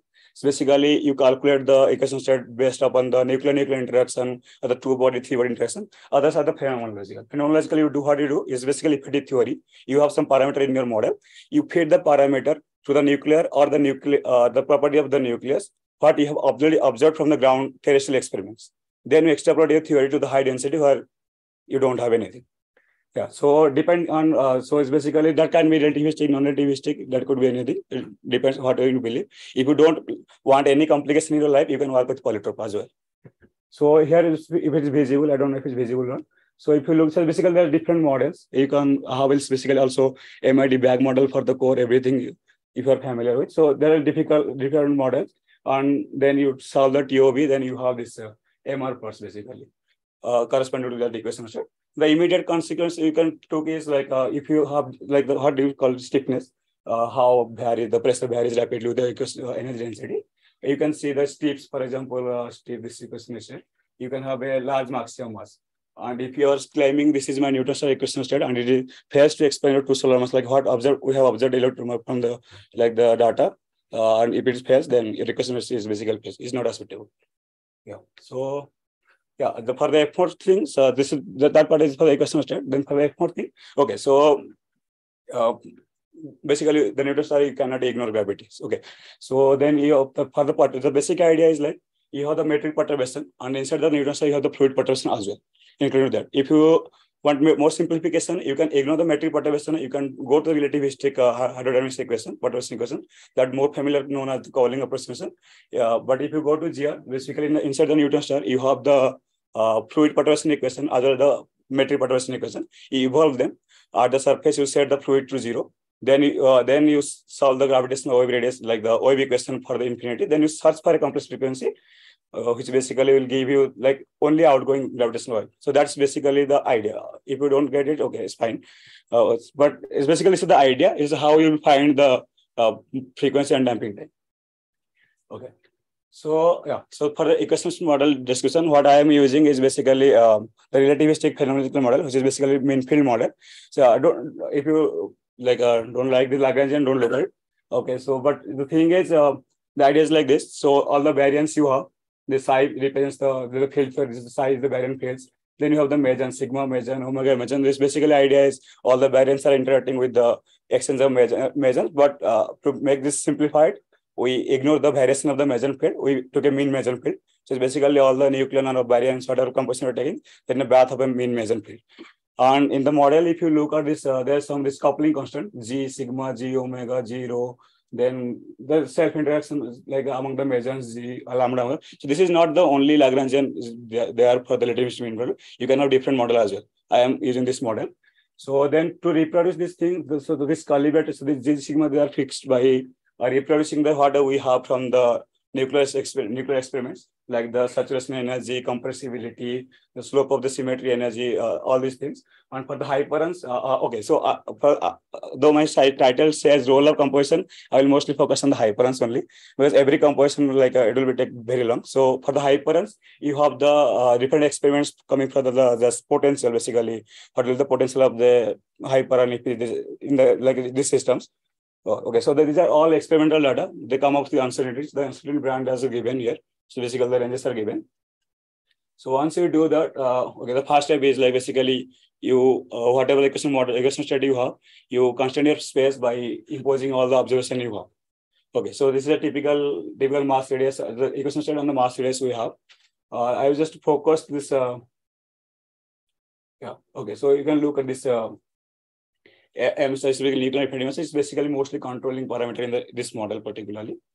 So now you have the equation state. Uh, you have the basically the description of the fluid. Now you have to go for the solve for the frequency.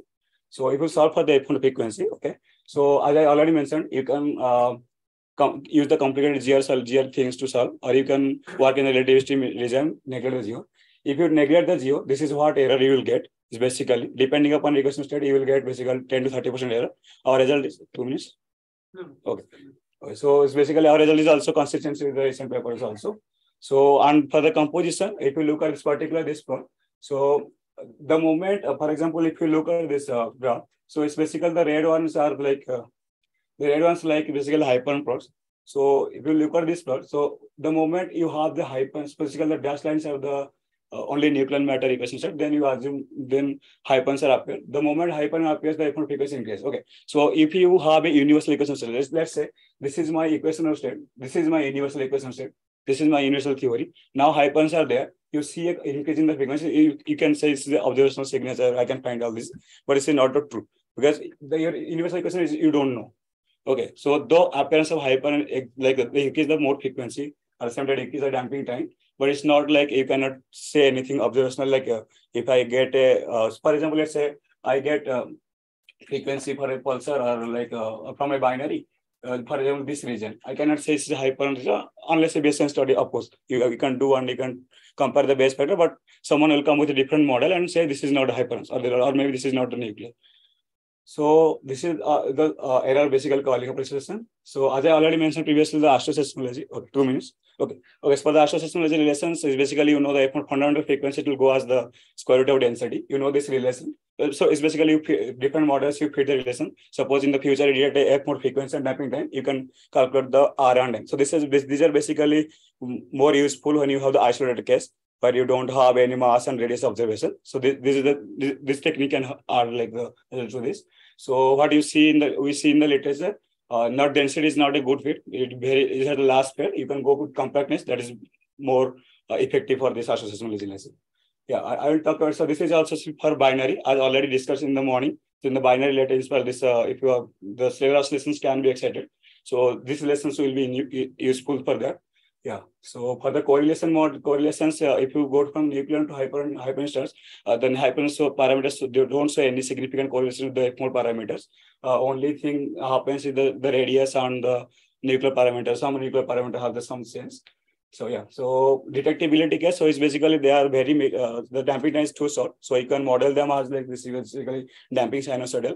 If you assume this model and uh, then you keep the sensitivity band of the current detector and different 88 plus on advanced LIGO, then you can estimate like a two SNR 2B10, then how much uh, if assume basically typical Tanaka star unit, then how much energy you need.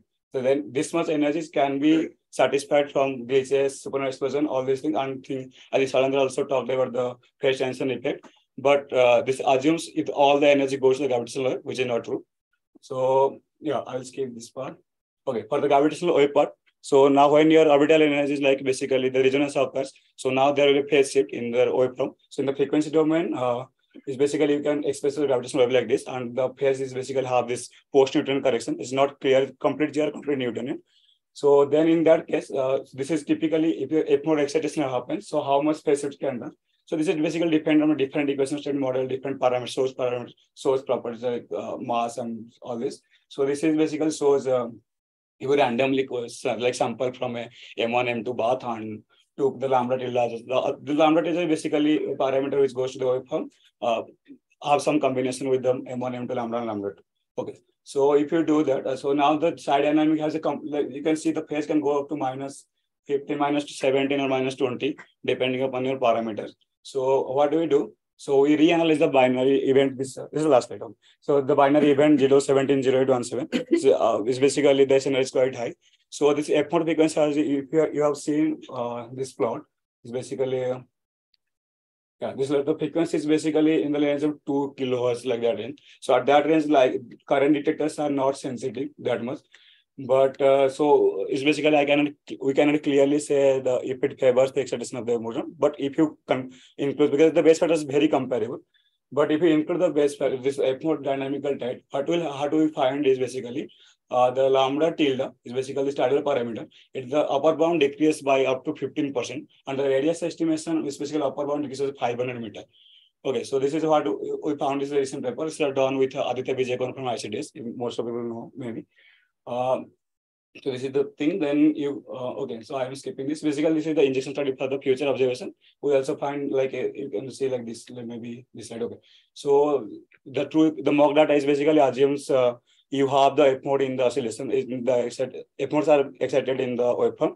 You correct the dynamic data, but when you recover, you do two different things. Like uh, you ignore the excitation and you keep the keep the excitation. Then you see that like these are the injection. So when you ignore the F mode excitation, the recovery phase to extend. Basically, these are these these models. This this cyan colors are showing if you ignore F mode. So it shows like uh, if you ignore F mode, it uh, overestimates the lambda. That's also phase to recover. These are uh, these are the conclusions. Thank you.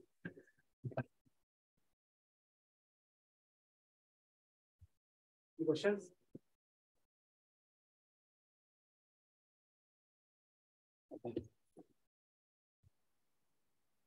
So why your views like uh, use the F mode oscillations or F mode basically?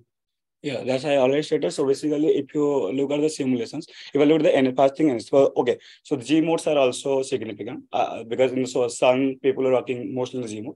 But the thing is, the G mode, uh, this impact they have in the like the waveform or in case of like the energy. Well, basically, you need to detect something. Okay, so the G mode has very it's like insignificant. It's basically the what the impact you will get is very insignificant. The second thing is the higher P modes are the very, very high energy and the frequencies are too high. Our gravitational wave, if you look at this uh, this uh, spectrum, they will basically, if I don't know if I have this. Okay, yeah. So for example, like if you look at this thing, the frequencies are basically like basically even in two three kilohertz range, the sensitivity is too bad. Okay, you cannot have the P modes. They will not have any like uh, you, you cannot predict that any signals in the P modes. And if you look at the simulation perspective, the first thing is F modes are basically is simulation shows that F modes are excited.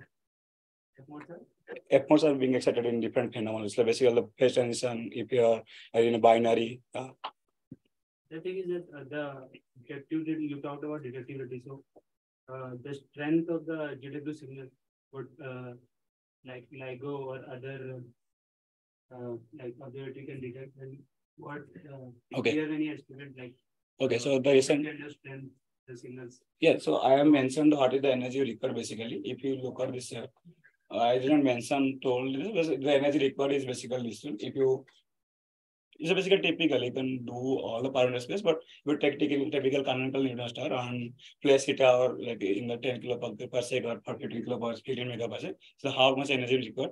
And these are like the situations. Assuming all the gravitational wave, and all the energy goes to the solar, but this is not true. But the channel, for see- so this glitch event as well as explosion event. So actually how much fraction is go is still a matter of question. The modeling is still going on. We don't have a clear model how much fraction is still going energy. But uh, there's a arXiv paper recently. So for the O3 cutter, they search the magnetars like oh, for the F modes, they didn't find any significant. Okay, till now.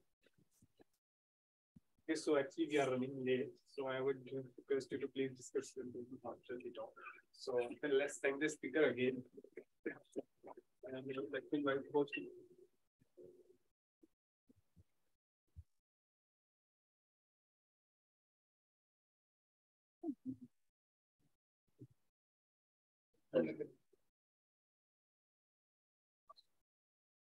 Hello, am I audible? Yeah.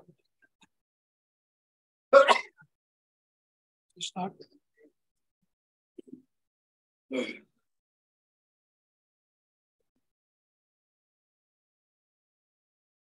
So our next speaker is Kaushik Paul, and he'll be talking about the spin effect and essentially higher modes from the inspiring compact binaries. So Kaushik Paul, you have the 12 minutes. I'll remind you the time. Yeah, uh, hi everyone. Uh, I'm Kaushik from IIT Madras. So I'll be talking about spin effects in eccentric higher modes from inspiring compact binaries up to 2PN order. And this talk is based on the paper which is uh, appeared on arXiv, and I have already listed the arXiv identifier. Yeah, so this is the outline of my talk. I'll just uh, give you the brief overview and then go into the technical details of my talk and then show my results and conclude with uh, some key points. Yeah, so according to GR, we know that uh, any non-spherical motion of mass creates a disturbance in the fabric of the space-time, and these uh, these are referred to as waves, right? And uh, these GWs are uh, can be uh, categorized by, in four types. Uh, first two are the CBC and burst sources. These are the short-lived sources and the next two are the continuous waves and stochastic waves. Now, now to give an example for each category, so CBC source, uh, if you have two compact objects, uh, they are inspiring towards each other, they are emitting GWs, hence losing energy and momentum, their orbit shrinks and they eventually merge and form a single black hole or, or a compact uh, object. The burst signal, the prime example is the non-spherical supernova explosion. Not all supernova explosion will give you GWs there should be a non-spherical thing attached to it. Continuous waves, uh, rapidly rotating neutron star, it will uh, emit uh, continuous waves. And stochastic waves, of, of course, uh, uh, Uh, at the time of uh, Big Bang, uh, like there is a cosmic background uh, created by the primordial gravitational waves, which is a nat natural possible example. Okay, now one might ask why we need to model the gravitational wave source, right? Uh, it is simply because uh, LIGO detectors give us the data which is noisy. So the event and the noise are embedded uh, in it, right? So we need some technique to extract out the uh, event from the noisy data. So we rely on some uh, technique called match filtering, uh, in which we cross-correlate the data with the bank of templates or waveform models. Now, these cross correlation when they are significant. So typically the match between the data and the uh, template should be 99% or greater than 99%. Then we get a, a um, peak in the SNR time series. So this is a typical uh, Stein and SNR time series plot from one of the uh, one, one of the event of the Hanford detector. And as you can see, so the solid line is the template and the red thing is the uh, noise, noisy data. Now, when the match is significant, we get a peak uh, in the SNR time series. So yeah, such uh, stringent uh, requirements uh, regarding the match between the two uh, has motivated the GW modeling community to model uh, different sources and include different, physical events. Yeah, so um, our prime aim is to co compute these spin effects of compact objects in eccentric higher modes from inspiring compact binaries up to 2PN order. Now, uh, by modes, I mean uh, spherical harmonic modes. Why spherical harmonic modes? Uh, it is simply because uh, numerical simulations uh, Uh, use these uh, expressions, use these, uh, they can be extracted in from the inner simulations exactly in this form. And also, uh, we can get, we can combine usual spherical harmonic basis with, with these spherical harmonic modes to get the polarization amplitudes. Like two polarization amplitudes we have from GR, H plus and H cross, and which which are eventually used in data analysis purposes, right? So yeah, and uh, why we need to model the spins, higher modes, and eccentricity? Uh, spins because simply uh, spins of the individual compact objects are one of the most significant physical effects that largely modify the gravitational waveform. And if we do not incorporate those physical effects in in in in, in our uh, model, then we'll be losing significant amount of signal and hence uh, it will it will uh, eventually uh, lead us to lead us to lower SNR and low detection efficiency. SNR by I mean signal to noise ratio. Now by higher modes, well for binaries of equal mass systems, it is totally fine to include the higher modes only. Uh, sorry, uh, dominant mode only. That is a two-two mode. But when we talk about, uh, say, the systems with unequal or asymmetric masses, right? then the higher modes uh, get turned on. And if we do not incorporate these effects uh, arising from higher modes, then again will uh, will be uh, will be this will result in uh, result into uh, lower SNR and we will lose a significant amount of signal. And of course, eccentricity. So this is the hot topic for O4 upcoming O4 run, which will start from March next year.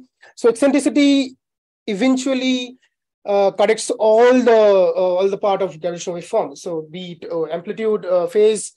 So if we do not incorporate those uh, uh, corrections, then our model will not detect any eccentric systems. It will still say eccentric system is surplus system. So that's that is wrong, right? And uh, also looking at the value of the eccentricity, we can say that uh, what are the formation channels of the binaries, whether whether uh, it has formed from hierarchical mergers or then metal uh, star clusters and so on. Now this is a uh, typical uh, figure which nicely summarizes three distinct phases of compact binary coalescence. So eventually, so first of all, when the two compact objects are uh, largely separated and they can be treated as point particles, uh, they uh, eventually inspiral towards each other and emit gravitational waves and hence lose energy and momentum and eventually they merge and form a single compact object, right?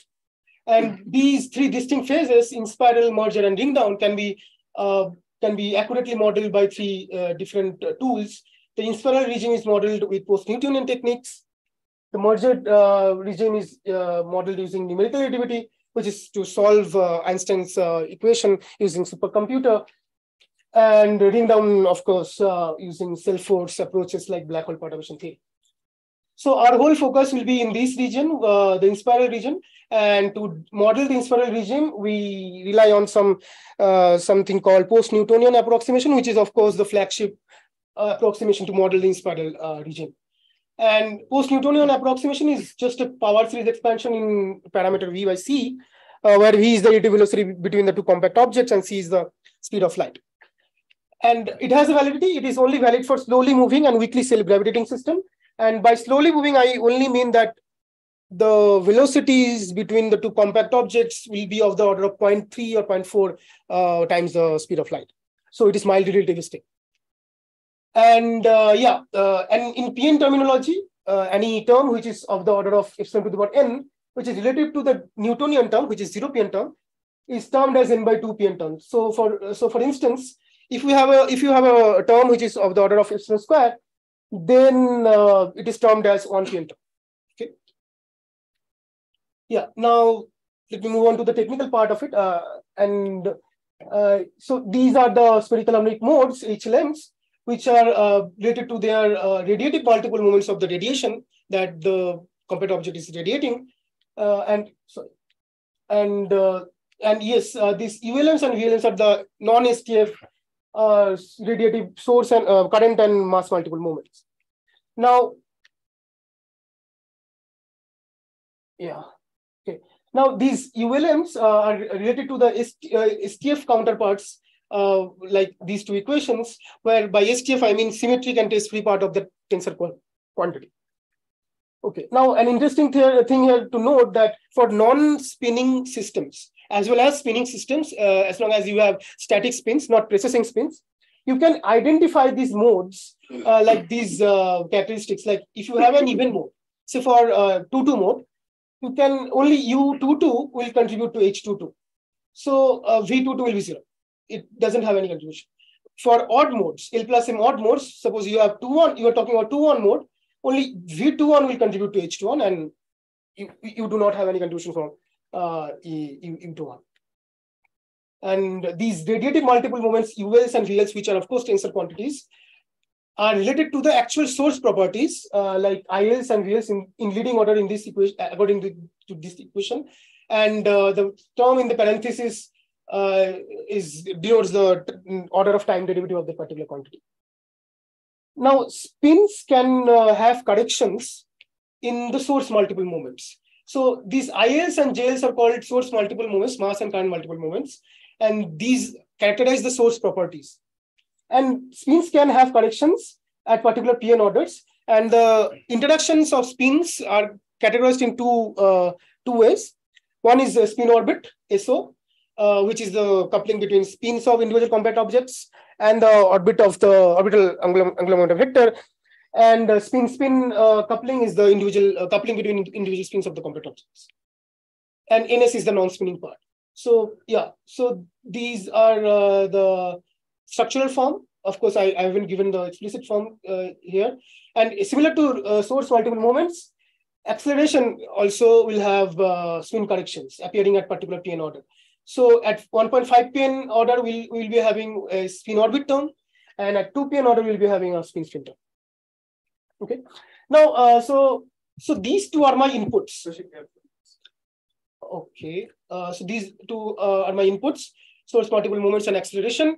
And we use these inputs and we differentiate source multipole moments. And since, since source multipole moments are functions of position, velocity, masses, and spins, hence we, when we take the time derivative of it, the position uh, will be shifted to velocity, velocity will shift to uh, acceleration, and we use that acceleration equation and uh, put the value of acceleration and collect all our terms at particular PN orders, and we uh, we get the uh, general orbit uh, expressions. So these are the structural form. This equation, along with this equation, uh, yeah, this equation gives us the structural form of uh, spin corrections in spherical harmonic modes.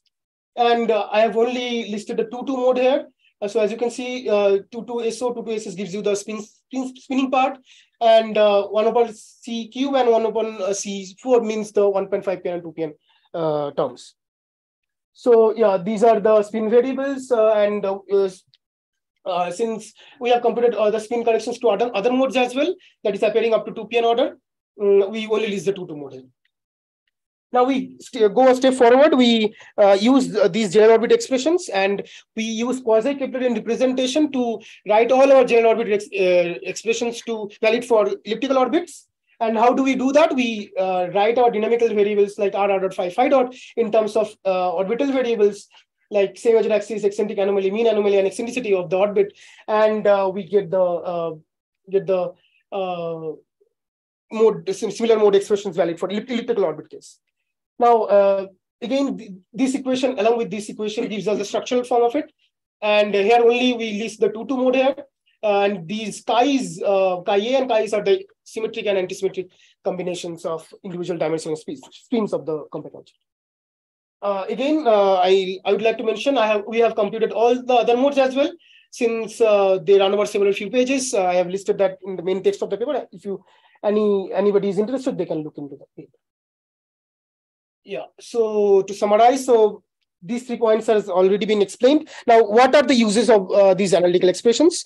Uh, so we currently do not do not have any eccentric spinning uh, waveform. Uh, so data analysis guys like tells waveform modeling community to give us some waveforms, right? Otherwise, how we can detect uh, eccentric spinning uh, event if they, they exist any.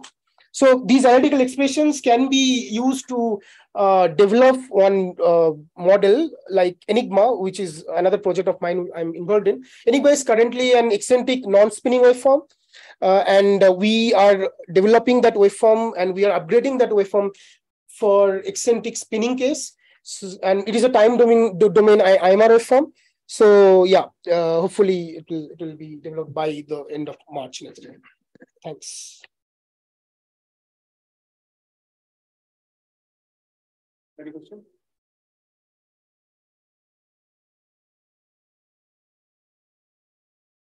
So, uh, because I'm not from this field, so yeah. you are uh, studying this effect irrespective of the component of this binary, I mean, neutron, neutron star. Yeah, it, these results are valid for all the uh, compact objects. Like, uh, uh, I don't know what happened. It's not changing the slides. Next, uh, can you go to the result slide? Uh, one step further. No, no. Uh, can you go to the quasi-Keplerian representation? Yeah. No, no, no, no, no. no. Later slides. Uh, yeah. Uh, next slide. Yeah. This one. Uh, this kappas. These uh, kappa A and kappa S are the spin-induced quadrupole moment.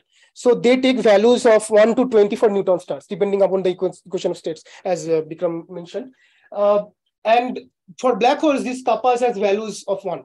So you can uh, use this analytical expression for any compact object, be it black hole, black hole merger, be it neutron star black hole, be it neutron star uh, or white dwarfs. Yes. So let's thank the speaker again. Now we have, we have uh,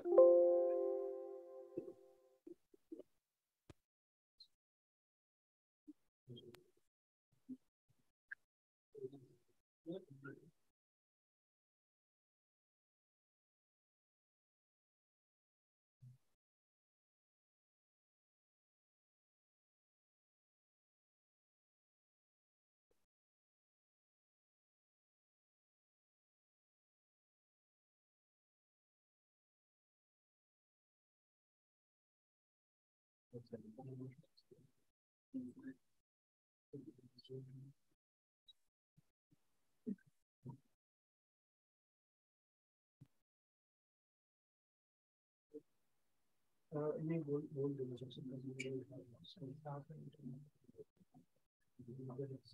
Uh, Deepika, are you there? Am I audible? Yeah. Uh, you can increase the volume. Can you hear me? Uh, size goes on, my sound score down the day. Something is it.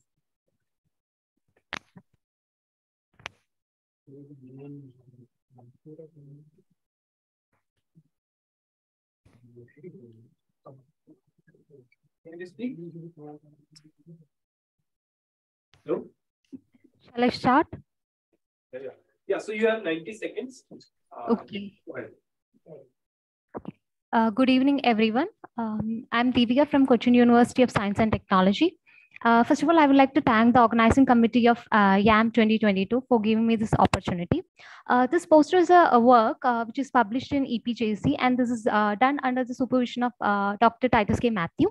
Uh, here we have uh, investigating the evolution of a flat FLRW universe uh, with the Tsallis holographic dark energy and uh, dark matter as entities. Here we consider Tsallis holographic dark energy as a dynamical vacuum.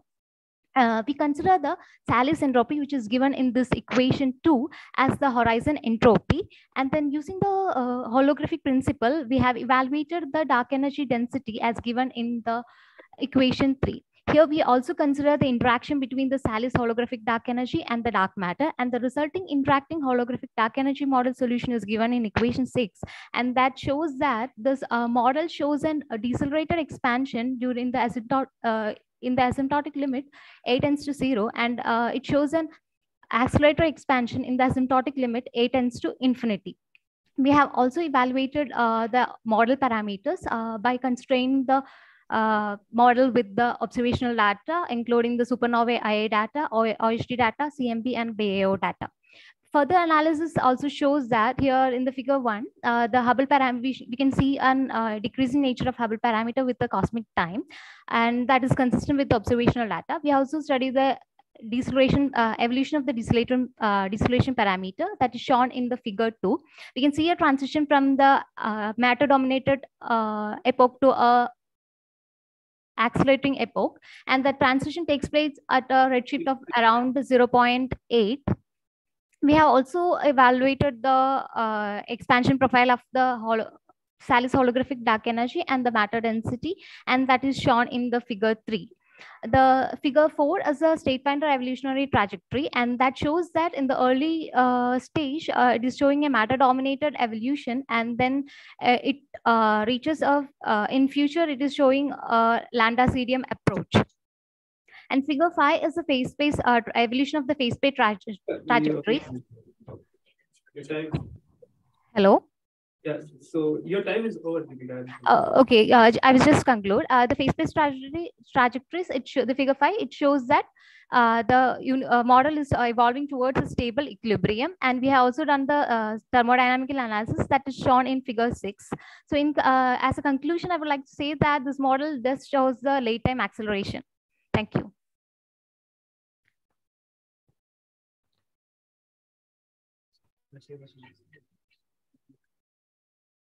Siva? Are you there? Siva? So you can unmute yourself.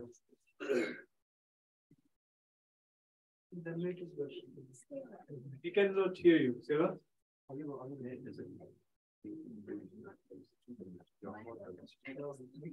Yeah, so we'll come back to you later.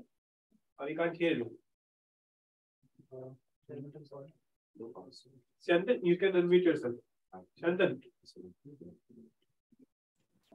Hello. Yeah, Chandan, go ahead. Yeah.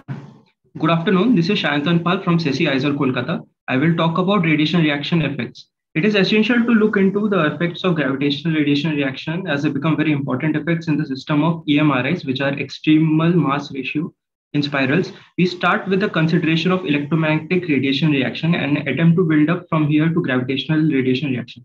The equation of motion for a charged particle is given by the LAD equation, also known as Lorentz-Abraham-Dirac equation.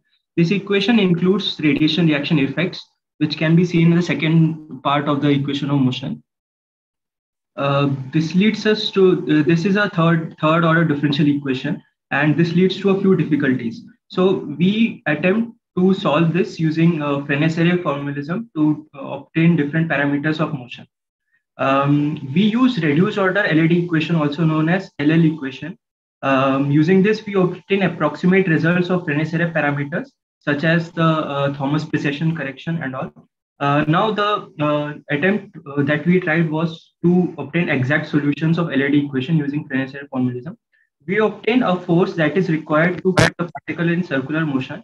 And uh, we see that um, uh, a central force cannot keep the particle in central in, in circular motion. We need an additional additional uh, to um, consider the radiation reaction effects. Then we move on to um, Okay, then then we try to numerically solve the uh, solve the LAD equation. We use SciPy solve IVP. We prepare a electromagnetic electrostatic external field, and the particle is allowed to move in a circular motion. We we obtain the relativistic corrections, which is visible by the red red line in the first plot, and we also obtain the radiative correction, which is uh, given by the uh, uh blue plot, blue line. Yeah. Yeah, yeah, I will conclude. Also, we obtain that the force required to uh, continue a circular motion cannot be a central force. And um, um, uh, we are developing a formalism to study radiation reaction effects using Frenet-Serret tetrad. And future works will expand on different space times. Thank you.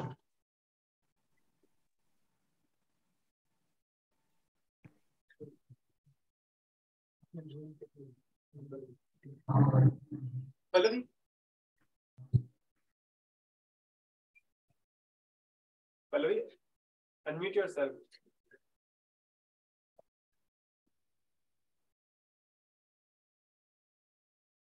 Pallavi?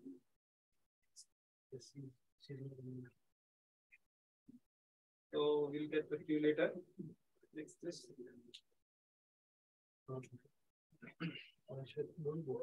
Next is Shweta.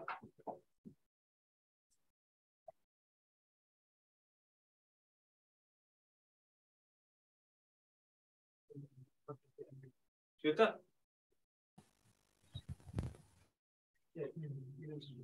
Shweta? Hello, Shweta? Am I audible? Yes. Hello? Go ahead. Go ahead. Go ahead. Hello? Yes, yes. Am I audible? Yes, yes, yes. Okay. Hello, everyone. Myself, Shweta Reddy from IIT BHU. I'm working with Dr. Abhishek Kumar Srivastava and Dr. Jeevan Pandey. Uh, my work is based on the analysis of super flares on young active star AB Dor uh, using XMM Newton's data.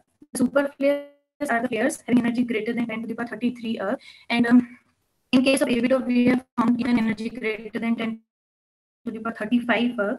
So our main objective here is to find out the coronal properties of this star, such as loop length, peak temperature, luminosity, density, or even magnetic field. Uh, and for obtaining these parameters, we have used the time resolved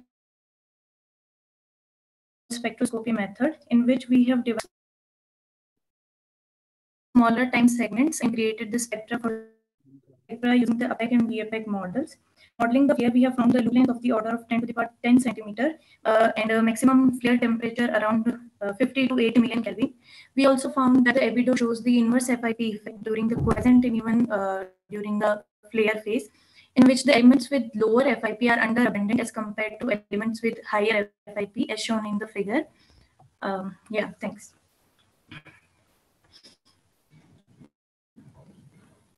Next one. Hello,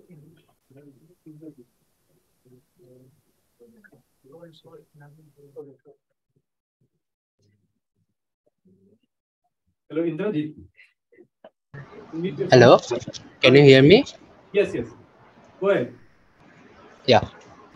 So, good afternoon, everyone. I am Indrajit Paul, uh, currently doing my PhD in NISER, Bhubaneswar. This poster is regarding my work on the instrumental characterization of WALOP for Pasiphae survey. Pasiphae survey is an optopolarimetric survey that aims to create a three-dimensional tomographic map of magnetic field over the galactic polar region. For that, we need to measure the polarization of millions of stars. To do that, wide area linear optical polarimeter, that is WALOP, is used as polarimeter. To get the polarization, we need to perform photometry very accurately. Now, what is photometry? Photometry is the method of measuring flux for any source. There are mainly two kind of photometry, aperture photometry and point spread function PSF photometry. PSF photometry is more efficient than aperture photometry for stars with a low signal to noise ratio. So for our case, we will choose uh, PSF photometry. Uh, PSF photometry. In PSF photometry, we must know the PSF.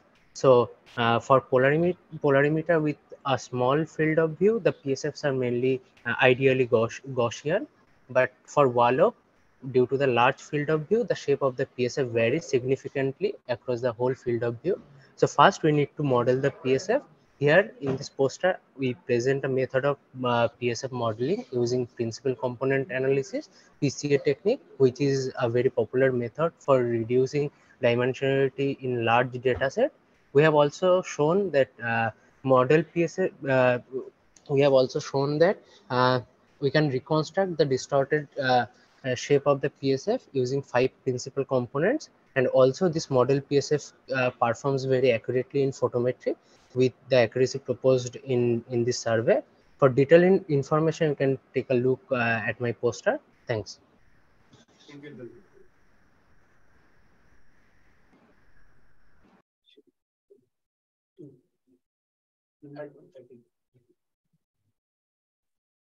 Hello, Sheikh.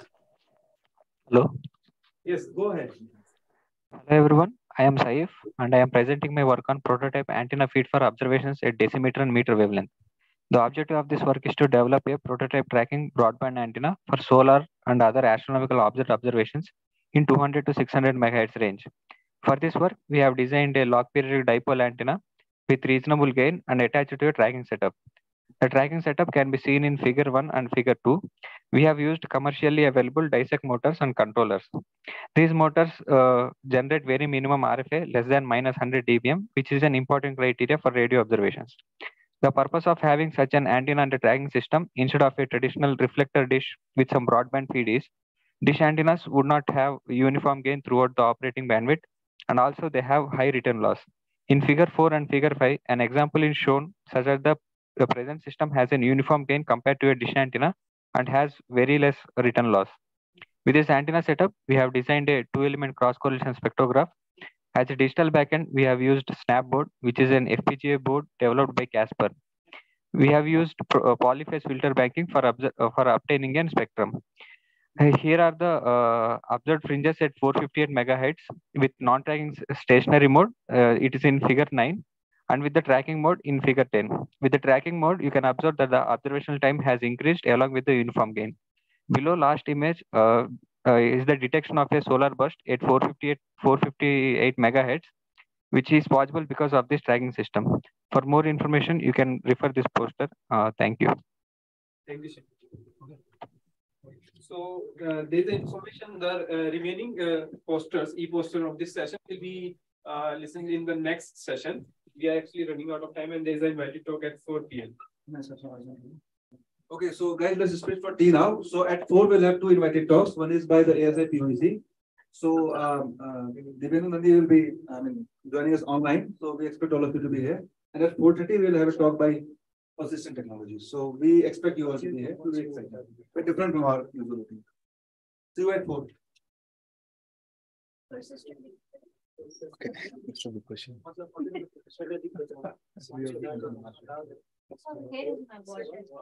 So these guys are sending us.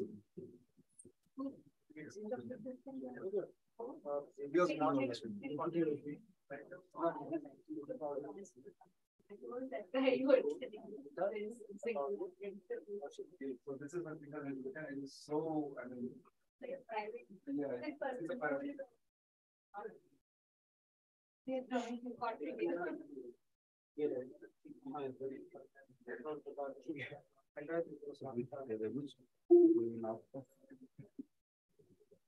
तो पीछे देंगे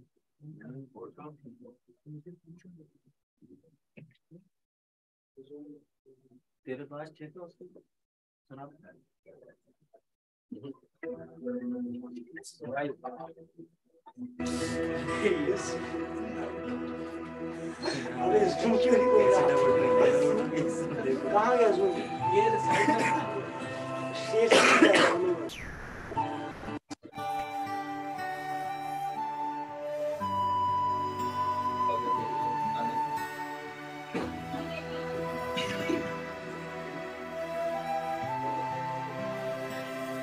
again,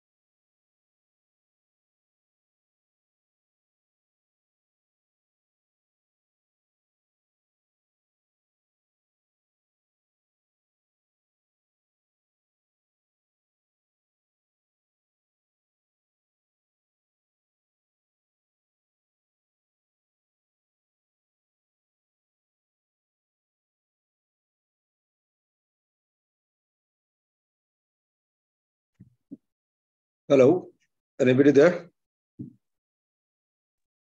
Yeah, Dibyendu, we can hear you. Okay, all right. Um, and uh, you can see me as well? Yes, we can.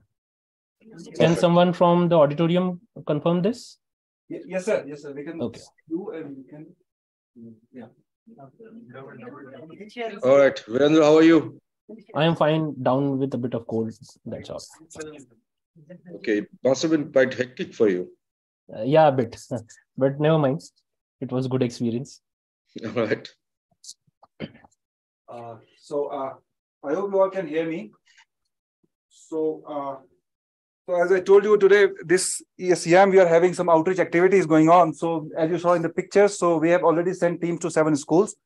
And today we have Professor Dibyendu Nandi from CESSI, and he will be highlighting the activities of POEC. So before I uh, let him handle the stage, let me introduce you. So Professor Dibyendu Nandi is from Kolkata. He graduated in physics from St. Xavier's College and then moved to IISc where he received his Master of Science and PhD degrees in 1997 and 2003 respectively. Subsequently, he was a postdoctoral research fellow at Montana State University in the US. He was the 2012 recipient of the Karen Harvey Prize for the of the AAS, and this is the first time a space scientist from Asia Pacific has received that prize. Currently, he is the principal investigator and the head of the Center for Excellence in Space Sciences, CESSI, at IISER Kolkata, and leads a vibrant solar research group there. More relevant to this session, so he heads the Public Outreach and Education Committee, the POEC, working under the ambit of the Astronomical Society of India. He is working with the aim of increasing public interest, awareness, and un- understanding of astronomy in India. So please welcome Professor Dibyendu Nandi. Thank you. Um, so I actually have not prepared any slides, so I want to just impromptu talk. Um, so should I just go ahead and begin? Sure, sure.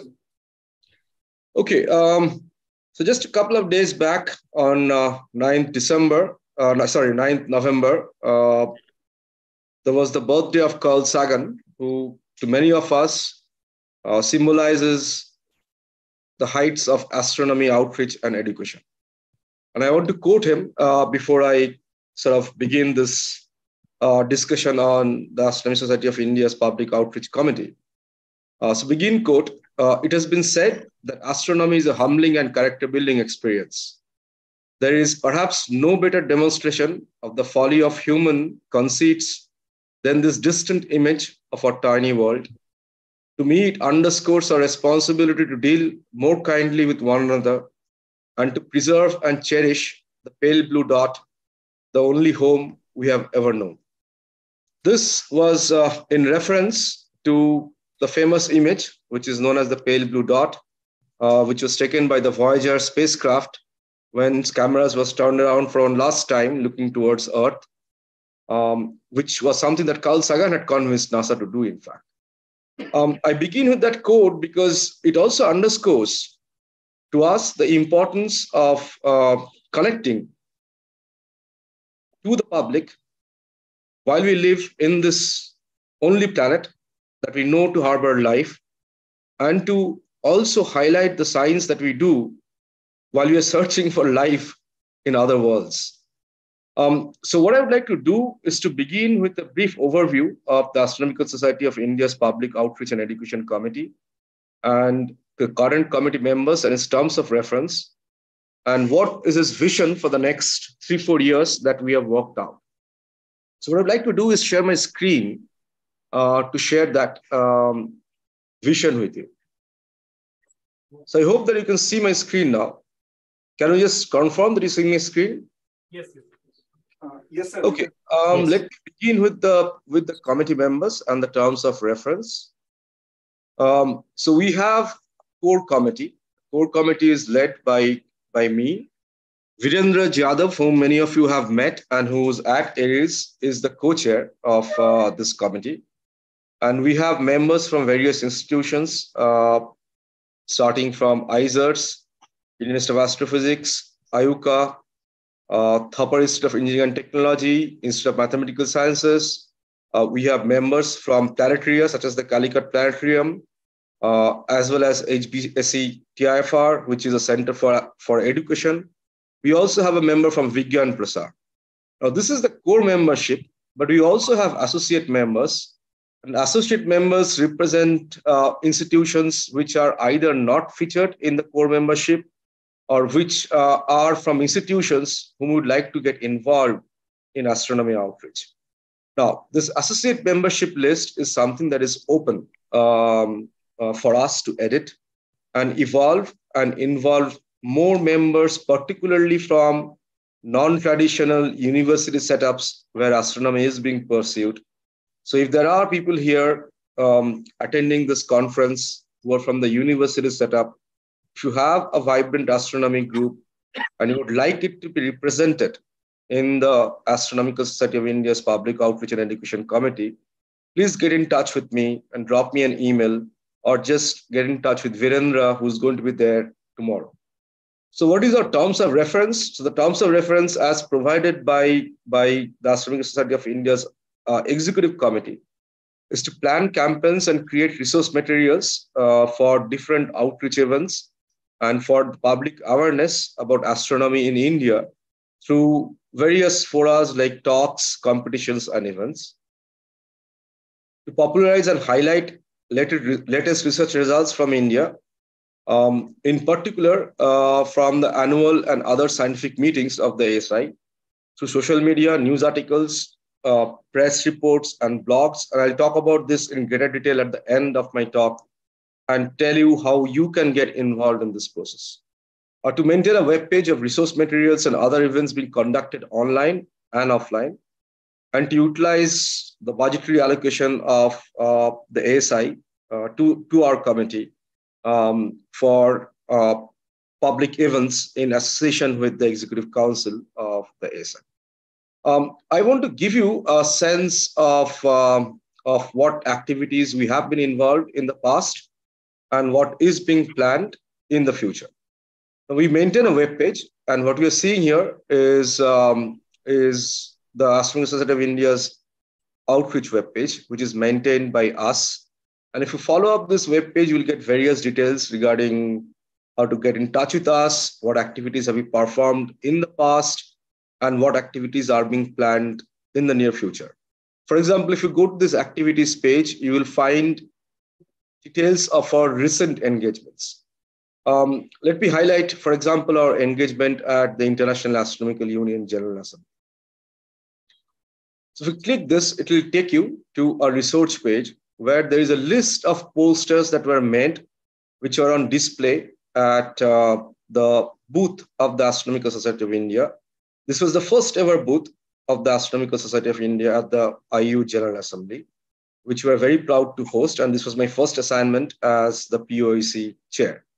Uh, this was this was a huge success. We had uh, a couple of special events. There was an India Day where people turned up in traditional Indian clothing, um, where we had a formal inauguration by the president and the executive um, uh, secretary of the IAU. We also had a raffle, a quiz competition, um, where we asked various questions regarding you know, inter, India, Indian astronomy facilities, regarding their locations, regarding important contributions to astronomy made by Indian scientists, based on which various prizes were distributed uh, to the attendees at our booth.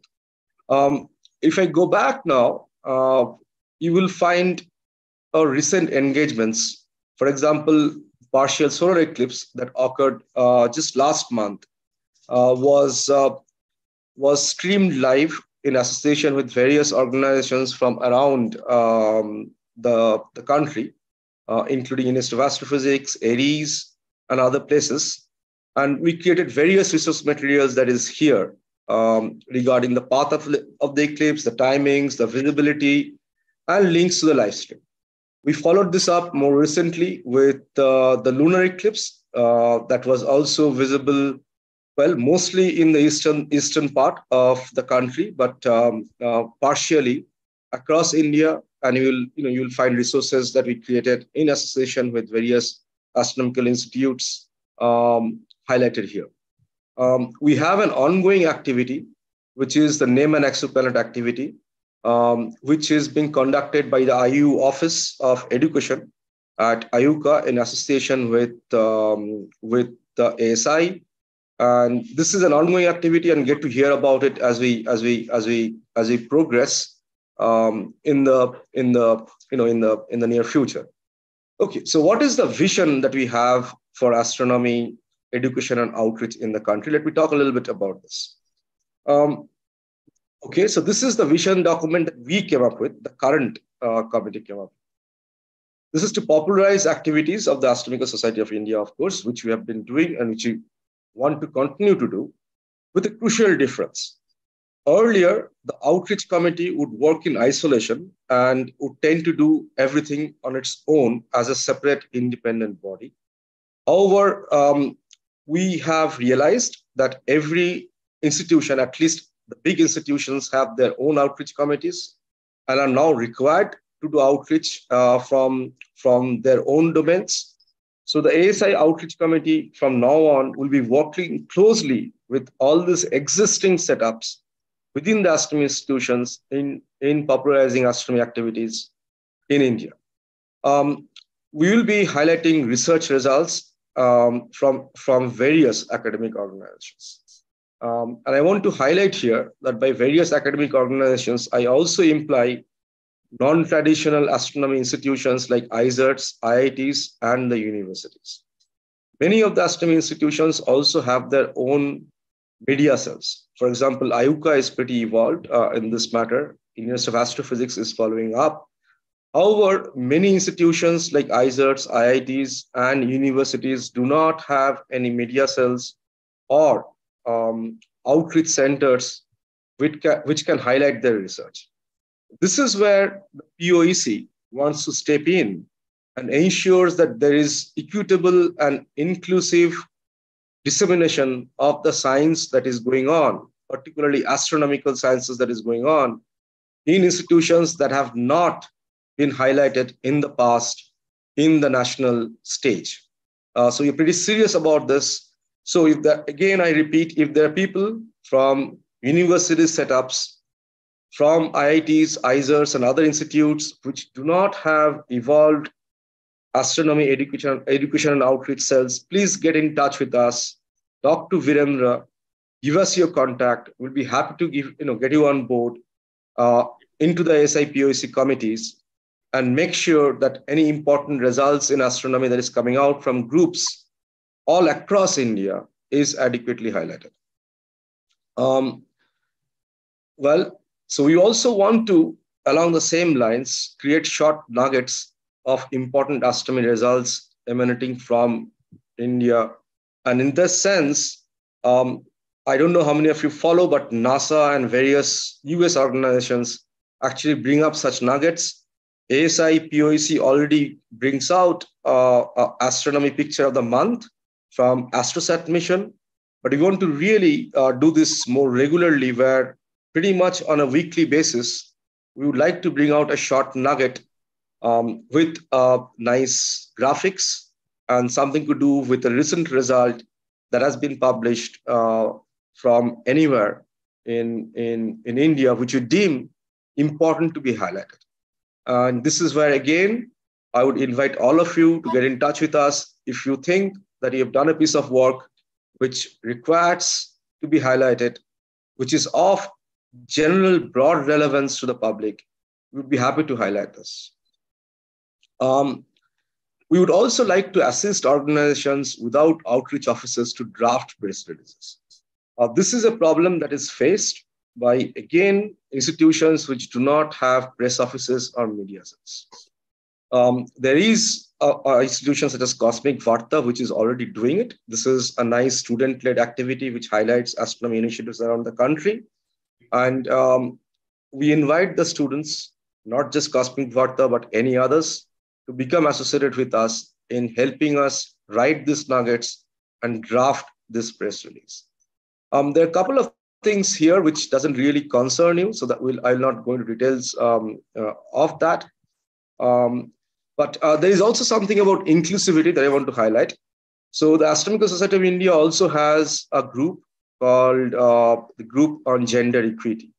Uh, this working group on gender equity looks at inclusiveness um, to strive towards a balance across genders and uh, various representative groups in astronomy to look at the problems uh, that they are facing. So we are also going to liaise with this group uh, to highlight women astronomers in the country. And by women astronomers in the country, I don't really mean only women faculty or women scientists.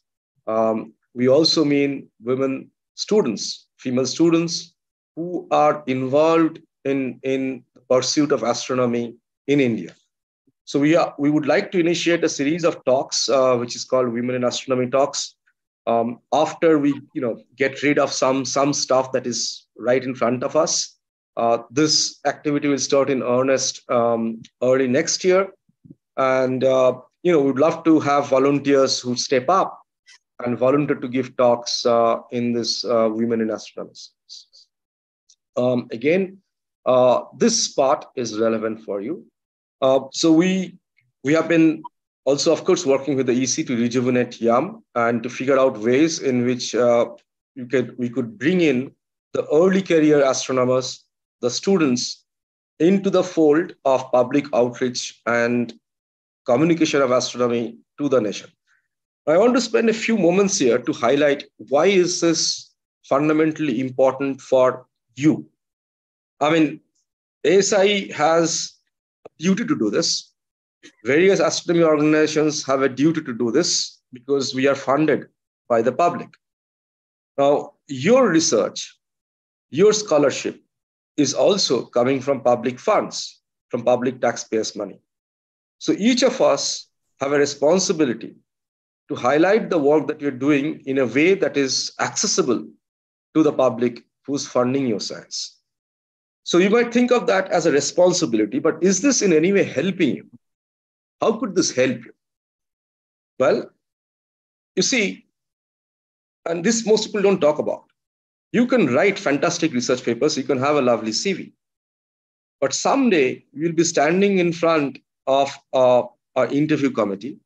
You'll be standing in front of a huge audience where you'll be portraying your research or you'll be selling yourself in, in the sense that you're selling your expertise, your experience, and your abilities in a, you know, in a faculty application or a postdoctoral fellowship application, right? Okay. So therein, if you are not a good communicator, irrespective of the quality of your work that you have done, you are not going to have a big impact. Or alternatively, if, the, if you have serious competition and there are people with almost equal CVs, the person who has the best presentation, who can connect with the crowd who's sitting on the other side of the table, is going to be the person who's favored by the committee. So, so practicing science communication, both in writing press releases, in writing science nuggets, in trying to portray the technical science that you're doing in a simple way that is accessible to a broader, broader audience, being able to speak about the work in a way that connects you and your life and your work with the audience is fundamentally important right from giving a talk in a conference, writing a research paper, or appearing in front of an interview committee. And I would like you to keep this in mind that this is a quality and ability of being able to just stand up there and being able to communicate is something that you should really inculcate from a young age and at a stage where you are still sort of learning the tricks of the trade in terms of doing a PhD. Um, so I would really like you folks to help us get to do good science outreach and communication. And in the process, also build your abilities to be a good communicator. Um, well, many of you who are here are probably, most of you are PhD students. Most of you will soon become postdoctoral fellows, and the best of you will most likely leave the country uh, to pursue postdoc summer, right? Now, as a community of astrophysicists and astronomers, we're always on the lookout for the best amongst you. And often what happens that this happens in a somewhat somewhat random way where various institutions um, bring out advertisements people apply some people apply to some places other people apply, apply to other places. And there is no really coherence in, in, in the community in understanding what is the base expertise that is available out there. Now, a beautiful sort of um, um, process through which the, the, the, the biologist and the Indian Biotechnology Society does this is through the DBT India Alliance Young Investigators Meet, where what they do is they have a symposium where they invite only postdoctoral fellows and senior members of the community from various institutions in India and some from abroad to a conference which toggles sometimes in India, sometimes in US or elsewhere. And this is really a headhunting or a talent searching mechanism where you put all the talent that's available all throughout the world, including India, in, in sort of, you know, one physical space and time. And you have them give talks, you interact with them, and you identify the best talent and you encourage them to apply at your places. Um, so we also would like to initiate this process within the astronomy community.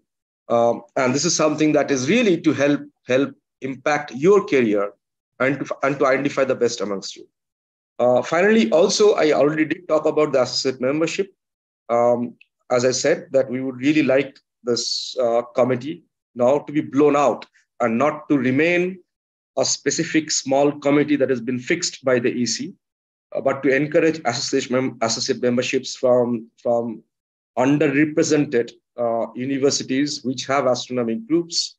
And, and therefore, we also welcome your participation um, uh, either you know, communicate those interests to us in writing with a copy to a faculty member at your organization with whom we will continue this conversation forward, or alternatively talk to Virendra Yadav, who's going to be present tomorrow physically, um, uh, who will who will get your contact and talk to you about how to get involved.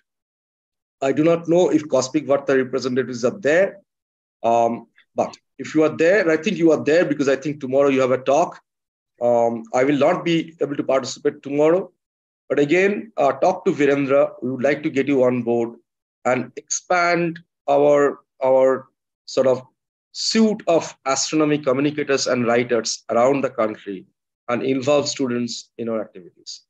Um, so with that, I will sort of stop sharing my screen and end and talk, you know, take questions from, from you if there is any on, you know, on how you perceive our role to be what would you think that we should be doing that we are not doing very effectively? Um, and if you have any suggestions in terms of your involvement uh, i'm happy to sort of take those suggestions. Uh, thank you sir. Thank you for the talk. So now uh, yeah. So now we'll have some questions. So audience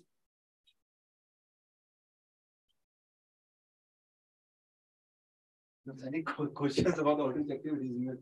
The chair is there, so. Uh, Virendra is also here. I don't know if Virendra wants to add something that I have missed, but Virendra, you're welcome to add in a few comments. Yeah, uh, thank you, Dibyendu.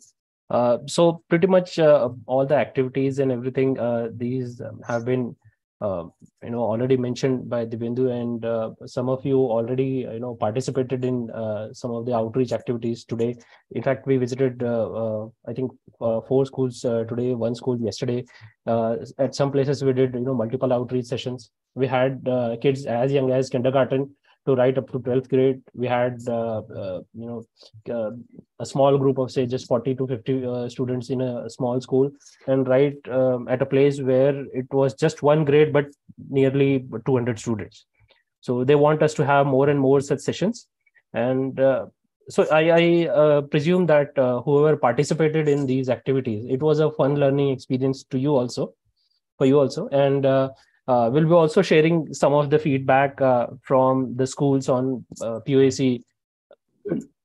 uh, social media channels. So you can uh, you are welcome to have a look at that. What they had to say about uh, the experience. So uh, Dibendu has already highlighted the importance of you know sort of selling yourself or communicating your ideas clearly and uh, it is i mean it is a win-win situation it helps you also you know uh, one day you will be standing in front of uh, people who are from different background sometimes not even from science background and you will be demanding funds from them so if you can effectively communicate it will be really helpful at the same time you are also going to you know uh, help prepare the next generation of scientists. You are young scientists today, 20, 30 years down the line, these school kids will be the young scientists and young astronomers meet uh, in the young astronomers meet. So it's really important to you know encourage the next generation and uh, you know inculcate uh, scientific temper in the society as well as generate curiosity among their minds, and that's the uh, the most basic idea uh, behind uh, whatever activities we are doing. Okay, so tomorrow when I'm there, I'll be able to interact more with you all during the breaks I'll also highlight some of the activities that have been done um, at Aries because tomorrow's session is institute specific. But I'll be also sharing some of the feedback, and you can also talk to the people who visited the schools. And I must really uh, thank all of you who agreed to participate in uh, at such a short notice and readily agreed with uh, uh you know uh, with all the lectures, uh, preparing all the kits. And I would also like to specially mention Atharva, who brought all you know uh, nice uh, science toys and helped us, uh, you know, to understand the demo and helped us in giving those demos to the school kids. So yeah, that's all. Um, so let me just uh, add that that two events which are upcoming, which are heavily invested in um, pretty soon. The first one is the National Space Science Exhibition that's happening in Science City, Calcutta from 6 to 11 uh, December, which many astronomy institutes, ISRO centers are involved in. Um, so there are folks from, from, from the city of Calcutta who are here, who would like to get involved uh, in the outreach activities that are planned. Again, get in touch with Virendra or me. We are looking for volunteers. We expect footfalls of something in the order of 10,000s um, in the Science City during this event. Uh, the multiple schools uh, were coming, the rural outreach events being planned, events are being planned at colleges like Presidency, St. Xavier's, Calcutta University, IISER, uh, and in Science City. Uh, so if any of you who are from the city and would like to volunteer, please get in touch with me or, or Virendra. The next big event that is coming up, of course, is the Astronomical Society of India's annual meeting, uh, which is going to be held in Indore, um, where ASI POEC will also be heavily invested in doing outreach activities. And if any of you wish to, to sign up for volunteering uh, for lecturing in schools, for helping, helping us um, reach out to local schools and colleges in Indore and set up, you know, various activities related to astronomy. Please do also again get in touch with us. And of course, if you have any questions, feel free to ask. Any other questions? Correct. I go ahead? Yeah, sure. Um, hi. Uh, so uh, over the past few years, uh, I've seen the increase in outreach events quite uh, significantly. So that's like uh, uh, something that I've uh, like really appreciate uh, from uh, that is happening from POEC. Uh, the one thing uh, that I uh, felt was sort of not centralized yet, which is the research that is done by students and as well as all, all the astronomy institutes in the country. basically, how to reach how to uh, make our research reach uh, the public, which is something that we can see quite uh, easily or uh, quite more widely done uh, in the, uh, the, Western countries or uh, other places. So, are there any plans where, apart from the cosmic Varta thing that we you obviously mentioned in your presentation, is it something that is planned where any student can easily like just by a single click of an Instagram uh, button, we can just share you know, some interesting research that some person from, uh, let's say, some institute in the country is doing that. Okay, I, I, understand your question and thank you for bringing this up. I mean, um, the Western nations, uh, particularly the US, NASA has been at the forefront of, of uh, sort of selling the research that they do pretty well. I mean, if you look at some of our organizations, including our space agencies, we are not really very good at, at, at outreach, right? We don't make fantastic posters.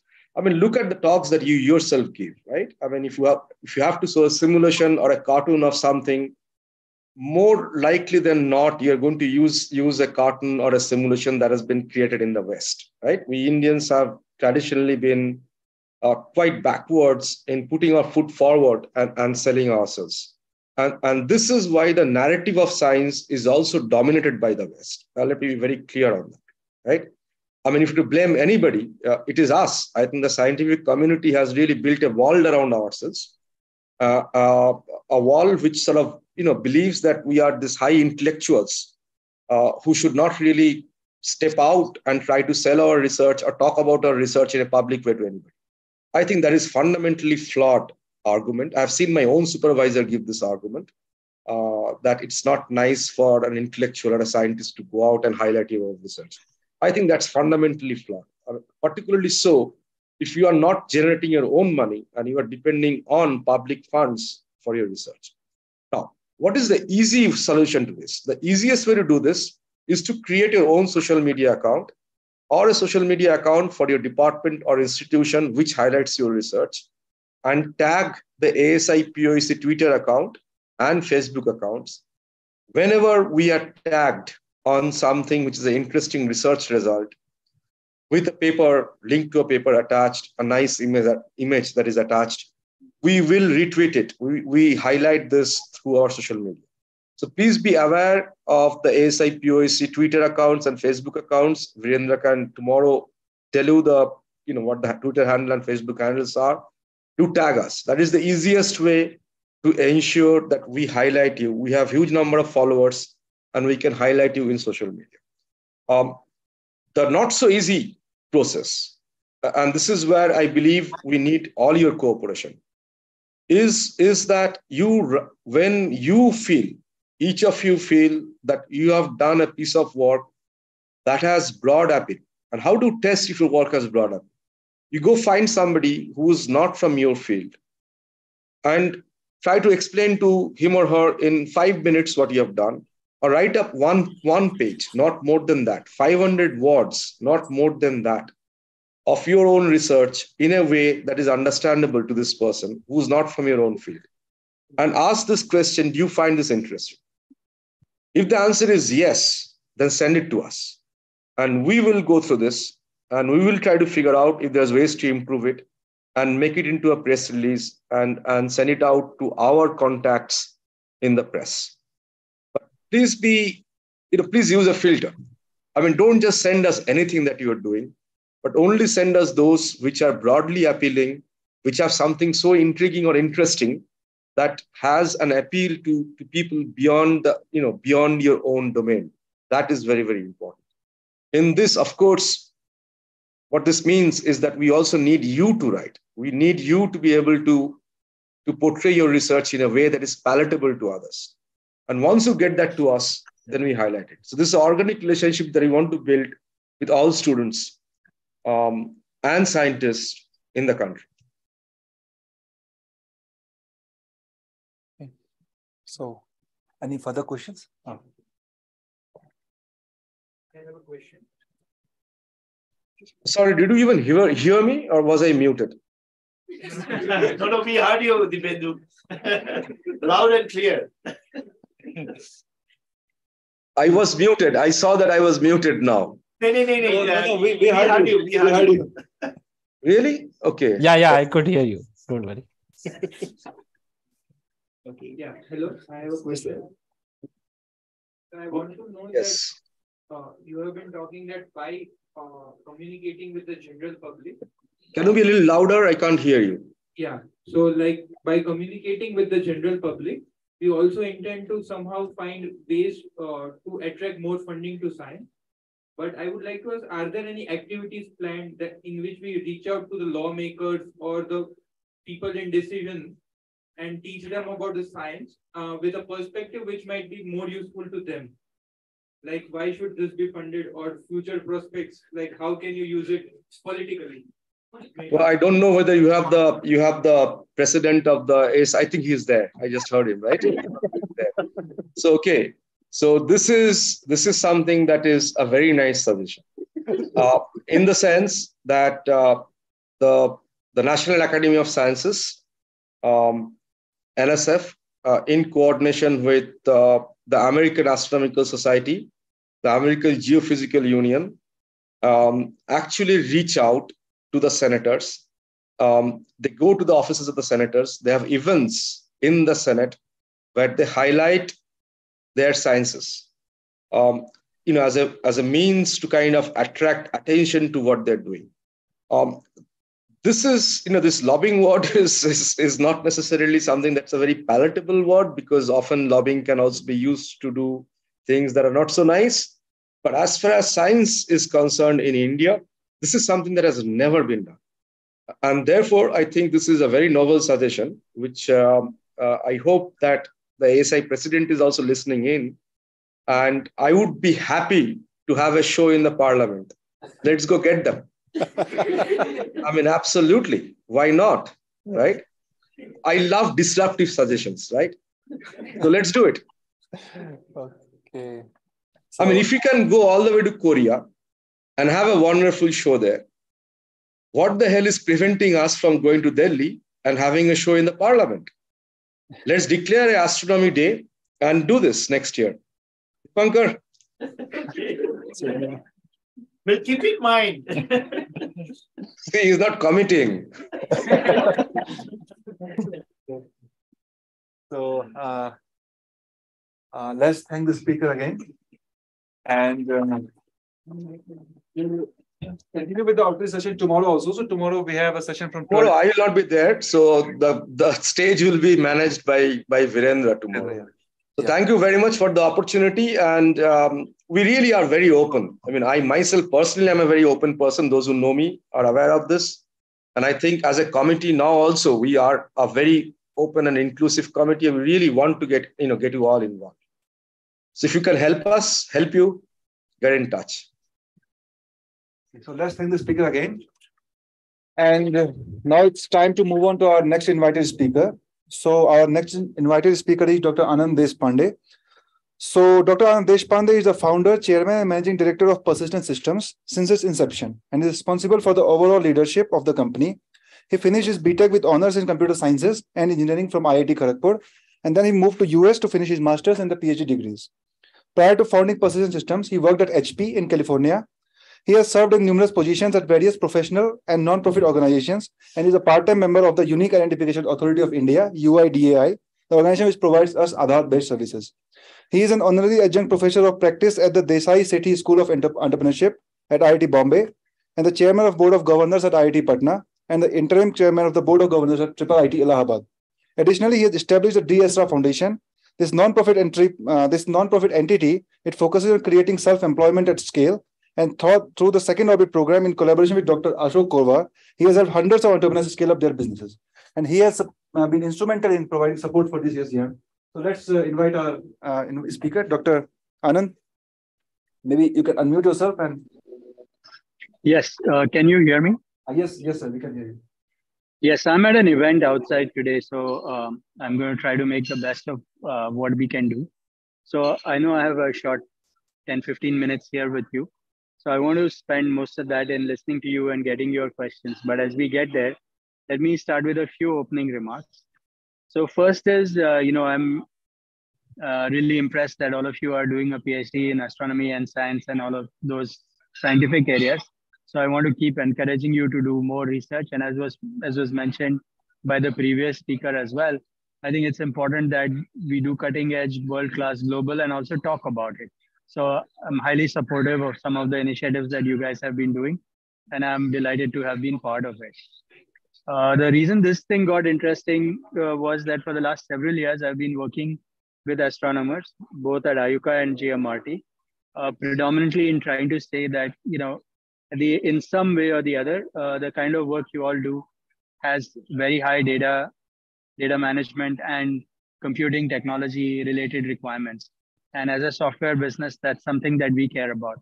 So we have found this uh, relationship between the astronomers and computer scientists to be very fulfilling, interesting, and great opportunities for people in the company to contribute and participate. And that's what uh, I, am intrigued by, and I would like to continue to work on this even further. So that's one point I wanted to make. Uh, we had a session recently, and I have Kaustubh also on the call who can really answer questions. He's an astronomer by training. He did his PhD from IUCAA.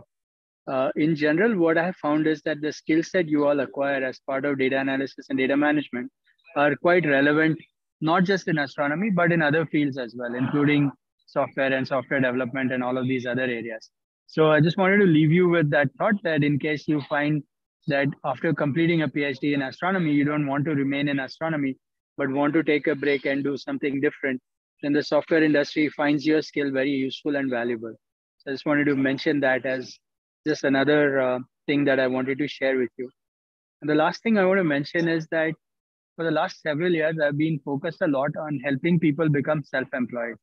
So that's another area that I'm that I'm very passionate about, and I think the training that you have in building a doing a PhD actually is the best training for someone to become an entrepreneur. Because you are trying experiments certain things work some don't. You are you don't give up you keep at it. And you have the ability to find the right problems that will give you the degree.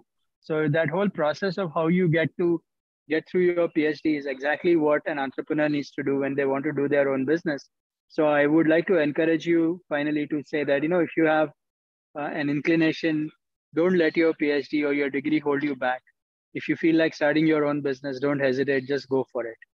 Uh, with this i'm going to stop here and not really give you a much of a speech. This is a little awkward setting to talk on a video when every one of you is in person. So let me stop here. Uh, let me see if you guys have any questions. We can take those questions or anything else that you would like me to talk about i'd be happy to share whatever i can for you uh, thanks sir thanks so we'll have some questions. Hold the mic closer to your. Yeah. Okay. So uh, questions.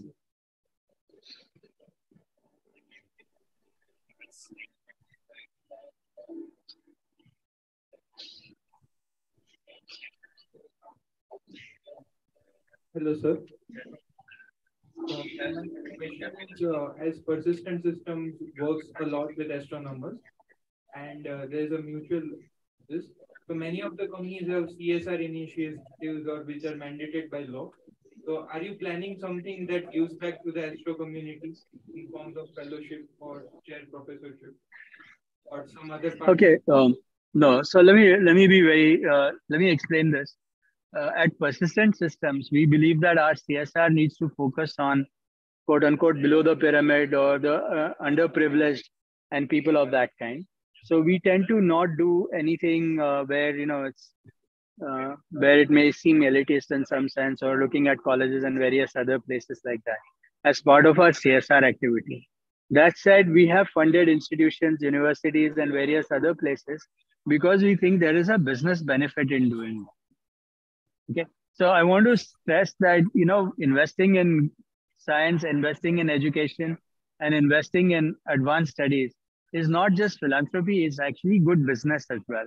So we do it because it's good business, not because it's good philanthropy. So that's the, um, and we use philanthropy for mainly focusing on the underprivileged in some form or the other. So we might consider seats or whatever else you need, but that will need to make good business sense rather than just philanthropy sense is what my uh, statement here is. Um, other question?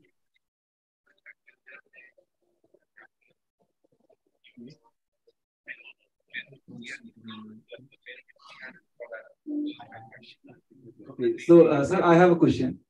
As you said that our, uh, I mean, regions overlap. I mean, we are also working with data and we're also working with data.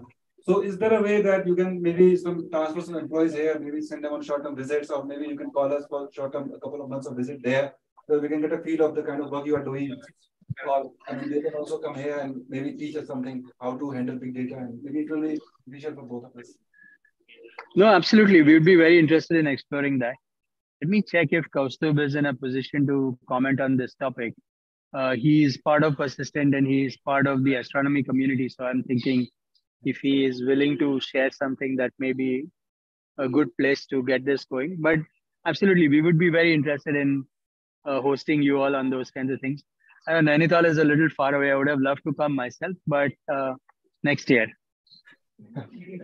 we'll wait for you. So, any other questions? Okay, Harshal.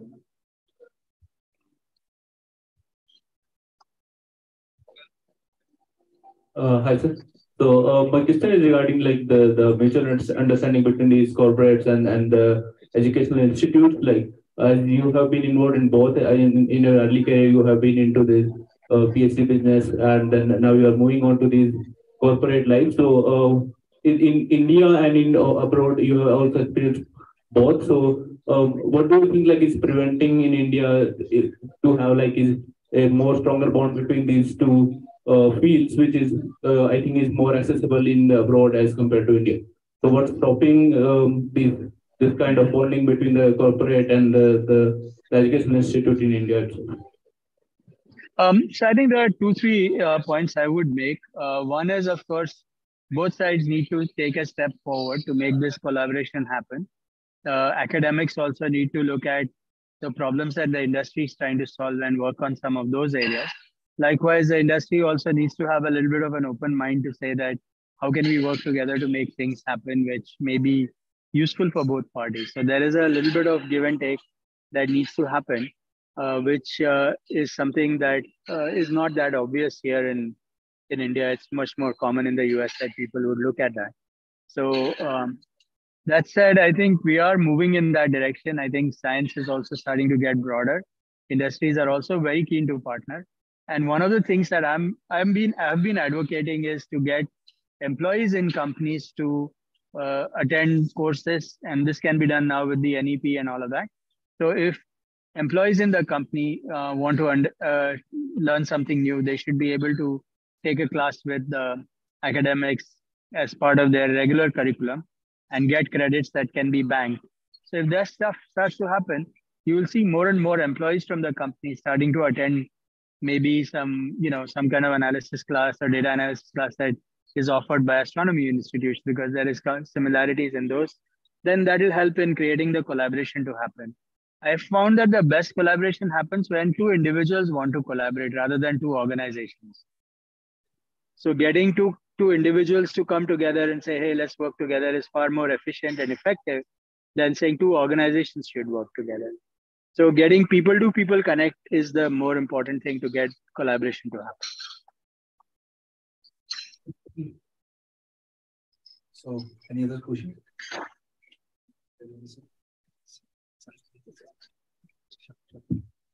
Yeah, thank you, Anand, for uh, joining in. I think it's been really privilege for us to get your support also for this activity to be revived. Uh, I completely agree with your comments also. This is Dipankar here, uh, incidentally. Yes, so, yes. Um, so, you know, as you mentioned, that, you know, both sides have to be proactive. And I agree, being from the academics, uh, we have been, you know, very closed. And in fact, all these activities in terms of the YAM and also previous session we had in terms of the public outreach, uh, we have realized this. And I think it's high time that we open up ourselves and find out our, uh, you know, uh, our, our place in the society, our place in the industry as well. And we're lucky to have uh, people like uh, you also in the industry side. But as you said, you know, uh, it's it's best a one-to-one connect rather than two organizations. So Kaustubh is again a, a, perfect example of this. So probably, you know, as requested from some of the students, if you can also assign person like Kaustubh to come and attend some sessions, uh, they will find a sort of, you know, connect there as well. Because often, uh, you know, students or faculty also do not know who to connect because of our uh, style of operation, uh, so to say. So these kind of open sessions uh, will help uh, to bridge this uh, gap. Uh, incidentally, I know you couldn't make it to uh, Nainital, but IIT Indore mm. first week of March, you can mark your calendar. So that's our next ASI annual meet.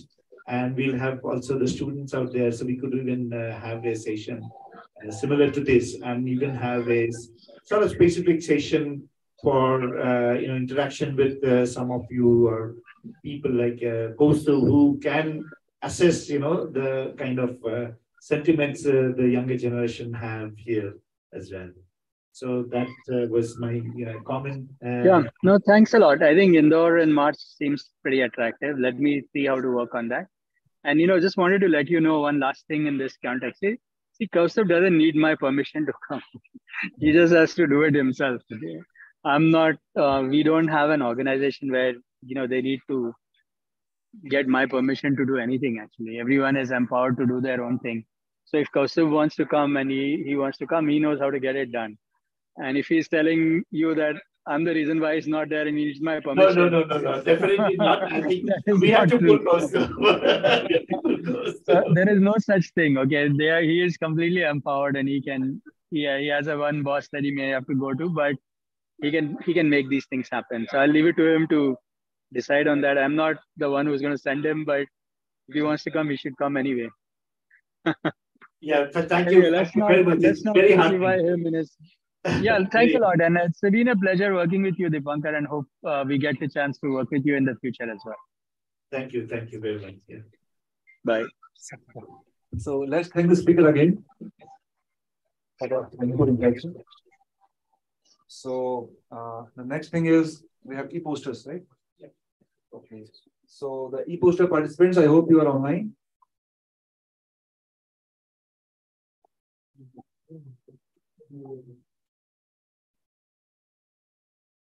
So we have some uh, remaining posters from the last session, so we'll just flash them and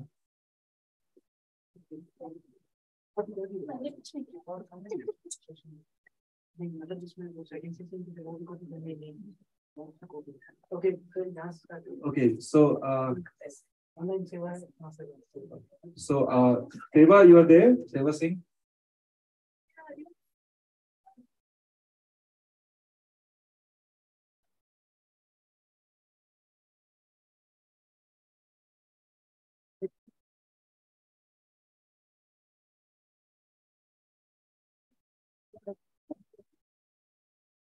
Uh, can, can you mute yourself? Uh,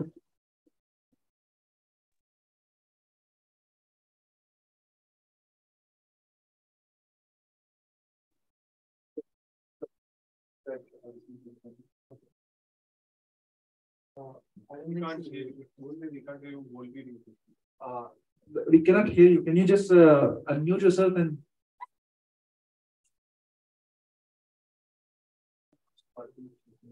you. No, not there. Okay. Okay. Uh, uh Seva, can you just uh, rejoin the, the session? Maybe there is some problem with the mic. We cannot hear your voice. Uh, we can move on to the next poster now. Uh, we will come back to you. Seva. So next, uh, okay, uh, Nidhi, Nidhi Okay, so uh, next poster is by Nidhi, and she has sent an audio. So maybe we can play that audio.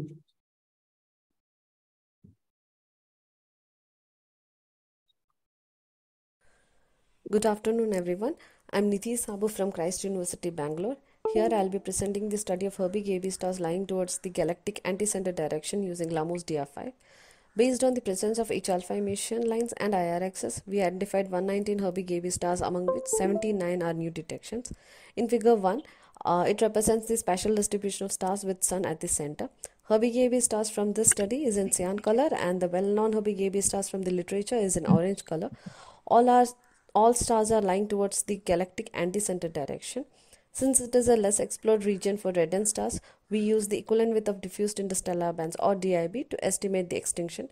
In order to validate this method, a comparison of correlation between AV estimated from DIB and Green's dust map is performed as shown in figure 2. We found a higher correlation of distance modulus with the extinction estimated from DIB than the extinction estimated from Green's dust map. Also, we performed a spatial spectral line analysis from which we found that the Fe25169 emission region could be in the inner disk with an overlap with the H alpha emission region due to which we find a moderate correlation between the emission strength as shown in figure 3. In conclusion, this work has opened up a new opportunity to study the broader aspects of emission lines of Herbig AB stars. This work is submitted to MNRAS journal and is under review and you can visit my poster in the Slack channel. Thank you. Thanks, Nidhi. So uh, next poster is by Devita.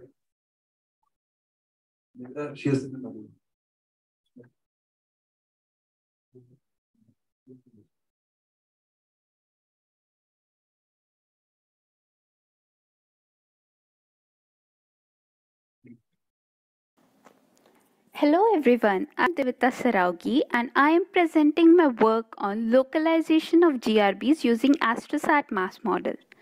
So gamma rays bursts are the most energetic transient phenomena which astronomers have been studying for decades but haven't understood them fully yet. The prompt emission of GRBs, which last for a few seconds to minutes, give us insight into the emission mechanism of GRBs, which we are hunting for. And hence, it is very important to quickly localize GRBs so that we can follow them up with other ground based and space based instruments for a multi wavelength study, which will give us a deeper holistic view of GRBs. Astrosat CZTI is a hard X-ray instrument which has great success in detecting GRBs, but it wasn't designed for localizing GRBs.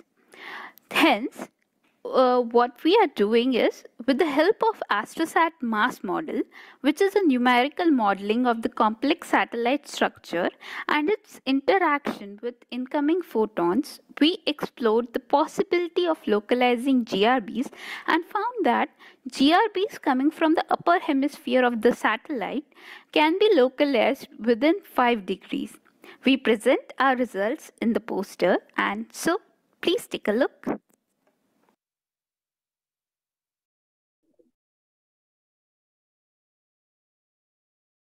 Okay. So our next uh, speaker is Pallavi.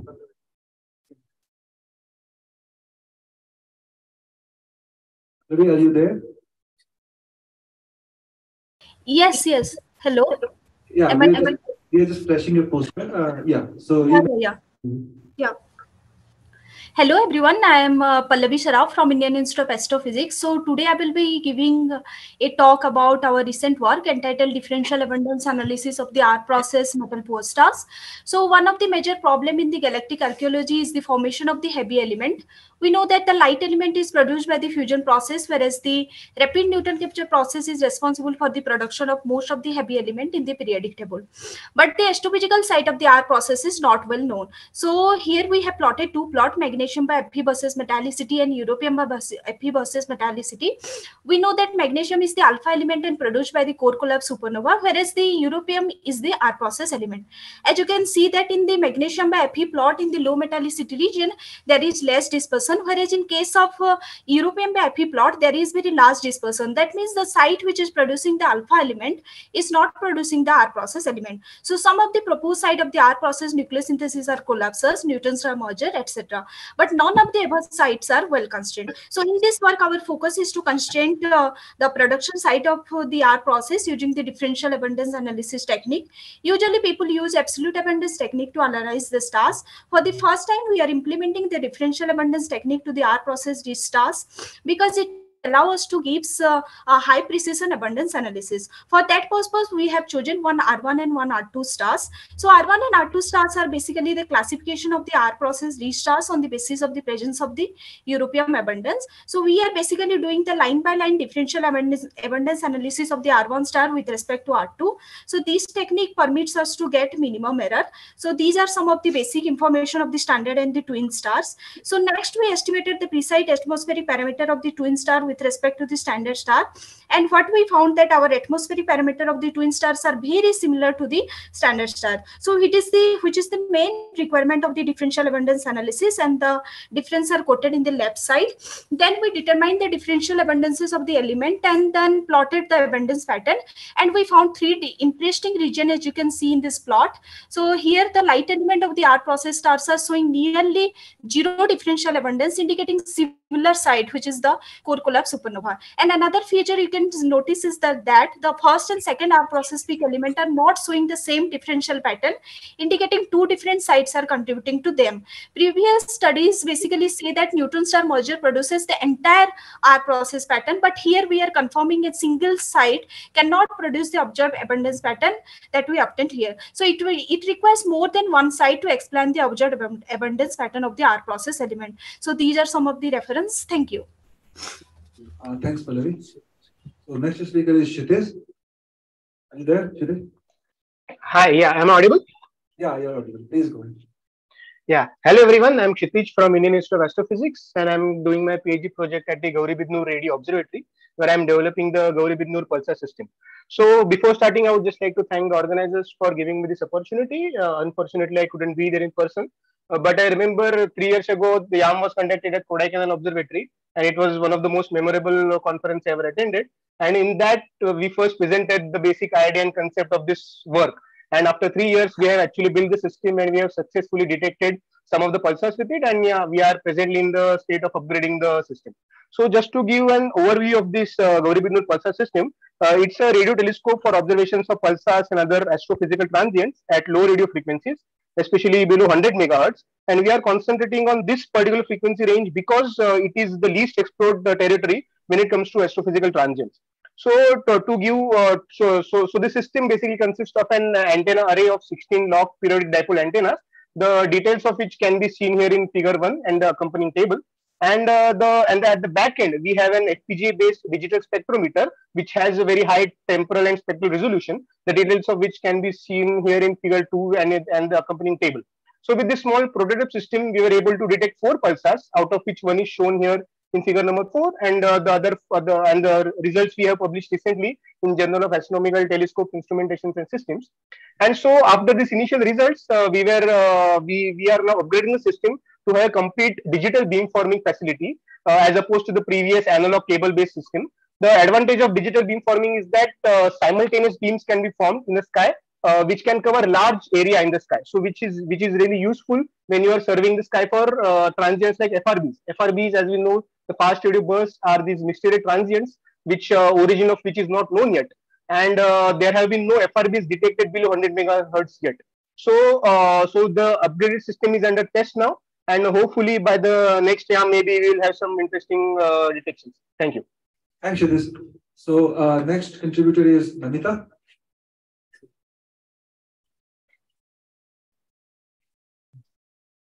Yeah. Namita. So, uh, Namita, can you unmute yourself? Hi, hello everyone. I'm Namita Paul from PRL. Can you hear me now? Yeah, I can hear you. Please go ahead. Okay. okay. So most of the people have seen the bands in the night sky, like uh, the like the uh, photograph shown in the left side. So this kind of band is uh, what we can see in the night sky is a Milky Way part of Milky Way gal galaxy, but we cannot see the complete picture of our galaxy, like 3D view of our galaxy. Because the first problem is that we are living inside our galaxy so we cannot see uh, the galaxy in the same way as we can see the external galaxies. And the second thing to if we want to map our galaxy in the same sense so we we need the position as well as the distance of all the stars present in the galaxy and which is very difficult to do so uh, so what can we do so uh, instead of uh, getting the distance of all the stars let us take subpopulation, which are known as some distance indicator stars, and they should be numerously present across the galaxy. And these stars, after selecting, and uh, of, of, course, the extinction effect will also alter the uh, galaxy structure studies. So uh, we should go to the longer wavelength, like uh, going to the near infrared regime will help us to find the numerous number of stars.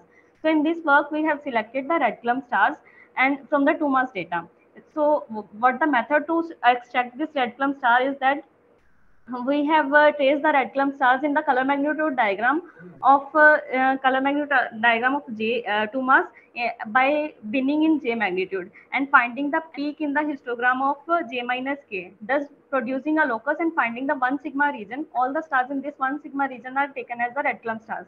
So this uh, left side plot in the middle panel shows the uh, uh, uh the schematic what, what, what we have used and right side plot represent the uh, population model which explain that all the red, red dot stars are red clump stars and finding the distance of these red clump stars will help us to study the distribution of these red clump stars in the galaxy. And for that, we, firstly, we have checked the uh, basic parameter of the galaxy, like uh, scale length and the uh, red clump uh, solar density. So for that, we have used a simple uh, exponentially decreasing space density model. From that, by using the best fitted parameter, we obtained the uh, scale length, which are matching with the already previous studies. And apart from that, we have also studied the red clump stars above and below the galactic plane. Now, uh, if the uh, if the our galaxy is metric, then the number of stars above and below the galactic plane should should be same. But uh, here in the last plot, we can see a wave-like asymmetry, and this wave-like asymmetry explains that our galaxy is not flat, but it is warped upward in one direction and downward in other direction. So, for more details, please contact me in the Slack channel or in the email. Thank you. Okay, so uh, thanks, Namita. So next e-poster is Arup. So I think this is the last one. Hello everyone, I am Arup Kumar Maiti, pursuing PhD. This poster deals with the topic of the formation of massive stars in the W31 context. Firstly, massive stars may be surrounded through high energetic winds, ionizing radiations, and supernovae. However, their formation processes are understood. Studies have shown that mass accumulation through filaments in the hub-filament system and cloud-cloud collision is more favorable in forming massive stars. In this context, our target site hosts two H2 regions driven by O-type stars. Those H2 regions are named as W31 North and W31 South. W31 South is one of the largest H2 regions in our galaxy. We have attempted a multi-wavelength study for the W31 complex. NVSS 1.4 GHz radio continuum emission is used to trace the ionized regions and the sub-millimeter data for dust emissions. After analyzing ATLASGAL clumps, both the H2 regions are found at a distance of 3.55 kiloparsec. The Herschel maps show extended dust emission surrounding both the H2 regions. Several filaments are detected to show hub-filament morphology toward the target site based on the Herschel 250 micrometer image. Study of the Sedigism molecular data results in the detection of two cloud components based on the position velocity diagrams toward W31 south with a connecting bridge feature. Those two components clearly show the complementary distribution and the radio peak resides exactly on the interface of two colliding clouds. In addition, we found that signatures of cloud-cloud collision are not so prominent toward W31 north. The feedback of the massive stars might have destroyed those signatures there. Therefore, based on our results, we conclude that cloud-cloud collision may be the driving mechanism behind massive star formation and the presence of hub-filament systems. Thank you. Okay. So, uh, say next, uh, I think we have. Sir, um, yes, sir. Yeah, so Seva, we can hear you. Uh, can you see your poster now? Yes, sir. Yes, sir. I can see my poster. Yeah, so So, good go ahead. evening, everyone. Shall I continue, sir? Yeah, sure. Please go ahead. Shall I continue, sir? Yes, yes. Am I audible? please go ahead. Okay, Yes, you're sir. audible. Okay, sir. okay, sir. Good evening, everyone. Myself, Seva Singh, and uh, I'm pursuing PhD from University of Allahabad under the supervision of Professor R. K. Anand. So my poster is on the effect of overtaking disturbances on the motion of strong cylindrical magneto-hydrodynamic shock wave in a self-gravitating van der Waals gases. Here I have studied the effect uh, effect of overtaking disturbances on the flow variables that is uh, shock velocity, particle velocity, shock strength, pressure, and density, and have seen how the if, mm, overtaking disturbances affect the shock strength in in comparison to the free propagation cases. I have expressed the uh, equations for the flow variables and uh, presented it in tabular as well as in graphical form. So from table we can see how the shock strength changes uh, when uh, it when the overtaking disturbances are included. And in graph also we can see how the particle velocity, shock strength, shock velocity, pressure, and mm, these all changes when the overtaking disturbances are included. So and uh, the conclusion is that uh, how the uh, non-idealness parameter and the um, magnetic field affect the strength of the shock as well as the shock velocity, shock behavior, uh, particle velocity, and uh, the density. Here we can, from figure, we can see that the density remains constant because it depends on uh, rho, because rho equals to rho, rho dash r to the power minus w. And since r w and rho dash all are constant, so we can see that the density remains constant because it doesn't depend on any uh, changing variable. So mm, that's it. Thank you. Okay, so thank you, Seva. So let's end this progress for this session again. So, uh, I think we are done with the e-posters now, so we'll disperse and we'll meet tomorrow at nine thirty. Okay, so I have an announcement to make. So today we are all going for director's dinner. I think you are all, you all know that. So the bus will be starting at seven AM PM in front of the guest house. PM. It's PM. So yeah.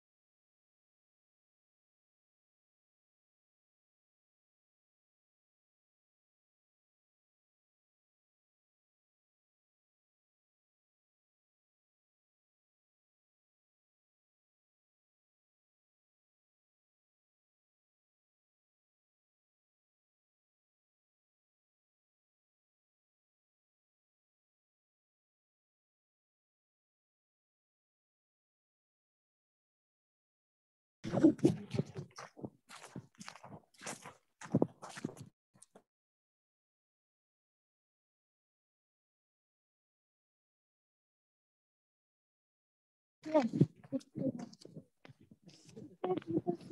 you.